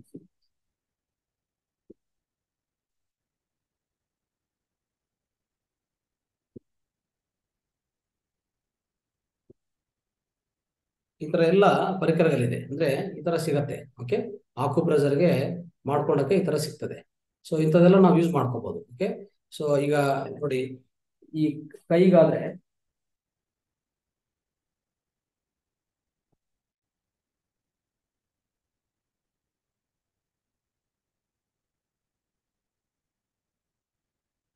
ನೋಡಿ ಇದೊಂಥರ ಒಂಥರ ಇದೆ ಇದೇನಾಗ್ತದೆ, ಕೈಗೆ ಚೆನ್ನಾಗಿ ಪ್ರೆಸರ್ ಮಾಡೋಕ್ಕೆ ಈ ತರ ಪ್ರೆಸ್ ಮಾಡ್ತಾ ಹೋಗೋದು. ಈ ತರ ಈ ತರ ಎಷ್ಟೋ ಪ್ರೆಸರು, ಅಂದ್ರೆ ಈ ಕೈಯಲ್ಲಿರುವಂಥ ಈ ಎಲ್ಲಾ ಪಾಯಿಂಟ್ಸ್, ಎಲ್ಲ ಪಾಯಿಂಟ್ಸ್ ಇದೆಯಲ್ಲ, ಈ ಎಲ್ಲ ಪಾಯಿಂಟ್ಸ್, ಈ, ಆ ಮಧ್ಯ ಇರುವಂತ ಪಾಯಿಂಟ್ಸ್ ಎಲ್ಲಾನು ಪ್ರೆಸ್ ಆಗ್ತಾ ಇರ್ತದೆ. ಈ ತರ ಒಳ್ಳೆ ಮಸಾಜ್ ಆಗುತ್ತೆ ಕೈಗೆ. ಈ ತರ ಎರಡು ಕೈಯಲ್ಲಿ ನಾವು ಮಾಡ್ಕೋಬಹುದು ಇದು ಕೈ ಕೈಗೆ ತೋರಿಸ್ತಾ ಇದೀನಿ. ಅದೇ ತರ ನಮ್ಮ ಕಾಲಿಗೂ ಎಲ್ಲ ಪಾಯಿಂಟ್ಸ್ಗೂ ಪ್ರೆಸ್ ಮಾಡ್ಕೊಳಕ್ಕೆ ಅದೊಂದು ಇರುತ್ತೆ ಆದ್ರೆ, ಅದು ನೋಡಿ. ಈ ತರ ಇನ್ನೊಂದು, ಇದು ನೋಡಿ ಹೆಂಗಿದೆ? ಇದು ಬೆನ್ನು, ಅಂದ್ರೆ ನೀಟಾಗಿ ಈ ಬೆನ್ನಲ್ಲಿ ಈ ತರ ಉಜ್ಬೋದು. ಯಾರನ್ನ ಒಬ್ರು ಈ ತರ, ಸೊ ನೀಟಾಗಿ ಉಜ್ಜಿದ್ರೆ ತುಂಬಾ ಎಲ್ಲಾ ಪಾಯಿಂಟ್ಸ್ ಪ್ರೆಸ್ ಪ್ರೆಸ್ ಆಗುತ್ತೆ. ಸ್ನೇಹಿತರೆ, ಈ ಆಕ್ಯುಪ್ರೆಷರ್ ಪಾಯಿಂಟ್ಸ್ ಅನ್ನೋದು ಶಕ್ತಿ ಕೇಂದ್ರಗಳು ಅನ್ನೋದು ಒಂದೇ ಕಾಲಲ್ಲಿ ಮತ್ತೆ ಕೈಯಲ್ಲಿ ಮಾತ್ರ ಇಲ್ಲ. ಪ್ರತಿ ಒಂದು ಕಡೆ ಪಾಯಿಂಟ್ಸ್ ಇದೆ. ಎಲ್ಲಾ ಪಾಯಿಂಟ್ಸ್ ನಾವು ಪ್ರೆಸ್ ಮಾಡ್ಕೊಂತ ಇದ್ರೆ ಸೊ ಅದಕ್ಕೇನಂದ್ರೆ ಒಂದೊಂದು ಪರಿಕರ ಇದೆ. ಅದು ಪ್ರಯ, ಪರಿಕರ ಯೂಸ್ ಮಾಡೋದು ತುಂಬಾ ಒಳ್ಳೇದಾಗುತ್ತೆ. ಇದೊಂದು ಕಿಟ್ ಸಿಗತ್ತೆ. ನಿಮಗೆ ಸಮ್ ಕಂಪ್ಲೀಟ್ ಕಿಟ್ ಸಿಗತ್ತೆ. ಕೈ, ಮತ್ತೆ ಬೆನ್ನು, ಇದು ಬೆನ್, ಬೆನ್ನಿಗೆ ಯೂಸ್ ಆಗುತ್ತೆ. ತುಂಬಾ ಅನುಕೂಲ ಆಗುತ್ತೆ.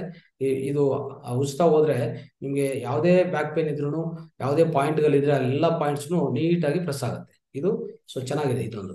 ಆಮೇಲೆ, ನೋಡಿ, ಇದನ್ನು ಒಂಥರ ಇದು ಕೈಯಲ್ಲಿ, ಇದು ಕೈಗೆ ಯೂಸ್ ಮಾಡ್ಕೊಳ್ಳೋಕೆ ಈ ತರ ಪ್ರೆಸ್ ಪ್ರೆಸ್ ಮಾಡ್ತಾ ಹೋಗ್ಬೋದು. ಎಷ್ಟು ಎಷ್ಟು ಚೆನ್ನಾಗಿದೆ ನೋಡಿ ಇದು. ಈ ತರ ನೀಟಾಗಿ ಪ್ರೆಸರ್ ಆಗ್ತಾ ಇರ್ತದೆ. ನಿಧಾನವಾಗಿ ಈ ತರ ಪ್ರೆಸರ್ ಮಾಡ್ಕೊತಾ ಹೋಗ್ಬೋದು. ಆಯ್ತಾ? ಆಮೇಲೆ ನೋಡಿ, ಇದನ್ನು ಅಷ್ಟೇ. ಇದೊಂದಿದೆಯಲ್ಲ ಇದು. ಅಂದ್ರೆ ನಾವು ನಾವು ಕೈಯಿಂದ ಮಾಡ್ಬೋದು. ಎಬ್ಬೆರ್ಲಿ ಎಬ್ಬೆರ್ಲಿಂದ ಮಾಡ್ಬೋದು. ಬಟ್ ಏನಾಗ್ತದೆ? ನಮ್ಗೆ ಸ್ವಲ್ಪ ಹೊತ್ತಿಗೆನೆ ಟೈರ್ ಆಗ್ಬಿಡ್ತೀವಿ, ಇಲ್ಲಾಂದ್ರೆ ಸ್ವಲ್ಪ ಕಷ್ಟ ಆಗತ್ತೆ. ಅಂದ್ರೆ ನೋವು ಸ್ಟಾರ್ಟ್ ಆಗತ್ತೆ. ನಾವು ಈ ಹೆಬ್ಬೆರ್ಲಿ ಇಟ್ಕೊಂಡು ನಾವೇ ಮಾಡಕ್ ಪ್ರಯತ್ನ ಮಾಡಿದ್ರೆ ಸ್ವಲ್ಪ ನಮ್ಗೆ ಪೇನ್ ಸ್ಟಾರ್ಟ್ ಆಗಿ ನಿಲ್ಸ್ ನಿಲ್ಸ್ಬಿಡ್ತೀವಿ. ಅದೇ ಈ ಪರಿಕರಗಳಿದ್ರೆ ಏನಾಗ್ತದೆ? ನೀಟಾಗಿ ನೋಡಿ, ಈ ತರ. ಈ ತರ ಮಾಡ್ಕೋಬಹುದು ಎಲ್ಲೇ ನಿಮ್ಮ ಬಾಡಿಯಲ್ಲಿ ಎಲ್ಲಿದ್ರು ಈ ತರ ಮಾಡ್ಕೋಬಹುದು ಕಾಲು, ಕಾಲಿದ್ರೆ ಕಾಲುಗೂ ಈ ತರ ನೀಟಾಗಿ ಪ್ರೆಸರ್ ಮಾಡ್ಕೊತಾ ಹೋಗ್ಬೋದು. ಆಯ್ತಾ? ಆಮೇಲೆ ನೋಡಿ, ಇನ್ನೊಂದು ತೋರಿಸ್ತೀನಿ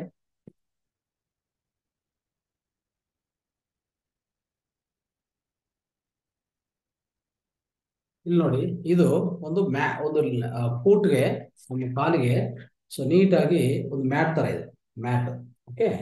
ಈ ಮ್ಯಾಟ್ ಮೇಲೆ ಇಟ್ಕೊಂಡು, ಸೊ ನೀಟಾಗಿ ಈ ಮ್ಯಾಟ್ ಮೇಲೆ ನಿಂತ್ಕೊಂಡ್ರೆ ಸಾಕು. ಎಲ್ಲ ಟೋಟಲ್ ನಮ್ಮ ಇಡೀ ಎರಡು ಕಾ, ಎರಡು ಪಾದದಲ್ಲಿರುವಂತ ಎಲ್ಲ ಪಾಯಿಂಟ್ಸ್ ಆಕ್ಟಿವೇಟ್ ಆಗುತ್ತೆ. ಫುಲ್ ಒಂದು ಒಂದು ಐದು ನಿಮಿಷ ನಿಂತ್ಕೊಂಡ್ರೆ ಸಾಕು ಇದ್ರ ಮೇಲೆ. ಐದು ನಿಮಿಷ ನಿಂತ್ಕೊಂಡ್ರೆ ಪೂರ್ತಿ ಪ್ರತಿ ಪಾಯಿಂಟ್ ಪ್ರೆಸ್ ಆಗ್ತದೆ. ಆಯ್ತಾ? ಸೊ ಇದು ಸಾಧಾರಣವಾಗಿ ನಿಮ್ಗೆ ಅನಾರೋಗ್ಯ ಇದ್ರೂ ಅನಾರೋಗ್ಯ ಇಲ್ಲ ಅಂದ್ರೂ ಪ್ರತಿ ಒಂದ್ ದಿವಸ ಸ್ವಲ್ಪ ಸ್ವಲ್ಪ ನೀವು ಪ್ರಯತ್ನ ಮಾಡ್ಬೋದು. ಮತ್ತೆ ನಿಮ್ಮ ತಲಭಾಗಕ್ಕೆ ಇದೊಂದಿದೆ. ನೋಡಿ, ಹಿಂಗಿದೆ. ಹಿಂಗೆ ಇಟ್ಕೊಂಡು, ಸೊ ನಾವು ನೀಟಾಗಿ ಈ ತರ ಉಳಿಸ್ಕೋಬಹುದು ಓಕೆ ಇದು ಈ ತರ. ಈ ತರ ಮಾಡಿದ್ರೆ, ಸೊ ಪ್ರತಿ ಒಂದು ಪಾಯಿಂಟ್ ಇಲ್ಲಿ ಪ್ರೆಸ್ ಆಗ್ತಾ ಹೋಗ್ತದೆ ತಲದಲ್ಲಿ. ಇದೊಂದು ಇದೊಂದು ಚಿಕ್ಕದೊಂದಿದೆ. ಇದೆಲ್ಲ ಸೇರಿದ್ರೆ ಏನಾಗ್ತದೆ ನಿಮ್ಗೆ? ಎಲ್ಲ ಪಾಯಿಂಟ್ಸ್ಗೆ ದೇಹದಲ್ಲಿ ಪ್ರತಿಯೊಂದಕ್ಕೆ ಒಂದು ನಿಮ್ಗೆ ಸೊಲ್ಯೂಷನ್ ಇದೆ. ಅಂದ್ರೆ ಈ ಕಿಟ್ ಅಲ್ಲಿ ಎಲ್ಲ ಸಿಗತ್ತೆ. ಆಮೇಲೆ ಅದು ರಿಂಗ್ ರಿಂಗ್ ಇದೆ ನೋಡಿ, ರಿಂಗ್. ರಿಂಗು ಯಾವುದೇ ನಮ್ಮ ಬೆರ್ಲಿದೆಲ್ಲ ಬೆರ್ಲಲ್ಲಿ ಸ್ವಲ್ಪ ಆಕ್ಯುಪ್ರೆಷರ್ ಆಗ್ಬೇಕಂದ್ರೆ ಈ ತರ ಉಸ್ತಾ ಇರ್ಬೋದು, ಈ ತರ ಹ್ಮ್? ಈ ತರ ನೋಡಿ, ಹಿಂಗ್ ಮಾಡ್ಕೊತಾ ಹೋಗಿ, ಓಕೆ? ಆಮೇಲೆ ಕೈಯಲ್ಲಿ ಯಾವುದೋ ಒಂದು ಪರ್ಟಿಕ್ಯುಲರ್ ಪಾಯಿಂಟ್ ನಾವು ಪ್ರೆಸ್ ಮಾಡ್ಬೇಕಂದ್ರೆ ಈ ತರ ಒಂದು ಬಾಲ್ ಇದು ಪೆನ್ ಸಿಗತ್ತೆ, ಓಕೆ? ಆಕ್ಯುಪ್ರೆಸರ್ ಪೆನ್ ಅದು ತಗೊಂಡು ನಾವು ಪ್ರತಿ ಪಾಯಿಂಟ್ನು ಈ ತರ ಪ್ರೆಸ್ ಮಾಡ್ಕೊತಾ ಹೋಗ್ಬೋದು. ಎಷ್ಟು ಹೊತ್ತು ಅಂದ್ರೆ ಒಂದು ಮೂವತ್ತಿಂದ ನಲವತ್ತು ಸರಿ ಆ ತರ ಪ್ರೆಸ್ ಮಾಡ್ತಾ ಹೋದ್ರೆ, ಇದು ನೋಡಿ ಈ ಪಾಯಿಂಟ್ ಇದು ಲಂಗ್ ಅಂದ್ರೆ ಶ್ವಾಸಕೋಶ ನಾನು ಇಲ್ಲಿ ಪ್ರೆಸ್ ಮಾಡ್ತಾ ಹೋದ್ರೆ ನಮ್ಗೆ ಆ ಶ್ವಾಸಕೋಶಕ್ಕೆ ನಿಧಾನವಾಗಿ ಶಕ್ತಿ ಪ್ರಸರಣ ಆಗ್ತಾ ಇರ್ತದೆ. ಸೊ ಈ ತರ ಪೆನ್ ಎಲ್ಲ ಸಿಗತ್ತೆ. ಇದು ಸ್ಟೀಲ್ ಸಿಗತ್ತೆ, ಆಮೇಲೆ ವುಡ್ದು ಸಿಗತ್ತೆ. ಯಾವ್ದೋ ತಗೋ. ಸೊ ಈ ತರ. ಇದು ಯಾವ್ದು, ಯಾವುದೇ ಬೆರ್ಲಾಗ್ಬೋದು ಈ ತರ ಹಾಕೊಂಡು ನೀಟಾಗಿ ಈ ತರ ಮಾಡ್ತಾ ಹೋಗ್ಬೋದು. ಮಾಡ್ತಾ ಹೋದ್ರೆ ರಕ್ತ ಪ್ರಸರಣ ಅನ್ನೋದು ತುಂಬಾ ಚೆನ್ನಾಗಾಗ್ತದೆ ಯಾವ್ದಾದ್ರು ಬ್ಲಾಕ್ಸ್ ಇದ್ರೆ ಈ ಬ್ಲಾಕ್ ಬ್ಲಾಕೇಜ್ ಇದ್ರೆ ರಕ್ತನಾಳದಲ್ಲಿ ಎಲ್ಲಾನು ಕ್ಲಿಯರ್ ಆಗ್ತಾ ಹೋಗ್ತದೆ. ಓಕೆ ಇದೊಂದು. ಸೊ ಈ ತರ ಎಲ್ಲಾ ಎಕ್ವಿಪ್ಮೆಂಟ್ಸ್ ಒಂದು ಕಿಟ್ ತರ ಸಿಗತ್ತೆ. ಆಕ್ಯುಪ್ರೆಷರ್ ಕಿಟ್ ಅದು ನಾವು ತಗೊಂಡು ಮಾಡ್ಕೊಂಡು ಹೋದ್ರೆ ನಮ್ಗೆ ಜಾಸ್ತಿ ನಮ್ಮ ಹೆಬ್ಬೆರ್ಲಿಂದ ಮಾಡೋಕ್ಕೂ ಕಷ್ಟ ಆಗಿದೆ ಅಂದ್ರೆ ಇದು ತುಂಬಾ ಉಪಕಾರಿ. ಹೆಬ್ಬೆರ್ಲಿಂದ ಮಾಡ್ಕೊಂಡಕ್ಕೆ ಕಷ್ಟ ಆಗ್ತದಲ್ಲ? ಸೊ ಜಾಸ್ತಿ ಟೈಮ್ ನಾವು ಮಾಡ್ಕೊಳಕ್ಕಾಗಲ್ಲ, ಬಿಟ್ಬಿಡ್ತೀವಿ. ಅದೇ ಇದು ಎಕ್ವಿಪ್ಮೆಂಟ್ ಇದ್ರೆ ಪರಿಕರಗಳಿದ್ರೆ ತುಂಬಾ ಚೆನ್ನಾಗಿ ಈಸಿ ಆಗುತ್ತೆ ಫ್ರೆಂಡ್ಸ್ ಓಕೆ ಸೊ ಈ ತರ ನೀವು ಒತ್ತಡವನ್ನು ಈ ತರ ಅನ್ವಯಿಸ್ಕೊಳ್ಳಿ.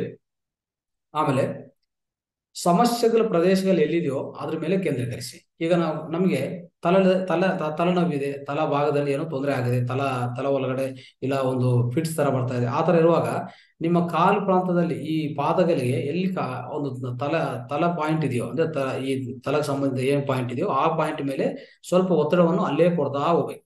ಕೊಡ್ತಾ ಹೋದ್ರೆ ಅವಾಗ ರಕ್ತ ಪ್ರಸರಣ, ಆ ನಾರಿ, ಈ ಎನರ್ಜಿ ಫ್ಲೋ ಅನ್ನೋದು ಆ ತಲಗ್ ಮಾತ್ರ ಚೆನ್ನಾಗಿ ಹೋಗ್ತಾ ಇರ್ತದೆ, ಅವಾಗ ಬೇಗ ವಾಸಿ ಆಗುತ್ತೆ ಓಕೆ ಅದಕ್ಕೆ ಯಾವ ಪ್ರದೇಶದಲ್ಲಿ ನಿಮ್ಮ ತಲದಲ್ಲಿ ತೊಂದರೆ ಇದೆಯಾ, ಇಲ್ಲ ನಿಮಗೆ ಕಿಡ್ನಿಯಲ್ಲಿ ತೊಂದರೆ ಇದೆಯಾ, ಹೊಟ್ಟೆದಲ್ಲಿ ತೊಂದರೆ ಇದೆಯಾ, ಆ ಪಾಯಿಂಟ್ಸ್ಗೆ ಪ್ರೆಸರ್ ಕೊಡ್ತಾ ಹೋಗ್ಬೇಕು. ಅದೊಂದು ಈ ಪಾಯಿಂಟ್ ಆಮೇಲೆ ಪುನರಾವರ್ತಿಸಿ ಅಂದ್ರೆ ರಿಪೀಟ್ ಮಾಡ್ತಾ ಹೋಗ್ಬೇಕು. ಪ್ರತಿ ಪ್ರತಿ ಪಾದದ ಮೂಲಕ ಕೆಲಸ ಮಾಡಿ, ಸೊ ಪ್ರತಿಯೊಂದಕ್ಕೂ ಸುಮಾರು ಐದರಿಂದ ಹತ್ತು ನಿಮಿಷ ಕಾಲ ಕಲಿಯಿರಿ. ಅಂದ್ರೆ ಒಂದು ಪಾದಕ್ಕೆ ಒಂದು ಪಾದ ನಾವು ಇದೆಲ್ಲ ಉಜ್ಬೇಕಂದ್ರೆ ಒಂದು ಐದು ನಿಮಿಷ, ಹತ್ತು ನಿಮಿಷ ಪ್ರತಿ ಪಾದಕ್ಕೆ ನಾವು ಒಂದು ಸ್ಪೆಂಡ್ ಮಾಡ್ಬೇಕಾಗತ್ತೆ. ಸೊ ಪ್ರತಿ ಪಾದ, ಪ್ರತಿ ಪಾದಕ್ಕೂ ಸಪ್ರೇಟ್ ಸಪ್ರೇಟ್ ಮಾಡಿ. ಈ ಪಾದಕ್ಕೆ ಸಪ್ರೇಟ್ ಆ ಪಾದಕ್ಕೆ ಸಪ್ರೇಟು ಸೊ ನಿಮ್ಗೆ ಏನು ಅನಾರೋಗ್ಯ ಇಲ್ಲ ಅಂದ್ರೂ ಜನರಲ್ ಆಗಿನೂ ಈ ಪ್ರೆಸರ್ ಪಾಯಿಂಟ್ಸ್ ಎಲ್ಲ ನೀವು ಆಕ್ಟಿವೇಟ್ ಮಾಡ್ಕೊಂಡು ಹೋಗಿ. ಪ್ರತಿದಿನ ಮಾಡ್ಕೊಂಡ್ರೆ ಸೊ ಉತ್ತಮ ಫಲಿತಾಂಶಗಳು ನಿಮ್ಗೆ ಸಿಗತ್ತೆ. ಸೊ ಸೂಚನೆ ಏನಂದ್ರೆ ಪ್ರೆಸರ್ ಅಧಿವೇಶನ ನಂತರ ಸಾಕಷ್ಟು ನೀರು ಕುಡಿಬೇಕಾಗತ್ತೆ. ಯಾಕಂದ್ರೆ ಇದು ಏನಾಗ್ತದೆ, ಇದು ನಾವು ಈ ತರ ಪಾಯಿಂಟ್ಸ್ ಆಕ್ಟಿವೇಟ್ ಮಾಡುವಾಗ ಯಾವ್ದಾವ್ದು ನಮ್ಮ ದೇಹದಿಂದ ವಿಷವು ಆಚೆ ಕಡೆ ಹೋಗ್ತಾ ಇರ್ತದೋ, ಅದೆಲ್ಲ ಸಹಾಯ ಅದೆಲ್ಲ ಆಚೆ ಕಡೆ ಹೋಗ್ಬೇಕಂದ್ರೆ ಒಳ್ಳೆ ನೀರು ಕುಡಿಬೇಕಾಗತ್ತೆ. ಈ ಈ ಆಕ್ಯುಪ್ರೆಷರ್ ಅಧಿವೇಶನ ಅಂತರ ಆಕ್ಯುಪ್ರೆಷನ್ ಮಾಡ್ಕೊಂಡ ತಕ್ಷಣ ಒಳ್ಳೆ ನೀರು ಕುಡಿದ್ರೆ ಅವಾಗ ನಿಮ್ಮ ಒಳಗಡೆ ಬಾಡಿ ಒಳಗಡೆ ಏನೇನು ವಿಷಯಗಳಿದೆಯೋ ಅದೆಲ್ಲ ಆಚೆ ಕಡೆ ಹೋಗೋಕೆ ಸೊ ಒಂದು ಒಳ್ಳೆ ಪ್ರಯತ್ನ ಮಾಡ್ಕೋಬಹುದು ಸೊ ಇದನ್ನು ನೀವು ಪಾಲಿಸಬೇಕಾಗತ್ತೆ. Okay? Bye so okay friends ಈಗ ನಾವು ಈಗಾಗಲೇ ಈ ಆಕ್ಯುಪ್ರೆಸರ್ ಆಕ್ಯುಪ್ರೆಸರ್ ಆಕು ಪ್ರೆಸರ್ ಮಾಡ್ಕೊಂಡ ವಿಧಾನ ಮತ್ತೆ ಅದಕ್ಕೆ ಏನು ಪರಿಕರಗಳು ನಾವು ಯೂಸ್ ಮಾಡ್ಕೋಬಹುದು ಯಾವ ತರ ಮಾಡ್ಕೋಬೇಕು ಆಮೇಲೆ ಅದರಿಂದ ಫಲಿತಗಳು ಏನಿರ್ತದೆ, ಯಾವ ಪಾಯಿಂಟ್ ಅಂದ್ರೆ ಅವಯವ ಯಾವ ಪಾಯಿಂಟ್ ಎಲ್ಲಿರ್ತದೆ ಅದನ್ನು ತಿಳ್ಕೊಂಡು ನಾವು ಮಾಡ್ಕೊಂಡೋಕೆ ಪ್ರಯತ್ನ ಮಾಡೋಣ. ಇನ್ನು ನಿಮ್ಗೆ ಚೆನ್ನಾಗಿ ಅಂದ್ರೆ ಈ ಪಾಯಿಂಟ್ಸ್ ಕ್ಲಿಯರ್ ಆಗಿ ತಿಳ್ಕೊಬೇಕು ಅಂತಂದ್ರೆ ಒಂದು ಬುಕ್ ಇದೆ, ಅದು ನಾನು ಆಮೇಲೆ ಪೋಸ್ಟ್ ಮಾಡ್ತೀನಿ ಗ್ರೂಪ್ ಅಲ್ಲಿ. ಅದು ನೀವು ಪರ್ಚೇಸ್ ಮಾಡ್ಕೊಳ್ಳೋಕೆ ಚಿಕ್ಕದೊಂದು ಬುಕ್ ಇದೆ. ಅದು ನೀವು ಪರ್ಚೇಸ್ ಮಾಡ್ಕೊಂಡ್ರೆ ನಿಮ್ಗೆ ಅದರಲ್ಲೇ ಸಿಗತ್ತೆ. ಯಾವ ಪಾಯಿಂಟ್ ಎಲ್ಲಿದೆ ಆ ಪಾಯಿಂಟ್ ಯಾವ ತರ ನಾವು ನೋಡ್ಕೋಬೇಕು, ಆ ಪಾಯಿಂಟ್ ಮಾತ್ರ ಉಜ್ತಾ ಇದ್ರೆ, ಆ ಪಾಯಿಂಟ್ ಮಾತ್ರ ಒತ್ತಡ ಕೊಡ್ತಾ ಇದ್ರೆ, ಅಂತ ಆ ಪಾಯಿಂಟ್ ಇಂದ ಆ ಅವಯವಕ್ಕೆ ಕನೆಕ್ಷನ್ ಆ ಅವಯವಕ್ಕೆ ಆರೋಗ್ಯ, ಆ ಪರ್ಟಿಕ್ಯುಲರ್ ಅಂಗಕ್ಕೆ ಆರೋಗ್ಯ ಸಿಗ್ತಾ ಇರ್ತದೆ. ಆ ಸಿಗ್ತಾ ಇರ್ತದೆ. ಸೊ ಆ ತರನು ಒಂದು ಚಿಕ್ಕದ ಬುಕ್ ಇದೆ, ಒಂದು ಬುಕ್ಲೆಟ್ ಅದನ್ನು ನಮ್ಮ ಈ ಕಿಟ್ ಒಳಗಡೆನೆ ಸಿಗೋ ತರ ಮಾಡಿದ್ವಿ. ಅದನ್ನು ಬೇಕಂದ್ರೆ ನೀವು ತಗೊಂಡು ಅದ್ರ ಪ್ರಕಾರ ನೀವು ಪಾಲನೆ ಮಾಡಿ. ಓಕೆ ರೈಟ್ ಆಮೇಲೆ, ಸ್ನೇಹಿತರೆ, ಈಗ ಈಗ ಈ ಮನೆ ಮದ್ದು ಅನ್ನೋದು ತಿಳ್ಕೊಂಡ ಪ್ರಯತ್ನ ಮಾಡಿದೀವಿ ಸೊ ಅದೊಂದು ಪ್ರತಿಯೊಂದು ಪಾಯಿಂಟ್ ಈಗ ತಿಳ್ಕೊಂಡು ಅದನ್ನು ಪಾಲನೆ ಮಾಡಕ್ಕೂ ನಾವೆಲ್ಲರೂ ಪ್ರಯತ್ನ ಮಾಡೋಣ. ಈಗ ಮನಸ್ಸಿನ ಆರೋಗ್ಯಕ್ಕಾಗಿ ಒಂದು ಮನೆ ಮದ್ದು ನಾವು ತಿಳ್ಕೊಳ್ಳೋಕೆ ಪ್ರಯತ್ನ ಮಾಡೋಣ. ಮನಸ್ಸಿನ, ಮನಸ್ಸು ಆರೋಗ್ಯಕ್ಕಾಗಿ, ಅಂದ್ರೆ ಮೆಂಟಲ್ ಹೆಲ್ತ್ಗಾಗಿ ಮನೆ ಮದ್ದು ಏನಿದೆ, ನಾವು ಏನೇನು ಅರ್ಥ ಮಾಡ್ಕೋಬೇಕಂತ ಇಲ್ಲಿ ನಾನು ಪ್ರಯತ್ನ ತಿಳಿಸ್ಕೊಡೋಕೆ ಪ್ರಯತ್ನ ಮಾಡ್ತೀನಿ. ಜ್ಞಾನದಲ್ಲಿಯೇ ಶ್ರೇಷ್ಠ ಜ್ಞಾನ ಏನಂದ್ರೆ ತನ್ನು ತಾನು ತಿಳಿಯೋದು, ಅಲ್ವಾ? ಈಗ ನಾ ಈಗಾಗಲೇ ಇಷ್ಟು ದಿನ ಇವತ್ತು ಹನ್ನೆರಡು ದಿವಸ ಆಯ್ತು, ಹದ್ಮೂರ ದಿವಸ ನಾವು ಇವತ್ತು ಧ್ಯಾನ ಮಾಡಿದೀವಿ. ಈ ಧ್ಯಾನದಲ್ಲಿ ಏನ್ ಮಾಡ್ತೀವಿ? ನನ್ನ ನಾವು ತಿಳ್ಕೊಂತೀನಿ. ನಾನು ಯಾರು? ನಾನು ಎಲ್ಲಿಂದ ಬಂದಿದ್ದೀನಿ? ನಾನು ನಾನು ಅಂದ್ರೆ ನಾನು ಏನ್ ನಾನು ಏನ್ ಪದಾರ್ಥ? ನಾನು ಈ ದೇಹನ, ಈ ಮನಸ್ಸ, ಈ ಬುದ್ಧಿಯ ಯಾವುದು ಇಲ್ಲ ಅಂದ್ರೆ ಇನ್ನು ಏನು ನಾನು? ಇನ್ನು ಏನು ನಾನು ನಾನು ಯಾ, ಯಾರಾಗಿದ್ದೀನಿ ಅಂತ ತಿಳ್ಕೊಂಡಕ್ಕೆ ಆ ಪ್ರಯತ್ನ ಅನ್ನೋದು ಅತಿ ಉತ್ತಮ, ಶ್ರೇಷ್ಠವಾದ ಜ್ಞಾನ ಅಂದ್ರೆ ಅದೊಂದೇ. ಅದು ಯಾವಾಗ ತಿಳ್ಕೊಂತೀರೋ ನಿಮ್ಮ ಜೀವನಕ್ಕೆ, ಇಡೀ ಜೀವನಕ್ಕೆ ಮೋಕ್ಷ ಮೋಕ್ಷ ಆಗ್ಬೋದು, ಮುಕ್ತಿ ಆಗ್ಬೋದು, ಜ್ಞಾನೋದಯ ಆಗ್ಬೋದು, ದಿವ್ಯ ಪ್ರಕಾಶನ ಆಗ್ಬೋದು ಪ್ರತಿ ಒಂದು ಸಿಗತ್ತೆ. ಓ ಯಾರು ಮೋಕ್ಷ ಸಿಗ್ಬೇಕಂದ್ರೆ ಏನಪ್ಪ ಮಾಡ್ಬೇಕು? ಪ್ರತಿಯೊಬ್ಬರು ತನ್ನ ತಾನು ತಿಳಿಯೋದು. ತನ್ನ ತಾನು ತಿಳಿದ ಮೇಲೆ ಇನ್ನು ಏನು ತಿಳ್ಕೊಂಡಾಗ ಏನಿಲ್ಲ. ಯಾವಾಗ ನೀವು ನಾವು ನಿಮ್ಮ ನಿಮ್ಮ ಬಗ್ಗೆ ನೀವು ತಿಳ್ಕೊಂಡಿದ್ರೋ, ನನ್ನ ಬಗ್ಗೆ ನಾನು ತಿಳ್ಕೊಂಡಿದ್ನೋ, ಅವಾಗ ಆಚೆ ಕಡೆ ಇರುವಂತ ಎಲ್ಲಾದ್ರ ಬಗ್ಗೆನೂ ನಮ್ಗೆ ಅರಿವು ಬರುತ್ತೆ.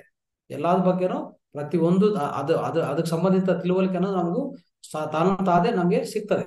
ನಮ್ಮ ಅಂತರದಿಂದ ಬರುತ್ತೆ. ಪ್ರತಿಯೊಂದು ಅಂತರದಿಂದ ಬರೋದೇ ಅದು ಶ್ರೇಷ್ಠವಾಗಿರೋದು. ಸೊ ಅಂತರದಿಂದ ಏನು ಜ್ಞಾನ ಬರ್ತದೋ, ಅಂತರದಿಂದ ನಮ್ಗೆ ಏನು ಧ್ವನಿ ಬರ್ತದೋ, ಏನು ಮೆಸೇಜಸ್ ಬರ್ತದೋ, ಅದು ಉತ್ತಮವಾಗಿರುತ್ತೆ. ಅದು ನಾವು ಅರ್ಥ ಮಾಡ್ಕೋಬೇಕು.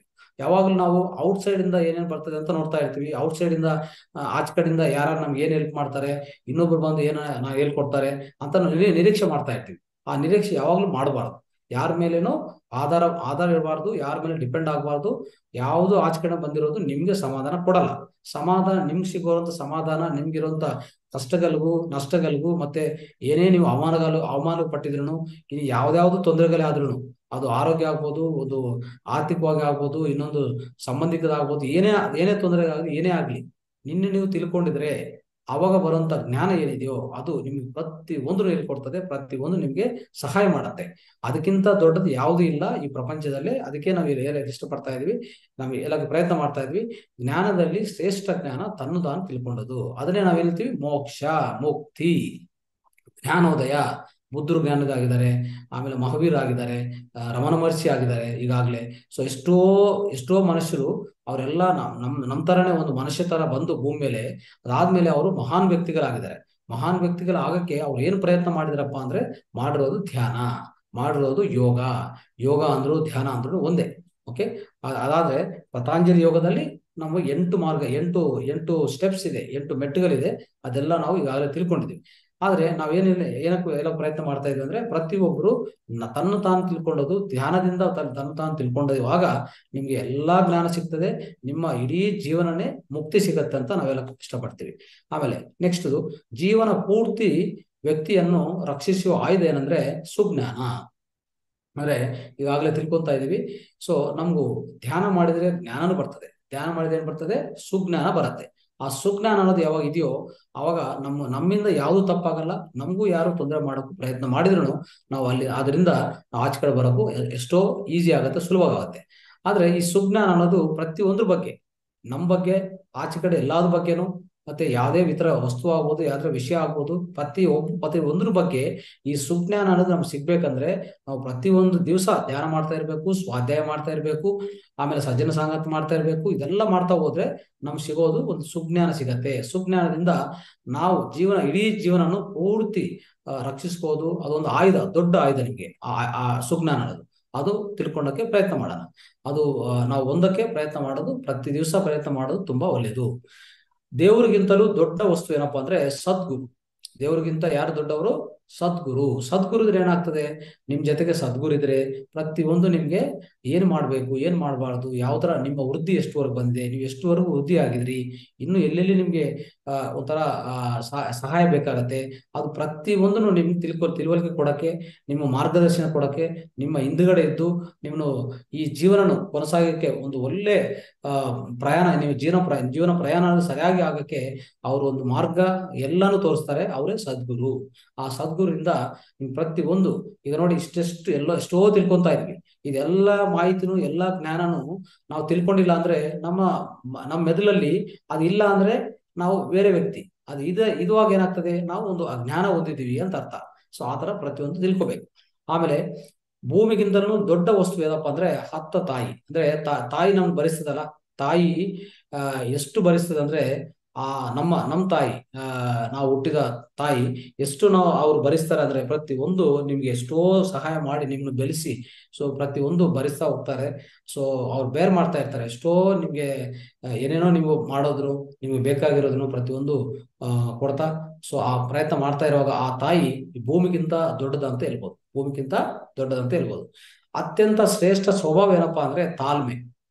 ಅಂದ್ರೆ patience patience is the key for success ಅಂದ್ರೆ ಯಾವುದೇ ನಾವು ಒಂದು ಸಕ್ಸಸ್ ಯಶಸ್ವಿಗೊಳಿಸ್ಬೇಕಂದ್ರೆ, ಯಶಸ್ವಿ ಆಗ್ಬೇಕಂದ್ರೆ ತಾಳ್ಮೆ ಅನ್ನೋದು ತುಂಬಾ ಇಂಪಾರ್ಟೆಂಟ್ ಈಗೇನು ಏನಾಗ್ತದೆ ಇತ್- ಇತ್ತೀಚಿನ ದಿನದಲ್ಲಿ ನಮ್ಮ ಎಲ್ಲ ಎಲ್ಲಾ ಜನರಿಗೂ ಒಂದು ಏನಾಗಿದೆ ತಾಳ್ಮೆ ಅನ್ನೋದು ಕಡಿಮೆ ಆಗಿದೆ.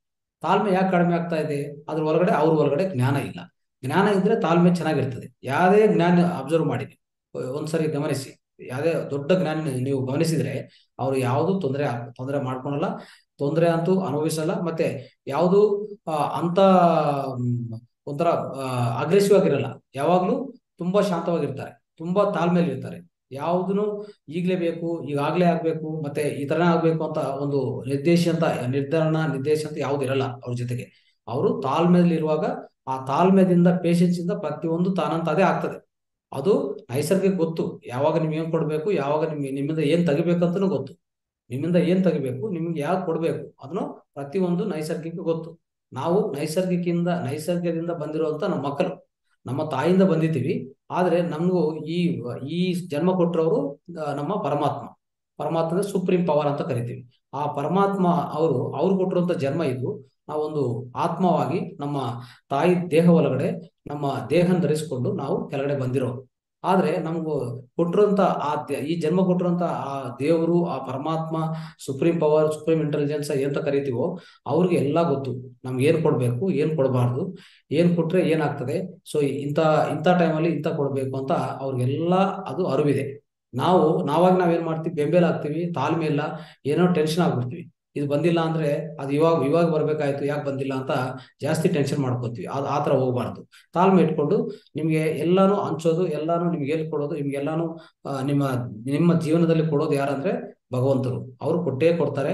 ಆ ಟೈಮ್ ವರ್ಗು ನೀವು ವೇಟ್ ಮಾಡಿದ್ರೆ ಅದು ನಿಮ್ಗೆ ಬರೇ ಬರ್ತದೆ. ಇಲ್ಲ ಅಂದ್ರೆ ನೀವು ಟೆನ್ಷನ್ ಜಾಸ್ತಿ ತಗೊಂಡ್ರೆ ನಿಮಗೆ ರೋಗಗಳು ಬರ್ತದೆ, ಇನ್ನೇನೇನೋ ಬೇರೆ ಬೇರೆ ಪ್ರಾಬ್ಲಮ್ಗಳು ಉಂಟಾಗ್ತದೆ. ಅದು ನೀವು ಮಾಡಬಾರ್ದು. ತಾಳ್ಮೆ ಇಟ್ಕೊಂಡು ನಿಮ್ಮ ಜೀವನ ನಡೆಸ್ಕೊಳ್ಳಿ. ಮತ್ತೆ ಅತ್ಯಂತ ಕೆಟ್ಟ ಗುಣ ಏನಪ್ಪ ಅಂದ್ರೆ ಪರನಿಂದ. ಅಂದ್ರೆ ಬ್ಲೇಮ್ ಮಾಡೋದು ಇದು ಈಗಲೇ ನೋಡಿ ಈ ಸೊಸೈಟಿಯಲ್ಲಿ ಸಮಾಜದಲ್ಲಿ ನೋಡಿದ್ರೆ ಪ್ರತಿಯೊಂದಕ್ಕೂ ಇನ್ನೊಬ್ರು ಬ್ಲೇಮ್ ಮಾಡ್ತಾರೆ. ನಾನು ಕಾರಣ ಅಲ್ಲ, ಅದು ಅವ್ರ ಕಾರಣ. ನಾವು ಹಿಂಗಾಗಿದೆ ಅಂದ್ರೆ ಅವ್ರ ಕಾರಣ. ನಾವು ನಷ್ಟ ಹೋಗಿದೆ ಅಂದ್ರೆ ಅವ್ರ ಕಾರಣ. ನಾವು ಅನ, ಅನಾರೋಗ್ಯ ಆಗಿದೆ ಅಂದ್ರೆ ಅವ್ರ ಕಾರಣ. ನಮ್ಮ ತಾಯಿ, ತಂದೆ, ಇಲ್ಲ ನಮ್ಮ ಮಕ್ಕಳು ಮಕ್ಕಳಿಂದ ನನಗೆ ಆಗಿದೆ. ಸೊ ಅವರಿಂದ ಹಿಂಗಾಗಿದೆ ಅವ್ರು ಹಿಂಗ ಹೇಳಿದ್ರು. ಈ ತರ ನನಗೂ ಹೊಡೆದಿದ್ರು. ಈ ತರ ಏನೇನೋ ಅಂದ್ರೆ ಪ್ರತಿ ಒಂದಕ್ಕೂ ನಾವು ಪರನಿಂದ ಮಾಡೋದು ಬಿಟ್ಟು ನಮ್ಮನ್ನು ನಾವು ನಿಂದೆ ಮಾಡ್ಕೊಳಕ್ ಯಾವಾಗ ಇಲ್ಲ. ಅಂದ್ರೆ ಇದ್ರ, ಇದ್ರಲ್ಲಿ ಏನಿದೆ ಅಂದ್ರೆ ಪ್ರತಿಯೊಂದಕ್ಕೂ ನಾವ್, ನಮ್ಮ ಜೀವನಕ್ಕೆ ನಾವೇ ಕಾರಣ. We create our own reality ನಮ್ಮ ವಾಸ್ತವಕ್ಕೆ ನಾವೇ ಕಾರಣ ಅಂತ ಅನ್ನೋದು ಒಂದು ಒಂದು ಜ್ಞಾನಕ್ಕೆ, ಆ ಆ ಜ್ಞಾನಿ ಹತ್ರ ಅರಿವಿರುತ್ತೆ ಆದ್ರೆ ಇನ್ನು ಬೇರೆಯವ್ರಿಗೆಲ್ಲಾನು ಅರಿವಿಲ್ಲ ಆದ್ರೆ ಈಗ ಧ್ಯಾನ ಮಾಡ್ತಾ ಇದ್ರಿ, ನಾವು ಧ್ಯಾನ ಮಾಡ್ತಾ ಇದ್ವಿ, ಸಜ್ಜನ ಸಾಂಗತ್ಯ ಸ್ವಾಧ್ಯಾಯ ಮಾಡ್ತಾ ಇದ್ವಿ, ಒಳ್ಳೆ ಜ್ಞಾನ ತಗೊಂತಾ ಇದ್ವಿ ಪ್ರತಿ ಒಂದ್ ದಿವಸ ಅಂದ್ರೆ ನಮ್ಗೆ ಫಸ್ಟ್ ಬರೋದೇನಂದ್ರೆ ನಮ್ಮ ಪತ್ರಿ ಸಾರ್ ಹೇಳ್ತಾ ಇರ್ತಾರೆ ನೋ ಬ್ಲೇಮ್ ನೋ ಚ ನೋ ನೋ ಬ್ಲೇಮ್ ಮತ್ತೆ ಇನ್ನೊಂದು ಯಾರನ್ನೂ ಹಿಂದೆ ಮಾಡಬಾರ್ದು. ಯಾರು ಜೀವ, ಜೀವನದಲ್ಲಿ ಇಂಟರ್ಫಿಯರ್ ಆಗಬಾರ್ದು. ಓಕೆ ಸೊ ಇದೆಲ್ಲ ಹೇಳ್ತಾ ಇರ್ತಾರೆ. ಅಂದ್ರೆ ಬೇರೆ ಬೇರೆ ಜೀವ ಬೇರೆ ಜೀವನದಲ್ಲಿ, ಅವ್ರ ಜೀವನದಲ್ಲಿ ನೀವು ಇಂಟರ್ಫಿಯರ್ ಆಗಬಾರ್ದು. ನೀವು ಜೋಕೆ ಮಾಡ್ಕೋಬಾರ್ದು. ಆ ಜೊತೆಗೆ ಬೇರೆಯವನು ನಿಂದೆ ಮಾಡಬಾರ್ದು. ಪರನಿಂದ ಅನ್ನೋದು no blaming at all no blaming no commenting no judging also ಅಂದ್ರೆ ನೀವು ಬೇರೆಯವ್ರನ್ನು ಹಿಂಗೆ ಹಿಂಗೆ ನೀವು, ಇದೇ ತರ ನೀವು ಅಂತ ಜಡ್ಜ್ ಮಾಡಬಾರ್ದು. ಅದೇ ತರ ಅವ್ರನ್ನ ಕಾಮೆಂಟ್ ಮಾಡಬಾರ್ದು. ಅವ್ರ ಮೇಲೆ ಒಂದು ಕಾಮೆಂಟ್ ಮಾಡಬಾರ್ದು. ಆಮೇಲೆ ಬ್ಲೇಮ್ ಮಾಡಬಾರ್ದು. ಬ್ಲೇಮ್ ಅಂದ್ರೆ ಪರನಿಂದ. ಅದು ಮಾಡಬಾರ್ದು. ಬೇರೆ ಜೀವನದಲ್ಲಿ ಅವ್ರದಲ್ಲಿ ಜೀವನದಲ್ಲಿ ನೀವು ಇಂಟರ್ಫಿಯರ್ ಆಗಬಾರ್ದು. ಅನ್ನೆಸರಿ ನಿಮಗೆ ಸಲಹಾ ಕೇಳಿದ್ರೆ ಹೋಗಿ ಸಲಹಾ ಕೊಡಿ. ಅದು ಬಿಟ್ಟು ಸೊ ಸುಮ್ಮನೆ ಹೋಗಿ ಅವರು ಜೀವನ ಮೇಲೆ ನೀವು ಏನೇನೋ ಹೇಳ್ತಾ ಹೋಗೋದು, ಅವ್ರನ್ನ ಗೈಡ್ ಮಾಡಕ್ಕೆ ಏನೋ ಪ್ರಯತ್ನ ಮಾಡೋದು, ನಿಮ್ಮಾಗಿ ನೀವು, ನೀವಾಗಿ ನೀವು ಹೋಗಿ ಪ್ರಯತ್ನ ಮಾಡಕ್ ಹೋಗ್ಬಿಡಿ.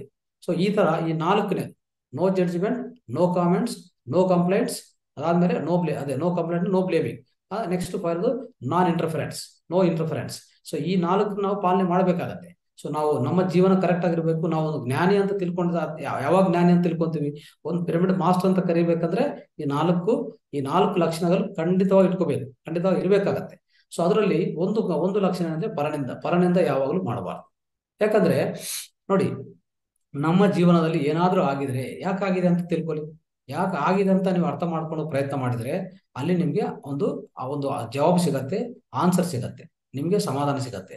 ಯಾವ ತರ ಅಂದ್ರೆ ನಮ್ಮ ಕರ್ಮಗಳಿಂದಲೇ ನಮ್ಗೆ ಬರುವಂತ ಯಾವುದೇ ಫಲಿತ ನಮ್ಮ ಜೀವನದಲ್ಲಿ. ನೋಡಿ ಈಗ ಸೊ ನಾವು ಸುಮ್ಮನೆ ಇರ್ತೀವಿ, ಆದ್ರೆ ಸಡನ್ ಆಗಿ ಏನೋ ಒಂದು ಉಂಟಾಗ್ತದೆ. ಸೊ ಒಂದು ಅನಾರೋಗ್ಯ ಬರ್ಬೋದು, ಒಂದು ಏನೋ ನಷ್ಟ ಬರ್ಬೋದು, ಇನ್ನೊಂದು ಇನ್ನೊಂದು ಯಾವುದೋ ಒಂದು ಬೇರೆ, ಬೇರೆಯವರಿಂದ ನಿಂದ ಬರ್ಬೋದು ಈ ತರ ಏನೋ, ಏನೇನೋ ಆಗ್ತಾ ಇರ್ತದೆ ಪ್ರತಿಯೊಬ್ಬರ ಜೀವನದಲ್ಲಿ.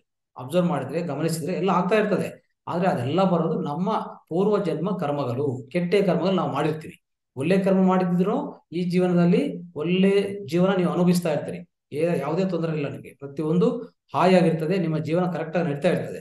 ಆದರೆ ಯಾವಾಗ ನಾವು, ಆ ಪೂರ್ವ ಜನ್ಮದಲ್ಲಿ ಮಾಡುವಂತ ಕರ್ಮ ಕಟ್ಟ ಕೆಟ್ಟ ಕರ್ಮದ ಹೇಳ್ತಾ ಅದು ಫಲಿತಾಂಶ ಈ ಜೀವನದಲ್ಲಿ ನಾವು ಅನುಭವಿಸ್ತಾ ಇರ್ತೀವಿ. ಅದೇ ಒಂದು ಪರನಿಂದ ಆಗ್ಬೋದು ಇನ್ನೊಬ್ಬ ನಿಂದೆ ಮಾಡ್ತಾರೆ, ಇನ್ನೊಂದು ನಿಮ್ಗೆ ನಷ್ಟ ಮಾಡ್ತಾರೆ, ಇನ್ನೊಂದು ನಿಮ್ಮ, ನಿಮ್ಗೆ ಏನೋ ನಿಮ್ಗೆ ಏನೇನೋ ಮಾಡ್ತಾರೆ, ನಿಮ್ಗೆ ಕೊಲೆ ಮಾಡ್ತಾರೆ, ಏನೇನೋ ಮಾಡ್ತಾ ಇರ್ತಾರೆ. ಪ್ರತಿಯೊಂದು ಪ್ರತಿಯೊಂದು ಜೀವನದಲ್ಲಿ ಪ್ರತಿಯೊಂದು ಆಗ್ತಾ ಇರ್ತದೆ. ಯಾವುದೋ ಒಂಥರ ನಷ್ಟ, ಕಷ್ಟ ಇದೆಲ್ಲ ಬರ್ತಾ ಇರ್ತದೆ. ಅದಕ್ಕೆಲ್ಲ ರೀಸನ್ಸು ನಮ್ಮ ಕರ್ಮಗಳು ಬಿಟ್ಟು ಇನ್ನೊಬ್ರು ಇಲ್ಲ. ಇನ್ನೊಬ್ರು ನಾವು ಪರಿಣಿತ ಮಾಡಕ್ ಹೋಗೋದು ತಪ್ಪಾಗತ್ತೆ. ಯಾವಾಗ ನೀವು ಇನ್ನೊಬ್ರು ಪರಿಣಿತ ಮಾಡ್ತಿರೋ ಅದೊಂಥರ ಮತ್ತೆ ನಿಮ್ಗೆ ಅದೊಂದು ಕೆಟ್ಟ ಕರ್ಮ ಆಗುತ್ತೆ. ಆ ಕೆಟ್ಟ ಕರ್ಮ ತಗೊಂಡು ಮತ್ತೆ ಅದನ್ನ ನೀವು ಅನುಭವಿಸಕ್ಕೆ ಇನ್ನೊಂದು ಇನ್ನೊಂದು ಜೀವನ ತಗೋಬೇಕಾಗತ್ತೆ. ಇನ್ನೊಂದು ಲೈಫ್ ತಗೋಬೇಕಾಗತ್ತೆ. ಅದು ಬೇಕಾಗಿಲ್ಲ. ಸೊ ಈ ತರ ನಾವು ಅರ್ಥ ಮಾಡ್ಕೊಂಡ್ರೆ ಜ್ಞಾನ ಧ್ಯಾನದಿಂದ ಜ್ಞಾನ, ಜ್ಞಾನದಿಂದ ಮುಕ್ತಿ. ಧ್ಯಾನದಿಂದ ಜ್ಞಾನ, ಜ್ಞಾನದಿಂದ ಮುಕ್ತಿ ಅಂತ. ಸೊ ಇದು ಹೇಳ್ತಾ ಈ ಮನಸ್ಸಿನ ಆರೋಗ್ಯ ಮನೋ ಮನೆ ಮದ್ದು ಅನ್ನೋದು ನಾವು ತಿಳ್ಕೊಡಕ್ ಪ್ರಯತ್ನ ಮಾಡಿದ್ವಿ, ಸ್ನೇಹಿತರೆ. ಸೊ ಪ್ರತಿಯೊಬ್ಬರಿಗೂ ಮಾತಾಡ ಪ್ರಸ್ಥಾನ, ಪ್ರತಿಷ್ಠಾನದಿಂದ ಮಾತಾಡ ಫೌಂಡೇಶನ್ ಪ್ರತಿಯೊಬ್ಬರಿಗೂ ಧನ್ಯವಾದ ಹೇಳ್ತಾ, ಸರ್ ನಮಸ್ತೆ ನಮಸ್ತೆ ಟು ಆಲ್. ಪ್ರತಿಯೊಬ್ಬರು ನಮ್ಮ ಮಾತಾಡ್ ಟಿವಿನೂ ಪ್ರತಿಯೊಬ್ಬರಿಗೂ ಶೇರ್ ಮಾಡ್ಕೊಳ್ಳಿ, ಹಂಚ್ಕೊಳ್ಳಿ. ಸೊ ಪ್ರತಿಯೊಬ್ಬರು ಈ ಈ ಕಾರ್ಯಕ್ರಮಕ್ಕೆ ಇಪ್ಪತ್ತೊಂದು ದಿವಸ ಕಾಲ ಏನ್ ನಾವೇನು ಈಗಾಗಲೇ ಇಷ್ಟು ದಿವಸ ನಾನು ಮಾಡಿಸ್ಕೊಂಡು ಬಂದಿದ್ದೀವಿ ಈ ಕಾರ್ಯಕ್ರಮಕ್ಕೆ ಪ್ರತಿಯೊಬ್ಬರು ಸೇರ್ಸಕ್ಕೆ ಪ್ರಯತ್ನ ಮಾಡಿ ಪ್ರತಿಯೊಬ್ಬರಿಗೆ ಈ ಕಾರ್ಯಕ್ರಮದ ಬಗ್ಗೆ ಮಾಹಿತಿನ ಹಂಚ್ಕೊಳ್ಳಿ. ಈಗ ಸ್ವಲ್ಪ ಹೊತ್ತು ನಾವು ಈ ಪ್ರಶ್ನೋತ್ತರ ನಾವು ನೋಡಕ್ಕೆ ಪ್ರಯತ್ನ ಮಾಡೋಣ. ರೈಟ್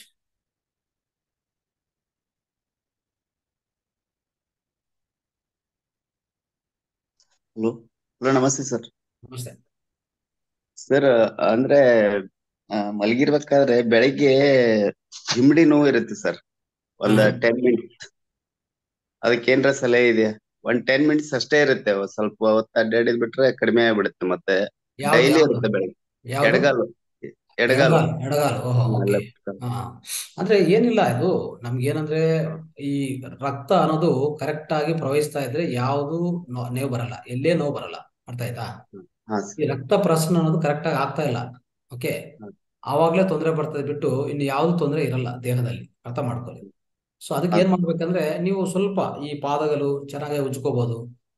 ಸೊ ಎಲ್ಲಿ ಅಲ್ಲಿ ಒಂಥರ ಪೇನ್ ಇದೆಯಲ್ಲ ಆ ಪೇನ್ ಭಾಗದಲ್ಲಿ ಸ್ವಲ್ಪ ಪ್ರೆಸರ್ ಅಪ್ಲೈ ಮಾಡಿ. ನೀಟಾಗಿ ಪ್ರೆಸರ್ ಮಾಡ್ತಾ ಹೋಗಿ. ಸ್ವಲ್ಪ ಸ್ವಲ್ಪ ರಿಲೀಸ್ ಆಗ್ತಾ ಬರ್ತದೆ. ಅರ್ಥ ಆಯ್ತಾ? Okay sir. ಹಾ ಆ ತರ ಮಾಡಿ. ಓಕೆ? ಅದು ಬಿಟ್ಟು ಇನ್ನು ಸಮಗ್ರ ಜೀವನ ಶೈಲಿಯಲ್ಲಿ ನಿಮ್ಮ ಆರೋಗ್ಯ ಆಹಾರ ಆಹಾರದ ಆಹಾರ ಪದಾರ್ಥದಲ್ಲಿ ನೀವು ಸೇವನೆ ಮಾಡ್ತಾ ಇರೋದು ಪ್ರತಿಯೊಂದು ಗಮನಿಸಿ. Okay sir. ಅದನ್ನ ಈಗಾಗಲೇ ಹೇಳ್ಕೊಂಡು ಬಂದಿದ್ವಲ್ಲ ಆ ಪದಾರ್ಥ ನೀವು ಈಗಾಗಲೇ ಬದಲಾವಣೆ ಮಾಡ್ಕೊಂಡಿದ್ರ ಬದಲಾವಣೆ ಮಾಡ್ಕೊಂಡಿಲ್ಲ ಅಂದ್ರೆ ಬದಲಾವಣೆ ಮಾಡ್ಕೊಳ್ಳೋಕೆ ಪ್ರಯತ್ನ ಮಾಡಿ. Okay sir. ಅದು ಬಿಟ್ಟು ನಾವು ಅದೇ ತಿಂತಾ ಇದೀವಿ ಅದೇ ತಿಂತೀನಿ ಅಂತಂದ್ರೆ ನಿಮ್ಗೆ ನೋವು ಬರುತ್ತೆ ಇನ್ನೊಂದು ಬರುತ್ತೆ ಎಲ್ಲಾ ಬರ್ತದೆ. ದೇಹಕ್ಕೆ ಪ್ರತಿಯೊಂದು ಅನಾರೋಗ್ಯ ಬರೇ ಬರ್ತದೆ. ಹಾ. Okay? Okay sir thank you sir. ಇನ್ನೊಂದು ಪ್ರಶ್ನೆ ಸರ್. ಹಾ. ಅಲ್ಪವ್ಯಸ ಅಲ್ಪವ್ಯಸ ಮತ್ತೆ ಗಾ ಗಾಮವ್ಯಸ ಅಂತ ಅವ್ರ ಮೇಡಮ್ ಅವ್ರು ಹೇಳಿದ್ರಲ್ಲ. Hmm alpha rays gamma rays hmm. ಅದ್ರ ಬಗ್ಗೆ ಸ್ವಲ್ಪ ಮಾಹಿತಿ ಅದು ಅಂದ್ರೆ ಏನಂತ ಇದು ಏನಿಲ್ಲ ಅದು ಈಗ ನೋಡಿ ಏನಾಗ್ತದೆ ಅಂದ್ರೆ ಆಲ್ಫಾ ಬೀಟಾ ಗಾಮಾ ಡೆಲ್ಟಾ ಮೂರು ಮೂರು ಅಂಶಗಳಿದೆ. ಅದು ಇದೆಲ್ಲ ಇದೆಲ್ಲಾನು ವೇವ್ಸ್ ತರಂಗಗಳು. ನೀವು ಯಾವಾಗ ಧ್ಯಾನದಲ್ಲಿ ಪೂರ್ತಿ ಆಳವಾದ ಧ್ಯಾನ ನಿಮ್ಗೆ ಲಭ್ಯವಿಸ್ತದೋ ಅವಾಗ ನೀವು ಹೋಗ್ತಾ ಹೋಗ್ತಾ ಏನಾಗ್ತದೆ ಅಂದ್ರೆ ಆಲ್ಫಾದಿಂದ ಸ್ಟಾರ್ಟ್ ಆಗಿ ಬೀಟಾದಿಂದ ಸ್ಟಾರ್ಟ್ ಆಗಿ ಗಾಮಾದಿಂದ ಡೆಲ್ಟಾಕ್ ಹೋಗ್ತೀರಿ. ಡೆಲ್ಟಾ ಅನ್ನೋದು ಏನಂದ್ರೆ ಪೂರ್ತಿ ಸೈಲೆಂಟ್ ನಿಚ್ಚಲವಾಗತ್ತೆ ನಿಚ್ಚಲ ಅಂದ್ರೆ ನಿಮ್ಗೆ ಏನು ನಿಮ್ಗೆ ನಿಮ್ಮ ನಿಮ್ಮ ಒಳಗಡೆ ಆ ತರಂಗಗಳು ಪೂರ್ತಿ ನಿಚ್ಚಲವಾಗಿ ಅದೊಂಥರ ಸಮಾಧಿ ಸ್ಥಿತಿಗೆ ಹೋಗ್ಬಿಡುತ್ತೆ ಗೊತ್ತಾಯ್ತಾ ಅವಾಗ ನಮ್ಮ ಬ್ರೈನ್ ವೇವ್ಸ್ ಮೇಡಮ್ ಎಲ್ಲಿರೋದೇನಂದ್ರೆ ಬ್ರೈನ್ ವೇವ್ಸ್ ಇದೆಯಲ್ಲ ಈ ಬ್ರೈನ್ ಅಲ್ಲಿ ತರಂಗಗಳು ಆಗ್ತಾ ಇರ್ತದೆ ಶಕ್ತಿ ತರಂಗಗಳು. ಆ ಶಕ್ತಿ ತರಂಗಗಳು ಜಾಸ್ತಿ ಇದ್ರೆ ಆಲ್ಫಾ ಸ್ವಲ್ಪ ಕಡಿಮೆ ಇದೆ ಬೀಟಾ ಇನ್ ಸ್ವಲ್ಪ ಕಡಿಮೆ ಇದೆ ಗಾಮ ಇನ್ ಸ್ವಲ್ಪ ಇದ್ರೆ ಡೆಲ್ಟಾ ಅಂತ ಇರ್ತೀವಿ ಆ ಅದು ಪೌನಪುಣ್ಯ ಈ ಪೌನ ಅಂದ್ರೆ ಶಕ್ತಿ ಎಷ್ಟು ಫಾಸ್ಟ್ ಆಗಿ ಹರಿತಾ ಇದೆ ಅಂದ್ರೆ ಆ ಫ್ರೀಕ್ವೆನ್ಸಿ ಫ್ರೀಕ್ವೆನ್ಸಿ ಪೌನಪುಣ್ಯ ಇದೆಲ್ಲ ಆ ಪೌನಪುಣ್ಯ ನಾವು ಈ ತರಂಗಗಳ ತರ ನಾವು ಪ್ರಯತ್ನ ಹೇಳಕ್ಕೆ ಹೇಳಕ್ಕೆ ಪ್ರಯತ್ನ ಮಾಡ್ತೀವಿ ಅಷ್ಟೇ. ಒಂದೊಂದು ತರಂಗಕ್ಕೆ ಒಂದು ಫ್ರೀಕ್ವೆನ್ಸಿ ಆಲ್ಫಾಕೊಂದು ಬೀಟಾಕೊಂದು ಗಾಮಾಕೊಂದು ಡೆಲ್ಟಾಕೊಂದು ಡೆಲ್ಟಾ ಅನ್ನೋದು ಯೋಗಿಗಳು ಸಮಾಧಿ ಸ್ಥಿತಿಯಲ್ಲಿ ಅನುಭವಿಸ್ತಾರಂತ ಪರಿಸ್ಥಿತಿ. ಅಲ್ಲಿ ಏನಿಲ್ಲ ಸ್ಟ್ರೈಟ್ ಲೈನ್ ಅಷ್ಟೇ. ಯಾವುದು ತರಂಗಗಳಿಲ್ಲ. ತರಂಗಗಳೇ ಜೀರೋ ತರಂಗಗಳು ಯಾವುದು ತರಂಗ ಇಲ್ಲ. ತರಂಗ ಜೀರೋ ಆಗ್ಬಿಟ್ಟಿದೆ ಅದು ಸ್ಟ್ರೈಟ್ ಲೈನ್ ತರ ಇರ್ತದೆ. ಅದು ಜೀರೋ ಜೀರೋ ಫ್ರೀಕ್ವೆನ್ಸಿ ತರ ಇರ್ತದೆ ಅದು. ಅರ್ಥ ಆಯ್ತಾ? Okay sir thank you sir ಧನ್ಯವಾದ. ಧನ್ಯವಾದ. ಎಸ್ ಸೊ ಯಾರು ಅನ್ಮ್ಯೂಟ್ ಮಾಡ್ಕೊಂಡು ಮಾತಾಡಿ. ಸರ್ ನಮಸ್ತೆ. ನಮಸ್ತೆ. ಸರ್ ಎರಡು ಉಬ್ಬಿನ ಮಧ್ಯೆ ಯಾವಾಗ್ಲೂ ನನ್ನ ಥರ್ಡ್ ಐ ಅಂತಿರಲ್ಲ ಆ ಭಾಗದಲ್ಲಿ ನನ್ ಜುಮ್ ಜುಮ್ ಅಂತಿರುತ್ತಲ್ಲ ಸರ್ ಯಾವಾಗ್ಲೂ ಪ್ರತಿ ಕ್ಷಣ? ಒಂದೊಂದ್ಸಲ ಕಮ್ಮಿ ಇರುತ್ತೆ ಧ್ಯಾನ ಮಾ ಧ್ಯಾನ ಮಾಡುವಾಗನ ಧ್ಯಾನ ಮಾಡಿಲ್ಲ ಅಂದ್ರೂ ಹಂಗೆ ಇರ್ತದ? ಇಲ್ಲ ಸರ್ ಒಂದೊಂದ್ ಟೈಮ್ ಯಾವ್ದಾದ್ರು ದೃಶ್ಯ ನೋಡ್ಬೇಕಾದ್ರೆ ಹೊರಗಡೆ ಏನೋ ಮಾತಾಡ್ಬೇಕಾದ್ರೆ ಆಟೋಮೆಟಿಕ್ ಸ್ಟಾರ್ಟ್ ಆಗುತ್ತೆ ಅದು. ಅದು ಫೀಲ್ ಒಳ್ಳೆ ಖುಷಿನೇ ಕೊಡ್ತಾ ಇರುತ್ತೆ. ಫಸ್ಟ್ ಫಸ್ಟ್ ಸ್ವಲ್ಪ ನೋವು ಕೊಡ್ತಿರ್ತಿ ಇತ್ತೀಚೆಗೆ ಬಹಳ ಖುಷಿ ಕೊಡುತ್ತೆ ಅದು. ಹೌದು ಹೌದು. ಏನಂತ ಗೊತ್ತಾಗ್ತಾ ಇಲ್ಲ ಸರ್. ಅದೇನಿಲ್ಲ. ಏನಂದ್ರೆ ನೀವು ಯಾವ್ದಕ್ಕೆ ಒಂದು ತೀಕ್ಷ್ಣವಾಗಿ ಕನೆಕ್ಟ್ ಆಗಿದ್ರೆ ಹ್ಮ್. ನೀವು ಯಾವಾಗ ತೀಕ್ಷ್ಣವಾಗಿ ಇನ್ನೊಂದಕ್ಕೂ ಯಾವ್ದಕ್ಕೂ ಒಂದು ಫೋಕಸ್ಡ್ ಆಗಿ ಕನೆಕ್ಟ್ ಆಗಿದ್ರೆ ಖಂಡಿತವಾಗಿ ಎನರ್ಜಿ ಅನ್ನೋದು ಇಲ್ಲಿ ಹರಿತಾ ಇರ್ತದೆ. ಅಂದ್ರೆ ನಮಗೂ ವಿಶ್ವಶಕ್ತಿ ಬರೋದು ಈ ಪ್ರಾಂತದಿಂದ ಅಲ್ಲೂ ಅಲ್ಲೂ ಒಂದ್ ಸ್ವಲ್ಪ ಜುಮ್ ಅನ್ಸುತ್ತೆ ಸರ್ ಅದು ಅದು ಸೆನ್ಸೇಷನ್ ಇರುತ್ತೆ. ಖಂಡಿತವಾಗಿ ಇಲ್ಲಿ ಸೆನ್ಸೇಷನ್ ಇರುತ್ತೆ. ಈ ಭಾಗದಲ್ಲಿ ಸ್ವಲ್ಪ ಸೆನ್ಸೇಷನ್ ಬರ್ತಾ ಇರ್ತದೆ. ಇದೆಲ್ಲ. ಒಳ್ಳೇದೇ ಇದೇನು ಕೆಟ್ಟದಿಲ್ಲ. ಆದ್ರೆ ಅದು ನಾವು ಏನು ಹೆಂಗೆ ಅಂತ ತಿಳ್ಕೊಂಡಕ್ಕೆ ಇನ್ನು ನಮ್ಮ ಸಾಧನೆ ಹೆಚ್ಚಾಗಿ ಮಾಡ್ತಾ ಮಾಡ್ತಾ ಅವಾಗ ನಿಮ್ಗೆ ಅರ್ಥ ಆಗತ್ತೆ. ಈಗ ನಿಮ್ಗೆ ಅರ್ಥ ಆಗಲ್ಲ. ಅದು ಫಲಿತ ಏನಾದ್ರು. ಅಂದ್ರೆ ಅದು ಫಲಿತ ಪ್ರತಿಯೊಂದು ನಮ್ ಮುಂಚೆ ಮುಂದಿನ ಏನ್ ಆಗ್ತದೋ ಅದು ಮುಂದೆ ಗೊತ್ತಾಗ್ತಾ ಇರ್ತದೆ. ಆ ಪರಿಸ್ಥಿತಿ ಬರೋದಕ್ಕೆ ಇದೆಲ್ಲ ಸೆನ್ಸೇಷನ್ಸ್ ಆಗ್ತಾ ಆಗ್ತಾ ಇದು ಸ್ವಲ್ಪ ಆಕ್ಟಿವೇಶನ್ ಅಂದ್ರೆ ಥರ್ಡ್ ಐ ಆಕ್ಟಿವೇಶನ್ ಅಂತ ನಾವು ಈಗಾಗಲೇ ತಿಳ್ಕೊತಾ ಇರ್ತೀವಿ. ಥರ್ಡ್ ಐ ಇವ್ರು ಆಕ್ಟಿವೇಟ್ ಮಾಡ್ತಾರೆ ಅಲ್ಲಿಗೆ ಬನ್ನಿ ಹಿಂಗ್ ಕೂತ್ಕೊಳ್ಳಿ ನಾವೇನೋ ಮಾಡ್ತೀವಿ ನಿಮ್ಗೆ ದುಡ್ಡು ಕೊಡಿ ಆಕ್ಟಿವೇಶನ್ ಮಾಡ್ತೀವಿ. ಅದೆಲ್ಲ ಬೇಕಾಗಿಲ್ಲ. ಈಗ ನಿಮ್ಗೆ ಆಗ್ತಾ ಇರುವಂತ ಪ್ರಕ್ರಿಯೆ ಸಹಜವಾದ ಪ್ರಕ್ರಿಯೆ. ಆಮೇಲೆ ಸರ್. ನಾವು ಹೆಡ್ಫೋನ್ ಹಾಕೊಂಡು ಮ್ಯೂಸಿಕ್ ಹಾಕೊಂಡು ಪತ್ರಿಜಿ ಅವ್ರದ್ದು ಒಂದು ಕೊಳಲನಾದ ಮ್ಯೂಸಿಕ್ ಹಾಕೊಂಡು ಮೆಡಿಟೇಷನ್ ಮಾಡ್ತಿರ್ತೀವಲ್ಲ ಅದೇನು ಕಿವಿಗೇನು ಎಫೆಕ್ಟ್ ಬರಲ್ವಾ ಸರ್ ಅದು? ಹಾ ಹಾ ಏನ್ ಬರಲ್ಲ. ಆದ್ರೆ ನೀವು ಕಿವಿ ಹೆಡ್ಫೋನ್ಸ್ ಹಾಕಿ ಮಾಡಕ್ ಪ್ರಯತ್ನ ಮಾಡ ಒಂದು ಫೋನ್ ಅಲ್ಲಿ ಫೋನಲ್ಲಿ ಇಟ್ಕೊಂಡು ಮಾಡಿ ಆದಷ್ಟು. ಹೌದಾ. ನಾನ್ ನಾನೆಲ್ಲ ಸಲಹಾ ಅದು. ಸೊ ಕಿವಿ ಹಾಕೊಂಡು ಮಾಡೋದು ಅಷ್ಟು ಒಳ್ಳೇದಲ್ಲ. ಯಾಕಂದ್ರೆ ಕಿವಿ ಒಳಗಡೆ ಯಾವುದೇ ಸೌಂಡ್ ಡೈರೆಕ್ಟ್ ಹೋಗ್ಬಾರ್ದು. ಹ್ಮ್ ಫೋನ್ ಅಲ್ಲಿ ಒಂದು ಫೋನಲ್ಲಿ ಒಂದು ಮೊಬೈಲ್ ಫೋನ್ ಇದೆಲ್ಲ ಅದರಲ್ಲಿ ಹಾಕೊಂಡು ಕೂತ್ಕೊಂಡು ಆರಾಮಾಗಿ ಧ್ಯಾನ ಮಾಡಿ. Okay sir okay thank you right ಹೇಳಿಮಾ ನಮಸ್ತೆ. ನಮಸ್ತೆ ಸರ್ ನಮಸ್ತೆ ಸರ್ ಆರ್ಟಿಫೈಸರ್ ಆರ್ಟಿಫೈಸರ್ ಅಂದ್ರೆ ಮಕ್ಕಳಿಗೂ ಉಪಯೋಗಿಸ್ಬೋದ? ಒಂದ್ ಹನ್ನೆರಡು ವರ್ಷ ಹುಡುಗರು ಎಲ್ಲರಿಗೂ ಎಲ್ಲಾರ್ಗು ಎಲ್ಲಾರ್ಗು ಎಲ್ಲಾರ್ಗು. ಯಾವ ಯೋಜನೆಯಿಂದ ಉಪಯೋಗಿಸ್ಬೋದು ಏನು ಒಂದು ಅವರು ಜನರಲಿ ನಮ್ಗೇನಂದ್ರೆ ಐದು ವರ್ಷವರೆಗೂ ಐದು ವರ್ಷ ಈಗೇನಾಗಿದೆ ಐದು ವರ್ಷ ಹತ್ತು ವರ್ಷಗೇನೆ ತೊಂದರೆಗಳು ಜಾಸ್ತಿ ಆಗ್ಬಿಟ್ಟಿದೆ. ಯಾಕಂದ್ರೆ ಅವ್ರು ತಿನ್ನೋ ಪದಾರ್ಥ ಚೆನ್ನಾಗಿಲ್ಲ. ಅವ್ರು ಈಗ ತಿನ್ನೋಂತ ಹನ್ನೊಂದು ವರ್ಷ ನನ್ನ ಮೊಮ್ಮಗನ್ಗೆ ಮಣ್ ಇದು ಮಿಡುಗು ಕಾಲು ಪಾದದಲ್ಲಿ ನೋವಾಗ್ತಾ ಇದೆ ಅಂತೆ ನೋಡಿ ನೋಡಿ ನೋಡಿ ಉಪಯೋಗಿಸ್ಬೋದಾ? ಆರಾಮಾಗಿ ಆರಾಮಾಗಿ.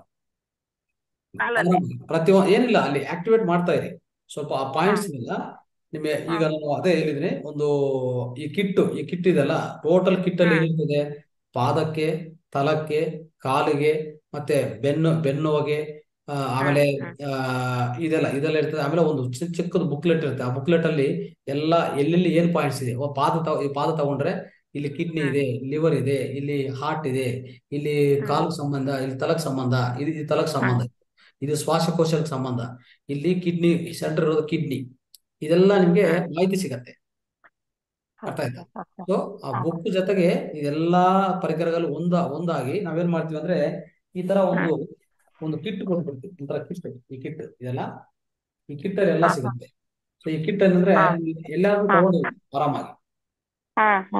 ಹಾ ಈ ಕಿಟ್ ಒಳಗಡೆ ಪ್ರತಿ ಒಂದು ಈ ಐಟಮ್ಸ್ ಎಲ್ಲ ಇರ್ತದೆ. ಸೊ ಅವಾಗ ನೀವು ಮನೆಯಲ್ಲಿ ಇಟ್ಕೋಬಹುದು ಇಲ್ಲ ನೀವು ಎಲ್ಲೇನೋ ಹೋಗ್ತಾ ಇದ್ರೆ ನೀವು ಬ್ಯಾಗ್ ಹಾಕೊಂಡು ಆಚೆ ಕಡೆ ಹೋದ್ರು ಆರಾಮಾಗಿ ಇಟ್ಕೊಂಡ್ರೆ ಯಾವಾಗ ಎಲ್ಲ ಮಾಡ್ಬೋದು. ಎರಡು ಕೈಗಳು ಒಂದೇ ನಮ್ಗೆ ಯೂಸ್ ಮಾಡ್ಬೋದು. ಎರಡು ಕೈಗೂ. ಎರಡು ಕೈ ಒಂದೇ. ಬಟ್ ಕಾಲಲ್ಲಿ ಎರಡು ಕಾಲಲ್ಲಿ ಸ್ವಲ್ಪ ಬೇರೆ ಬೇರೆ ಪಾಯಿಂಟ್ಸ್ ಇದೆ.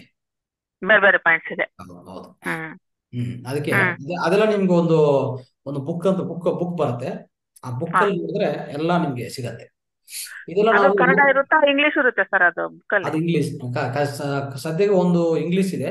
ಈ ಚಿತ್ರಗಳು ಈ ಎಲ್ಲಾ ಚಿತ್ರಗಳು ಇಂಗ್ಲಿಷ್ ಇದೆ. ಬಟ್ ಆದ್ರೆ ಇನ್ನೊಂದು ಕನ್ನಡದಿದೆ. ಅದರಲ್ಲಿ ಜಾಸ್ತಿ ಚಿತ್ರಗಳಿಲ್ಲ. ಚಿತ್ರಗಳು ಕಡಿಮೆ ಬಟ್ ಅದು ಮ್ಯಾಟರ್ ಜಾಸ್ತಿ ಕನ್ನಡ ಐತೆ. ಮ್ಯಾಟರ್ ಜಾಸ್ತಿ ಇರುತ್ತೆ. ಅದು ಕನ್ನಡ. ಅದನ್ನು ಅದನ್ನು ಒಂದು ಬೇಕಂದ್ರೆ ಅದೊಂದು ಬುಕ್ ಬೇಕಂತ ತಗೋಬಹುದು ಜೊತೆಗೆ. ಚಿಕ್ಕದ ಅದೊಂದು ಬುಕ್ ಆದ್ರೆ ಅದು ಆಕ್ಯುಪೇಷನ್ ಆಕ್ಯುಪ್ರೆಷರ್ ಬುಕ್ ಅಂತ ಸಿಗತ್ತೆ ನಿಮ್ಗೆ. ಅದು ಅದರಲ್ಲಿ ಬಟ್ ಅದರಲ್ಲಿ ನಿಮ್ಗೆ ಜಾಸ್ತಿ ಸಿಗಲ್ಲ. ಈ ತರ ಆಕ್ಯುಪ್ರೆಷರ್ ಬೇಕಂತ ಬುಕ್ ಅಂತ ಸಿಗತ್ತೆ. ಸ್ವಲ್ಪ ದೊಡ್ಡ ಬುಕ್ ಸಿಗುತ್ತೆ. ಈ ತರ ಫುಲ್ ಡೀಟೇಲ್ಸ್ ಇರ್ಬೋದಲ್ಲ ಅದ್ರಲ್ಲಿ? ಇದು ಸಿಗುತ್ತೆ. ಜೊತೆಗೆ ಇನ್ನೊಂದು ಓನ್ಲಿ ಚಿತ್ರಗಳಿರುವಂತ ಒಂದು ಬುಕ್ ಇದೆ. ಆಕ್ಯುಪ್ರೆಸರ್ ಬುಕ್ ಇದೆ. ಅದು ಅದ್ರಲ್ಲಿ ಎಲ್ಲ ಚಿತ್ರಗಳು ಅಂದ್ರೆ ಕಾಲು ಕೈ ಮತ್ತೆ ಮನಗಾಲು ಎಲ್ಲ ಕೀಲು ಏನ್ ಪಾಯಿಂಟ್ ಮಾಡ್ಬೇಕು ಅಂತ ಎಲ್ಲ ಐತೆ ಅದ್ರಲ್ಲಿ. ಸಪ್ರೇಟ್ ತಗೋಬೇಕಾ ಸರ್ ಬುಕ್ ಹಾ ಏನಮ್ಮ ಬುಕ್ ಬುಕ್ ಸಪ್ರೇಟ್ ತಗೋಬೇಕಾ? ಇಲ್ಲ ಇದ್ರಲ್ಲಿ ಇದ್ರ ಒಳಗಡೆನೆ ಕೊಡ್ತಾರೆ. ಇದು ಇದೆಲ್ಲ ಇದೆಲ್ಲ ನಾವು ಒಂದು ಕಂಪನಿಗೆ ಹೇಳ್ಬಿಟ್ಟು ತರಿಸ್ತೀವಿ. ಎಲ್ಲ ಪ್ಯಾಕೇಜ್ ಅಲ್ಲಿ ತಗೋಬಹುದು ಹಾ ಒಂದು ಕಂಪನಿಗೆ ಹೇಳ್ಬಿಟ್ಟು ಈ ತರ ಒಂದು ಬ್ಯಾಗು ಬ್ಯಾಗ್ ಜೊತೆ ಇದೆಲ್ಲಾನು ಸೇರಿಸಿ ಒಂದು ಕಿಟ್ ತರ ಕೊಡ್ತಾರೆ. ಸೊ ಅದನ್ನ ನಾನು ಬೇಕಂದ್ರೆ ನಿಮ್ಗೆ ವಾಟ್ಸ್ಆಪ್ ಅಲ್ಲಿ ಹಾಕ್ತೀನಿ ಇಲ್ಲ ನಾವು ಮೆಸೇಜ್ ಹಾಕಿ ಯಾರು ಯಾರಿಗೆ ಬೇಕಂದ್ರೆ ಮೆಸೇಜ್ ಹಾಕಿ ಇದು ನಾನು ಮಾಡ. ಎಷ್ಟು ಸರ್ ಇದು? ಇದು ಈಗ ಬುಕ್ ಬಿಟ್ಟು ಒಂದು ಸೆವೆನ್ ಫಿಫ್ಟಿ ಆಗುತ್ತೆ. ಬುಕ್ ಬಿಟ್ರೆ ನಿಮ್ಗೆ ತಲೆಗೆ ಮತ್ತೆ ಬೆನ್ನುವಿಗೆ ಕಾಲಿಗೆ ಕೈಗೆ ಎಲ್ಲಾದು ಇನ್ಸ್ಟ್ರೂಮೆಂಟ್ಸ್ ಓಕೆ ಎಲ್ಲಾದು ಟೋಟಲ್ ಒಂದು ಹತ್ತು ಹತ್ತುವರೆಗೂ ಪರಿಕರ ಇರುತ್ತೆ ಇದರಲ್ಲಿ. ಹತ್ತು ಪರಿಕರ ಇರ್ತದೆ. ಹತ್ತು ಪರಿಕರ ಸೇರಿ ಒಂದು ಸೆವೆನ್ ಫಿಫ್ಟಿ ಆಗುತ್ತೆ. ಬುಕ್ ಸಪರೇಟ್ ಅದು ಎಷ್ಟು ಅಂತ ನಾನು ಆಮೇಲೆ ನೋಡಿ ಹೇಳ್ತೀನಿ. ಬುಕ್ ಇದ್ರೆ ಒಳ್ಳೇದು ಸರ್ ಅದು. ಬುಕ್ ಇದ್ರೆ ನೀವು ಹೇಳಿರೋದು ಕನ್ಫ್ಯೂಸ್ ಆಗಿ ಮರ್ತೋಗಿರ್ಬೋದು. ಬುಕ್ ನೋಡ್ಕೊಂಡು ಹೋಗಿ ಮಾಡ್ಬೋದಲ್ವಾ? ಕನ್ಫ್ಯೂಸ್ ಆದ್ಮೇಲೆ. ಈ ತರ ಇರ್ತದೆ ಬುಕ್ ಇದರಲ್ಲಿ ನೀವು ನೋಡಿದ್ರೆ ಪ್ರತಿ ಒಂದು ಈ ತರ ಫುಲ್ ಡೀಟೇಲ್ಸ್ ಇರುತ್ತೆ ನಮ್ಗದು. ಫುಲ್ ಈ ತರ ಪಾಯಿಂಟ್ಸ್ ಹ್ಮ್ ಹ್ಮ್ ಹ್ಮ್. ಈ ಮುಖ ಭಾಗದಲ್ಲಿನೂ ಸುಮಾರು ಸುಮಾರು ಪಾಯಿಂಟ್ಸ್ ನೋಡಿ. ಈ ಗ್ಯಾಸ್ಟ್ರಿಕ್ ತಲೆನೋವು ಬಂದ್ರು ಇದನ್ನೇ ಮಾಡ್ಕೊಂಡು ಗ್ಯಾಸ್ಟ್ರಿಕ್ ಬಂದಿರೋದು ತಲೆನೋವು ಕಡಿಮೆ ಮಾಡ್ಕೋಬಹುದು ಆರಾಮಾಗಿ ಓಕೆ ಓಕೆ ಸರ್ ಸೊ ಈ ತರ. ಪ್ರತಿ ಒಂದು ಸ್ವಲ್ಪ ಪ್ರಾಕ್ಟೀಸ್ ಮಾಡೋರಿಗೆ ಸೊ ದಿನ ದಿನ. ನಮ್ಗೆ ಏನ್ ಬೇಕೋ ಅಷ್ಟು ಪ್ರಾಕ್ಟೀಸ್ ಮಾಡ್ಕೊಳ್ಳಿ. ಇನ್ನು ನಿಮ್ಗೆ. ಹೆಚ್ಚು ಪ ಹೆಚ್ಚು ಜ್ಞಾನ ಬೇಕಂದ್ರೆ ಇನ್ ಸ್ವಲ್ಪ ನೀವು ರಿಸರ್ಚ್ ಮಾಡ್ತಾ ಹೋಗ್ಬೇಕು. ರಿಸರ್ಚ್ ಮಾಡ್ಬೇಕು. ಮಾಡ್ಬೇಕು. ಹ್ಮ್. ಹ್ಮ್. ಇಲ್ಲ ಅಂದ್ರೆ ಹೇಳ್ಕೊಡೋರು ಯಾರನ್ನ ಹೇಳ್ಕೊಡೋರು ಇದಾರೆ ಸರ್ ಇದು? ಹಾ ಸಪ್ರೇಟ್ ಆಗಿ ಹೇಳ್ಕೊಡೋರು ಡೈರೆಕ್ಟ್ ಆಗಿ ನಾವು. ಇದಾರೆ ಇದಾರೆ. ಅಂದ್ರೆ ನಮ್ಮ ಸೋಲ್ ಕ್ಷೇತ್ರ ಕ್ಲಿನಿಕ್ ಇದೆಲ್ಲ ನಮ್ದು ಹಾ. ಆಯುರ್ವೇದ ಕ್ಲಿನಿಕ್ ಈಗ ಹಾ ಹಾ ಹಾ. ವೈಟ್ ಇರೋದು. ಅದರಲ್ಲಿ ನಾವು ಇದೆಲ್ಲ ಕ್ಲಾಸಸ್ ಕಂಡಕ್ಟ್ ಮಾಡ್ತೀವಿ. ಆಮೇಲೆ ಕ್ಲಾಸಸ್ ಜೊತೆಗೆ ಟ್ರೀಟ್ಮೆಂಟ್ಸ್ ಕೊಡ್ತಾ ಇರ್ತೀವಿ. ಆಕ್ಯುಪ್ರೆಷರ್ ಟ್ರೀಟ್ಮೆಂಟೇ ಕೊಡ್ತೀವಿ. ಯಾರಾದ್ರೂ ಅವ್ರು ನಾವು ಮಾಡ್ಕೊಂಡಾಗ ಸಾಧ್ಯ ಆಗ್ತಾ ಇಲ್ಲ ನನಗೂ ಅರ್ಥ ಆಗ್ತಾ ಇಲ್ಲ ಅಂದ್ರೆ ನೀವು ಅಲ್ಲಿಗೆ ಬಂದ್ರೆ ಆಕ್ಯುಪ್ರೆಷರ್ ಟ್ರೀಟ್ಮೆಂಟ್ ಸಿಗತ್ತೆ. ಅಂದ್ರೆ ನೀವು ಮುಂದೆನೆ ಬುಕ್ ಮಾಡ್ಕೋಬೇಕು. ಅಂದ್ರೆ ಯಾವ ತರ ಇರ್ತಂದ್ರೆ ನೀವು ಮುಂದೆನೆ ಅಪಾಯಿಂಟ್ಮೆಂಟ್ ತಗೋಬೇಕು. ಆ ತಜ್ಞರು ಅಂದ್ರೆ ಆ ಎಕ್ಸ್ಪರ್ಟ್ಸ್ ಇದಾರಲ್ಲ ಅವ್ನು ಕರ್ಸ್ಬೇಕು ಎಸ್ ಎಸ್ ಆ ತರ ಮಾಡ್ಕೋಬೇಕು ಹಾ ಓಕೆ ಓಕೆ ಸರ್ ಅವಾಗ ಅವಾಗ ಸರ್ ಕ್ಲಾಸಸ್ ಆಗ್ತಾ ಇರ್ತದೆ. ಅಂದ್ರೆ ತರಗತಿಗಳು ತರಗತಿಗಳು ಕಂಡಕ್ಟ್ ಮಾಡ್ತೀವಿ. ಆದ್ರೂ ನೀವು ಯಾವಾಗ ಅದು ಯಾವಾಗಾದ್ರೂ ಕನೆಕ್ಟ್ ಆಗಿ ಹೋಗಿ ಕಲ್ತ್ಕೋಬಹುದು ಬಂದ್ಮೇಲೆ ನೀವು ಅಟೆಂಡ್ ಆಗಿ ಅಂದ್ರೆ ಅದು ಪೂರ್ತಿ ನಮ್ಮ ಜೀವನಕ್ಕೆ ಅದು ಅಳವಡಿಸ್ಕೊಂಡಕ್ಕೆ ನಾವೇ ಒಂದು ತಜ್ಞರು ಆಗ್ಬೇಕಂದ್ರೆ? ಹ್ಮ್ ಹೌದು ಒಳ್ಳೇದಲ್ವಾ? ಮೆಡಿಸಿನ್ ಇಲ್ದ ಮೇಲೆ ಆಗೋದು ಇದು. ಹೌದು ಮೆಡಿಸಿನ್ ಯಾವುದೇ ಮೇಲೆ ಮೆಡಿಸಿನ್ ಬೇಕಾಗಿಲ್ವಲ್ಲ? ಮೆಡಿಸಿನ್ ಈಗ ನೋಡಿ ನಾವು ತಿಳ್ಕೊಂತ ಮುದ್ರಾ ಥೆರಪಿ ಆಗ್ಬೋದು ಆಮೇಲೆ ಇದು ಹ್ಮ್. ಅಕ್ಯುಪ್ರೆಷರ್ ಆಗ್ಬೋದು ಹೋಮ್ ಹ್ಮ್. ರೆಮಿಡೀಸ್ ಅಂದ್ರೆ ನಮ್ಮ ಮನೆಯಲ್ಲಿ ಸಿಗುವಂತ ಅಡಿಗೆ ಮನೆಯಲ್ಲಿ ಸಿಗುವಂತ ಪದಾರ್ಥಗಳಿಂದ ಮಾಡೋದು ಇದೆಲ್ಲಾದ್ರೂ ಅಷ್ಟೇ. ಎಲ್ಲಾದ್ರೂ ಯಾವುದೇ ಕೆಮಿಕಲ್ ಮೆಡಿಸಿನ್ ಇಂಗ್ಲಿಷ್ ಮೆಡಿಸಿನ್ ಇಲ್ಲ ಅಂದ್ರೆ ನಾವು ಸಾಲ್ವ್ ಮಾಡ್ಕೊಂತ ಪ್ರತಿದು ಇದು ಸಿಗತ್ತೆ. ಇಲ್ಲ ಅಂದ್ರೆ ನಾವು ಇಂಗ್ಲಿಷ್ ಮೆಡಿಸಿನ್ ಹೋಗ್ಬೇಕು ಅದರಿಂದ ಒಳ್ಳೆ ಬೇರೆ ಬೇರೆ ಬೇರೆ ಕೆಟ್ಟ ಪರಿಣಾಮಗಳು ಜಾಸ್ತಿ ಇದೆ. ಹೌದು ಜಾಸ್ತಿ ಇದೆ. ಓಕೆ ಒಂದೊಂದಕ್ಕೂ ಜಾಸ್ತಿ ಆಗುತ್ತಲ್ಲ ಅದ್ರಲ್ಲಿ ಜಾಸ್ತಿ ಆಗ್ತಾ ಸೈಡ್ ಹೋಗ್ತದೆ ಜಾಸ್ತಿ ಅದರಲ್ಲಿ. ಹೌದು. ಇನ್ನೊಂದು ಈಗ ನೋಡಿ ಈ ಅಭ್ಯಂಗ ಸ್ನಾನ ಆಮೇಲೆ ಉಪವಾಸ ಅದು ನಾನು ನೆಕ್ಸ್ಟ್ ನಾಳೆ ನಾಡಿದ್ದು ಬರುವಂತ ಅಂಶ ಅದು. ತುಂಬಾ ಅಂದ್ರೆ ಒಳ್ಳೇದು. ಉಪವಾಸ ಅಂದ್ರೆ ಶುಗರ್ ಪೇಷಂಟ್ ಆಗಲ್ಲ ಸರ್ ಹಾ ಯಾರಾದ್ರೂ ಮಾಡು ಎಲ್ಲಾದ್ರೂ ಮಾಡು. ಉಪವಾಸ ಎಲ್ಲ ಮಾಡ್ಬೋದಾ? ಮಾಡು ಆರಾಮ ಮಾಡು. ಏನ್ ತೊಂದರೆ ಇಲ್ಲ. ಮತ್ತೆ ಹೊಟ್ಟೆಲ್ ಸಂಕಟ ಆಗುತ್ತೆ ಲೇಟ್ ಆದ್ರೆ ಊಟ ಅದೆಲ್ಲ? ಏನು ಇಲ್ಲ. ಅದು ಅದು ಅದಕ್ಕೆ ಒಂದು ಲಿಕ್ವಿಡ್ ಲಿಕ್ವಿಡ್ ಸಿಗತ್ತೆ ಇದೆಲ್ಲ ಇದೆಲ್ಲ. ಓಕೆ ಅಂದ್ರೆ ನಾವು ಏನ್ ರಸ ತಗೊಂಡಿದ್ವಿ ಏನು ಜ್ಯೂಸ್ ತಗೊಂತೀವಿ ಏನು ಅದೆಲ್ಲ ಅದರಲ್ಲಿ ಬರುತ್ತೆ. ಆ ಪಾಟ್ ಅಲ್ಲಿ ನಿಮ್ಗೆ ಅದೆಲ್ಲ ಹೇಳ್ಕೊಡಕ್ಕೆ ಪ್ರಯತ್ನ ಮಾಡ್ತೀವಿ. ಹ್ಮ್? ಸೊ ಆತರ ಉಪವಾಸ ಇದೆ ಅಭ್ಯಂಗ ಸ್ನಾನ ಇದೆ ಎನಿಮಾ ಇದೆ. ಸೊ ಇಂಥದ್ದೆಲ್ಲ ಬೇರೆ ಬೇರೆ ಪದ್ಧತಿಗಳಲ್ಲಿ ಅಲ್ಲಿ ಅದೆಲ್ಲ ಪದ್ಧತಿಗಳಿಂದ ನಮ್ಮ ಆರೋಗ್ಯ ಸಂರಕ್ಷಣೆ ಮಾಡ್ಕೋಬೇಕಷ್ಟೇ. ಇದೆಲ್ಲ ನಮ್ ಪುರಾತನ ಇದೆ ಅಲ್ವಾ? ಇದೆಲ್ಲ ನಮ್ ಪುರಾತನದ್ದು. ಖಂಡಿತವಾಗಿ ಇದೆಲ್ಲ ನಮ್ಮ ಪುರಾತನ ಪದ್ಧತಿಗಳು ಪ್ರಾಚೀನ ಪದ್ಧತಿಗಳೇ. ಸೊ ನಾವು ಇದು ಅಳವಡಿಸ್ಕೊಂಡ್ರೆ ನಾವು ಚೆನ್ನಾಗಿರ್ತೀವಿ ನಮ್ಮ ಇಡೀ ಮನೆನೇ ಚೆನ್ನಾಗಿರ್ತದೆ. ಸೊ ನಮ್ಮ ರಾಜ್ಯದ ಮಟ್ಟ ಮತ್ತೆ ದೇಶದ ಎಲ್ಲಾನು ಚೆನ್ನಾಗಿರುತ್ತೆ. ಬಟ್ ಆದ್ರೆ ಅದೆಲ್ಲ ತಿಳುವಳಿಕೆ ಬರಬೇಕು. ಇನ್ನು ಎಷ್ಟೋ ಅದು ಸಮಾಜಕ್ಕೆ ಬರ್ಬೇಕಂದ್ರೆ ಗವರ್ನಮೆಂಟ್ಸ್ಗಳು ಈ ಇದೆಲ್ಲ ಇವರೆಲ್ಲ ಪ್ರಯತ್ನ ಮಾಡಿದ್ರೆ ತುಂಬಾ ಚೆನ್ನಾಗಾಗ್ತದೆ. ಬಟ್ ಅವ್ರು ಪ್ರಯತ್ನ ಮಾಡಲ್ಲ. ಯಾಕಂದ್ರೆ ಅಲ್ಲಿ ದುಡ್ಡಿಲ್ಲ ಜಾಸ್ತಿ. ದುಡ್ಡಿದ್ರೆ ಪ್ರಯತ್ನ ದುಡ್ಡಿಲ್ಲ ಅಂದ್ರೆ ಪ್ರಯತ್ನ ಮಾಡಲ್ಲ. ನಿಮಗೊಂದು ಇಂಜೆಕ್ಷನ್ ಹಾಕಿ ಒಂದು ಐವತ್ ಸಾವಿರ ಕೊಟ್ಟು ತಗೋಬೇಕಂದ್ರೆ ಇಲ್ಲಿ ಆಗಲ್ಲ. ಕೋಟಿ ಕೋಟಿ ಜನಸಂಖ್ಯೆ ಇದಾರಲ್ವಾ? ಎಲ್ಲರಿಗೂ ಕೊಡ್ಬೇಕಲ್ಲ ಗೌರ್ಮೆಂಟ್ ಕೊಟ್ರೆ. ಅದೇ ಅದೇ. ಪ್ರತಿಯೊಬ್ಬರು ಇದೆಲ್ಲ ಮಾಡ್ಕೊಂತ ಹೋದ್ರೆ ಪ್ರತಿ ಅವ್ರವ್ರ ಅವ್ರ ಆರೋಗ್ಯ ಅವರೇ ಕಾಪಾಡ್ಕೋಬಹುದು ಕಾಪಾಡ್ಕೋಬಹುದಲ್ಲ ಅಷ್ಟೇ. ಇನ್ನೊಬ್ಬರ ಮೇಲೆ ಡಿಪೆಂಡ್ ಆಗ್ಬಾರ್ದು. ನಾವೇ ಮಾಡ್ಕೋಬೇಕು ಅಷ್ಟೇ. ಆತರ ಥ್ಯಾಂಕ್ ಯು ಸರ್ ನಮಸ್ತೆ. ಥ್ಯಾಂಕ್ ಯು ಅಷ್ಟೇ. ರೈಟ್ ಸರ್ ಯಾವ್ದಾದ್ರು ಇನ್ನೊಂದು ಎರಡು ಕ್ವಶನ್ಸ್ ಒಂದು ಎರಡು ಪ್ರಶ್ನೆ ತಗೊಂಡು ಮುಕ್ತಾಯ ಮಾಡೋಣ. ರೈಟ್ ಸರ್ ನಮಸ್ತೆ ಸರ್. ನಮಸ್ತೆ ಸರ್ ಐ ಪಿರಮಿಡ್ ಇದೆ ಅಲ್ಲ ಸರ್ ಐಗೆ ಹಾಕೊಳ್ಳೋದು ತಗೊಂಡ್ಬಿಟ್ಟಿದೆ ನಿಮ್ದು ಇದರಿಂದ. ಅದು ಏನೇನ್ ಬೆನಿಫಿಟ್ ಆಗುತ್ತೆ ಸರ್ ಅದಕ್ಕೆ? ನೋಡಮ್ಮ ಈಗ ಐಯಲ್ಲಿ ನಿಮ್ಮ ಐ ಸೈಟ್ ಪ್ರಾಬ್ಲಮ್ ಇದ್ರು ಐ ನಮ್ಮ ಕಣ್ಣಲ್ಲಿ ನೀರು ಬರ್ತಾ ಇರ್ತದೆ ಅಲ್ವಾ? ಸೊ ಕಣ್ಣಲ್ಲಿ ಕಣ್ಣಲ್ಲಿ ನೀರು ಬರೋದು ಕಣ್ಣು ಸ್ವಲ್ಪ ಏನೋ ಸ್ವಲ್ಪ ಯಾವ ತರ ಜಾಸ್ತಿ ಉರ ಉರ ಅಂದ್ರೆ ಒಂಥರ ಪೇನ್ ಆಗ್ತಾ ಇದೆ ಇಲ್ಲ ಈ ಕಣ್ಣು ಕಣ್ಣಿಂದ ನೀರು ಬರ್ತದೆ ಇಲ್ಲಾಂದ್ರೆ ಕಣ್ಣು ಸೈಟ್ ಸೈಟ್ ಪ್ರಾಬ್ಲಮ್ ಅಂದ್ರೆ ನೋಡಕ್ಕೆ ಆಗಲ್ಲ ಹತ್ರ ನೋಡಕ್ಕಾಗಲ್ಲ ದೂರ ನೋಡಕ್ಕಾಗಲ್ಲ ಇಂಥ ಎಲ್ಲಾ ಪ್ರಾಬ್ಲಮ್ಸ್ಗಳನ್ನು ಅದು ಎನರ್ಜಿ ಕೊಡ್ತಾ ನಿಮ್ಗೆ ಕಣ್ಣಿಗೆ ಎನರ್ಜಿ ಕೊಡ್ತದೆ. ಅಂದ್ರೆ ವಿಶ್ವಶಕ್ತಿ ಜಾಸ್ತಿ ಅಲ್ಲಿ ಅಲ್ಲಿ ಪ್ರಸನ್ನ ಮಾಡುವಾಗ ಅಂತ ಪ್ರಾಬ್ಲಮ್ಸ್ ಎಲ್ಲ ನಿಮ್ಗೆ ತೆಗೆದಾಗ್ತದೆ ಕಣ್ಣಿಗೆ ಏನೇ ತೊಂದರೆ ಇದ್ರು. ಆ ತೊಂದರೆ ಏನಾದ್ರು ಆಗ್ಬೋದು ಬಟ್ ಪ್ರತಿಯೊಂದಕ್ಕೂ ಈ ಕಣ್ಣಿಗೆ ಹೋಗುವಂತ ಈ ವಿಶ್ವಶಕ್ತಿ, ಹೆಚ್ಚು ವಿಶ್ವ ವಿಶ್ವಶಕ್ತಿ ಅಲ್ಲಿ ಪ್ರಸನ್ನ ಮಾಡುವಾಗ ಅದೆಲ್ಲ ಕ್ಲಿಯರ್ ಮಾಡ್ತಾ ಬರ್ತದೆ. ಅದು ನೀವು ಜಸ್ಟ್ ಏನಿಲ್ಲ ನೀವು ಅದು ನೀವು ಹಾಕೊಂತ ಹೋಗಿ ಅಷ್ಟೇ. ಅಷ್ಟುವರೆಗೆ ನಿಮ್ಗೆ ಗೊತ್ತಿರೋದು. ಅದಾದ್ಮೇಲೆ ಏನ್ ಕೆಲಸ ಮಾಡ್ತದೆ ಅಂತದ್ದು ಅದು ನೈಸರ್ಗಿಕ ನೇಚರ್ಗೆ ಬಿಟ್ಬಿಡಿ. ಸರ್, ಅಂದ್ರೆ ನಿಮ್ morning five o'clock meditation ಮಾಡ್ತೀವಲ್ಲ, ಆ ಆ ಟೈಮಲ್ಲಿ ಯೂಸ್ ಮಾಡಿದ್ರೆ ಒಳ್ಳೇದ? ಇಲ್ಲ ಇಲ್ಲ. ಇದು ಹಾಕೊಂಡು ಮೆಡಿಟೇಷನ್ ಅದೇನು ಮಾಡೋದು ಬೇಡ. ಓನ್ಲಿ ಇದು ಇದು ಹಾಕೊಂಡು ಕಣ್ಣಿಗೆ ಹಾಕೊಂಡು ಆರಾಮಾಗಿ ನೀವು ಸಪ್ರೇಟ್ ಕೂತ್ಕೊಂಡು ಒಂದು ಇಪ್ಪತ್ತು ನಿಮಿಷನೋ ಆ ಥರ ನೀವು ಮಾಡ್ಕೊಳ್ಳಿ. ಅದು ಆ ಪಿರಮಿಡ್ ಇಂದ ಬರುವಂತ ಲಾಭ ನಿಮ್ಗೆ ಬರುತ್ತೆ. ಬಟ್ ಆದ್ರೆ ಧ್ಯಾನ ಮಾಡುವಾಗ ಯಾವುದು ನಿಮ್ಮ ಕನ್ನಡಿಗ ಆಗ್ಬೋದು ಇನ್ನೊಂದು ಆಗ್ಬೋದು ಯಾವುದು ಅಲೋ ಮಾಡಬಾರ್ದು. Okay yes ma'am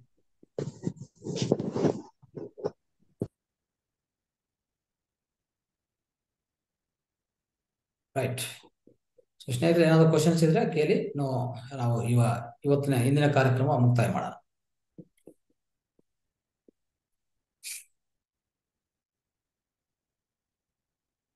right